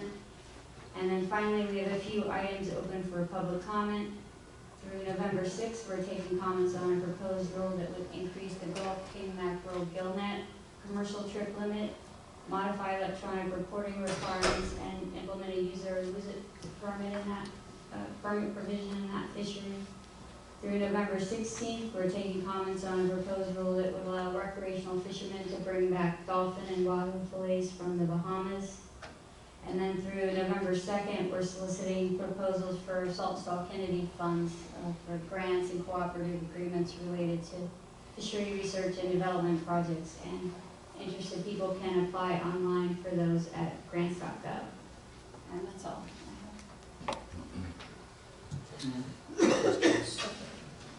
Hey, song?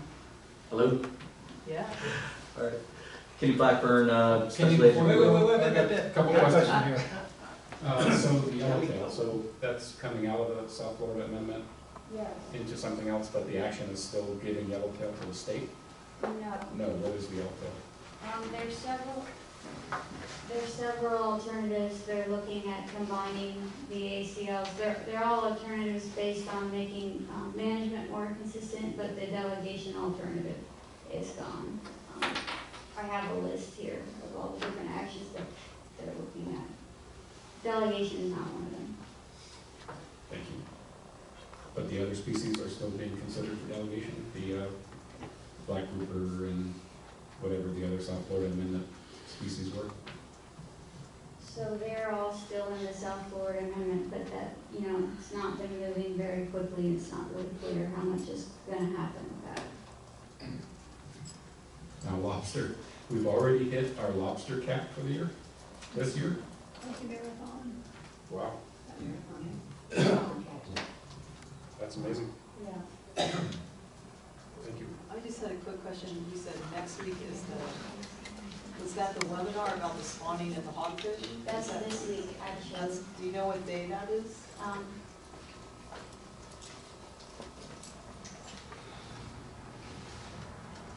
mm, I don't have it readily available, but I have it somewhere here in my notes, so I could look that up for you. send it around. I think it's a three-day meeting, probably Tuesday through Thursday.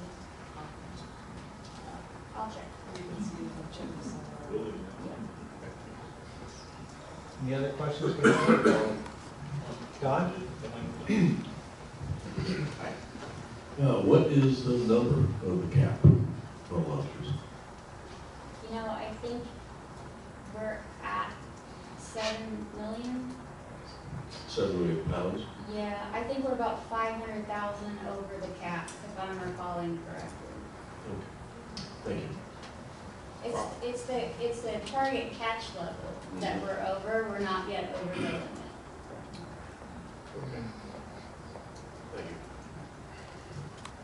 Any others? Hey, Kenny, uh, you want to go next? I can, they gave me the microphone. Kenny Blackburn with uh, NOAA Fisheries, Special Agent um, here in Marathon. Um, This morning, um, we had a Key West uh, warrant, uh, arrest warrant that was executed in Texas for Ammon Covino.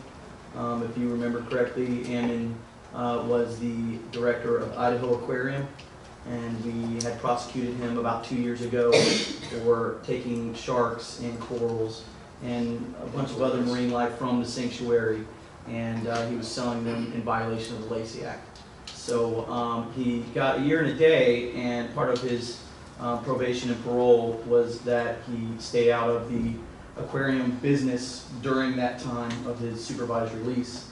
So, um, um, you know, people don't understand, a lot of our job doesn't just end whenever we make a case. Um, we always have to continue after the sentencing, a lot of times even while, while the people are in prison, um, you're still dealing with the, with the person. Um, you deal with them to get their cooperation, to help them get out of prison, um, and then a lot of times after prison, uh, when they're on probation, um, we, we are, you know, we're a small agency, and we also have to do our due diligence to make sure that they're um, cooperating with their conditions. So um, this is one that we received information, and uh, we took the information, and it was, uh, this is Fish and Wildlife, NOAA, and, and the U.S. Department of Justice.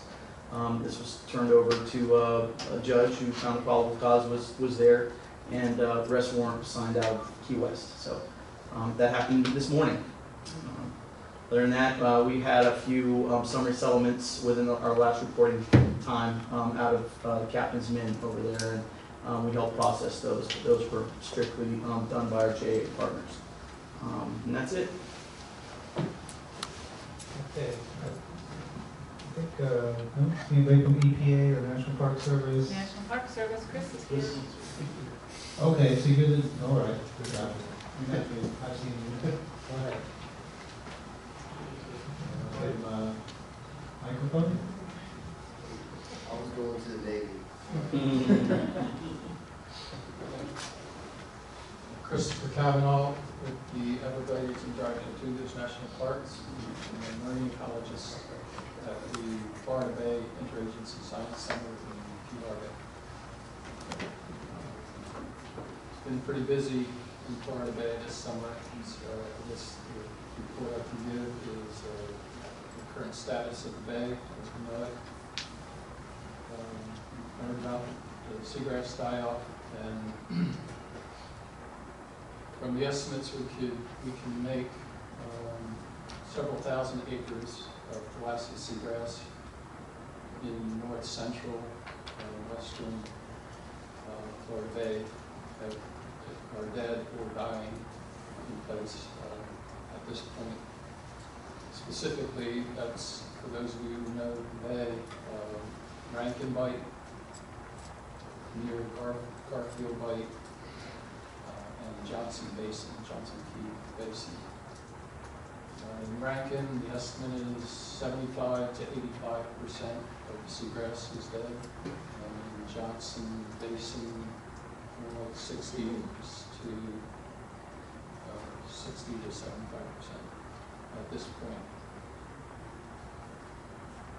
Um, So we know that from uh, several agencies uh, responding, and that includes uh, Water, Florida, uh, South Florida Water Management District, uh, FWC, the Fish and Wildlife Research Institute out of St. Peters- Petersburg, uh, FIU, and, um, and NOAA have also been a part of the the discussions and response. Uh, Why did it happen? Uh, Mainly lack of fresh water, um, but it was a combination of high water temperature, um, delayed uh, seasonal rainfall, um, extreme low dissolved oxygen, and, um, and high sulfide concentrations in the bottom. So, just to clarify a little bit, uh, you've probably read in the newspapers about the yellow haze or substance. Uh, that was transitory and generally uh, appeared during those extreme conditions. So I went out, I did go out last week and didn't see any of it in the lake. Um, But it was generally associated with high concentrations of sulfide, which were, uh, we've been sampling, FWRI has been uh, running the measures and are ex- extremely high levels in the sediments and pool water, um, levels that are toxic to uh, sea, Thalassia seagrass. Uh, the dissolved oxygen, um, basically near Bowie Key, we have a, um, a monitoring station. It went hypoxic back in August and has remained that way pretty much through now.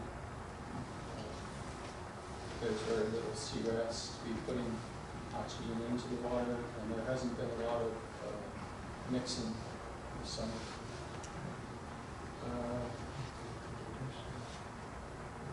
Garfield Bight uh, also went hypoxic in September and has rebounded intermittently. Uh, And then we see varying levels or periods of hypoxia, low dissolved oxygen in Johnson. We're keeping our eye on Whit- Whipray Basin, um, which has not been affected as of yet. However, we've seen elevated um, chlorophyll, chlorophyll A um, readings. And so we're watching that for, now we're doing uh, a possibility. So the result was um, a lot of dead seagrass debris and litter on the bottom. Um, This is large, thick mats of it. Also floating on the surface and um, collecting around the basins or or the shorelines and keys out there. And this is on the scale of uh, kilometers square. So a large amount of biomass, dead seagrass matter, which is out there in the bay. So our concern is that this will uh, decay and then pulse nutrients into the water column and initiate blooms. So we're continuing to monitor for that. Uh, we're also uh, monitoring areas with benthic surveys to see whether uh, the- the seagrass die-off is proceeding. So generally below Johnson, which is Little Rabbit, or Rabbit Key, Basin, and Whipray, which is below Rankin, the seagrass is still healthy, uh, but we picked up some signals of uh, high salt bottom um, on the fringes of those basins. So we'll continue to monitor and, and then we will continue to make biological assessments and determinations as to whether for highly impacted areas, uh, if we need to make closures or other recommendations. So that's uh, the state of the day at the moment. If you have any questions, try to answer.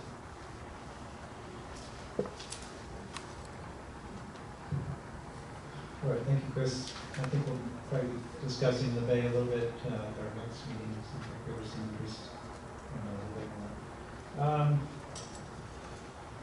Is Bill Goodwin, I thought I saw him here earlier? Yeah. Okay, I think Ed Barham, you're one of the last, and then if any of the mayors would like to make a comment, um, you can do that last. So, Ed Barham from the Navy.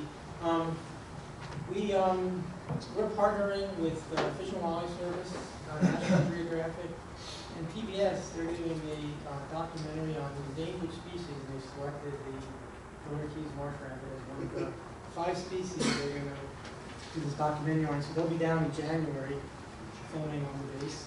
Will be pretty interesting. Um, we have a large pod of gol, of, of manatees in one of the canals on the Sleepy, our residential area. They've been there for a uh, week and a half now. Um, unfortunately, we found that we had a dead manatee wash into our Boca Chica marina a couple weeks ago. Um, just appeared to been hit by a boat. Um, and lastly, last week, we, um, we conducted a spill drill, um, for our, our potential fuel spill. Um, you may not know, but we store five million gallons of jet fuel on Trumbo Point, about a million gallons on Boca Chica. So this was our worst case scenario drill where scenario was one of the bulk fuel tanks ruptures. So in this scenario on Boca Chica, we could have had a potential of two hundred and forty thousand gallons of jet fuel um, escape the tank and the rubber. So we, uh, we do a tabletop and then we deploy, then the next day we do a practical drill and Coast Guard there, DEP's there. Um, in a real scenario, which hopefully, uh, real, we never have, obviously sanctuary and, um, Florida Fish and Wildlife Conservation Commission would be called and involved in, But the drill went really well. Um, we exercised our movement strategies and everything went well. Um, one thing that was interesting with the really high tides we've had, we, we have to tweak some of our, our plans now because, uh, some of the areas we thought would be dry are six inches underwater.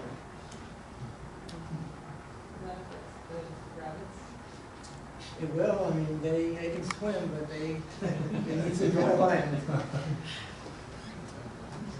Standing on the continue. Um, all right, thanks a lot, Ed. Any, any of the mayors want to make any comment? Are they still here? I see. Go ahead. Yeah, I'd just like to thank uh, the council for uh, having the mayors be involved and being, uh, having a voice here representing their communities, and uh, I think we'll be an asset in the future. Uh, And I think I'm really going to enjoy uh, being part of this. Actually, it's a pretty amazing day, listening to everything that's been discussed, and uh, you all been discussing it for years, and uh, I just uh, come on board here recently, but uh, I think we all at the same goal, protect this uh, wonderful environment that we all enjoy, so hopefully we can be an asset to it.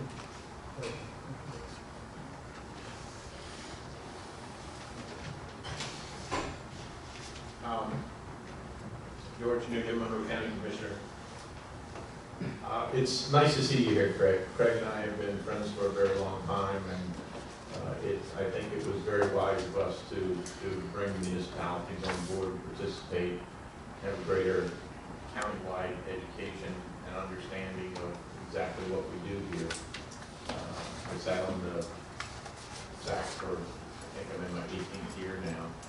And I, it- it's, uh, that reef out there, our water, our water quality, issues that we're dealing with, and having lived here for thirty years, I watched the evolution of, of being able to sleep on US one or in US one, uh, from September to December. Now we have a full-time economy and the impacts are quite apparent from the, not only on land, but also on the water. And I think it's something that we need to be paying very, very close attention to as to the incursion into our residential communities. Uh, The area that uh, Martin is talking about is something that uh, uh, has, has created concerns for me and a lot of the folks who have that type of incursion into their residential area. And I think the potential um, is there for it to become worse rather than, than better if we can't figure out some kind of solution to deal with it. Uh, This year, as we went through our budget, uh, we set aside hundred thousand dollars for Sheriff Ramsay to put an officer on the water to have his eyes on the water and address issues, specifically derelict vessels, which cost us two hundred, approximately two hundred fifty thousand dollars a year to, to deal with. Uh, Bruce Popham and I were just looking at, uh, our, um, on the internet, that uh, California has just passed uh, a much more stringent rule dealing with derelict vessels. And uh, hopefully, maybe we can uh, do something that becomes a little more aggressive than the way we've been dealing with it in the past, where that two hundred and fifty thousand dollars could be going to more law enforcement officers, either from the state level or uh, from the local sheriff's level. But anyway, uh, Craig, Mayor Cates, it's uh, great to have you here, and Jerry Ellis from Key Colony Beach was here earlier, and uh, so I, I think that's a great addition to the Sanctuary Advisory Council to have the municipal participation. All right. Well, you want something else? Can I just, a few This is answers? running into your minutes on the next meeting. Okay. Just a quick answer, a quick answer for people. The SSC meeting is Tuesday through Thursday, so you could find webinar info on South Carolina Council's website. Spiny lobster, uh, catch target is six point six million pounds and we're at seven million pounds. And the Yellowtail actions that will be in the separate amendment are, uh, catch limits, a new fishing year start date, and commercial and recreational allocation. I wanted to mention we're very close to meeting the commercial yellowtail ACL, so that will likely close early this year. And that's it. Thanks for the extra. All right, so unless there's something else that I'm missing, um, next, uh, our next meeting is in December, it's here in this room. Traditionally, up until last year, we didn't have a December meeting, so we didn't do it, but before then, we kind of always had a cover dish dinner party-like thing. And, uh, so I asked Sean about it, and because we're in this facility, I don't know what the rules are on doing anything like that, but we're gonna look into either getting permission to bring stuff in here, or finding another place to have a party afterwards, or maybe something else could happen, I don't know. We got a boat yard right across- I got a boat yard right across the street. Well, that was, that was brought up. Door, So, uh, door volunteers, Bruce. You have to bring your own bottle. though. Yeah, it might be a lot of fun to have a, a little, friendly gathering. We But can do that. anyway, We we're gonna work on that, we could, uh, and We we'll could get do back to paint you. in the big paint booth. A big what? Yeah, the the paint booth. Yeah. it's- Keep them Yeah. So, anyway, um, Yeah, can I say one thing real quick? Sure. Um, Just a commercial announcement. It's, uh, commercial, We're uh, putting together the first annual Florida Keys Boat Show. And we're on a real short time frame on it. It's going to be the 21st and 22nd right here at Faro Blanco. We're going to have dealers from all over the Keys. Uh, We're going to have display space available, so anybody wants to display. We're going to hopefully have some space available for, uh, for uh, government agencies and stuff to do that also. Uh, We hope we get the community behind this and make this an annual event here for Marathon. We we think it's a, it's a great opportunity for the community to have a a really nice event like this, and be a destination. That's November, Twenty-first and twenty-second, the week before Thanksgiving, right here at Fairmont. cool, thank you. all right. All right, let's go home.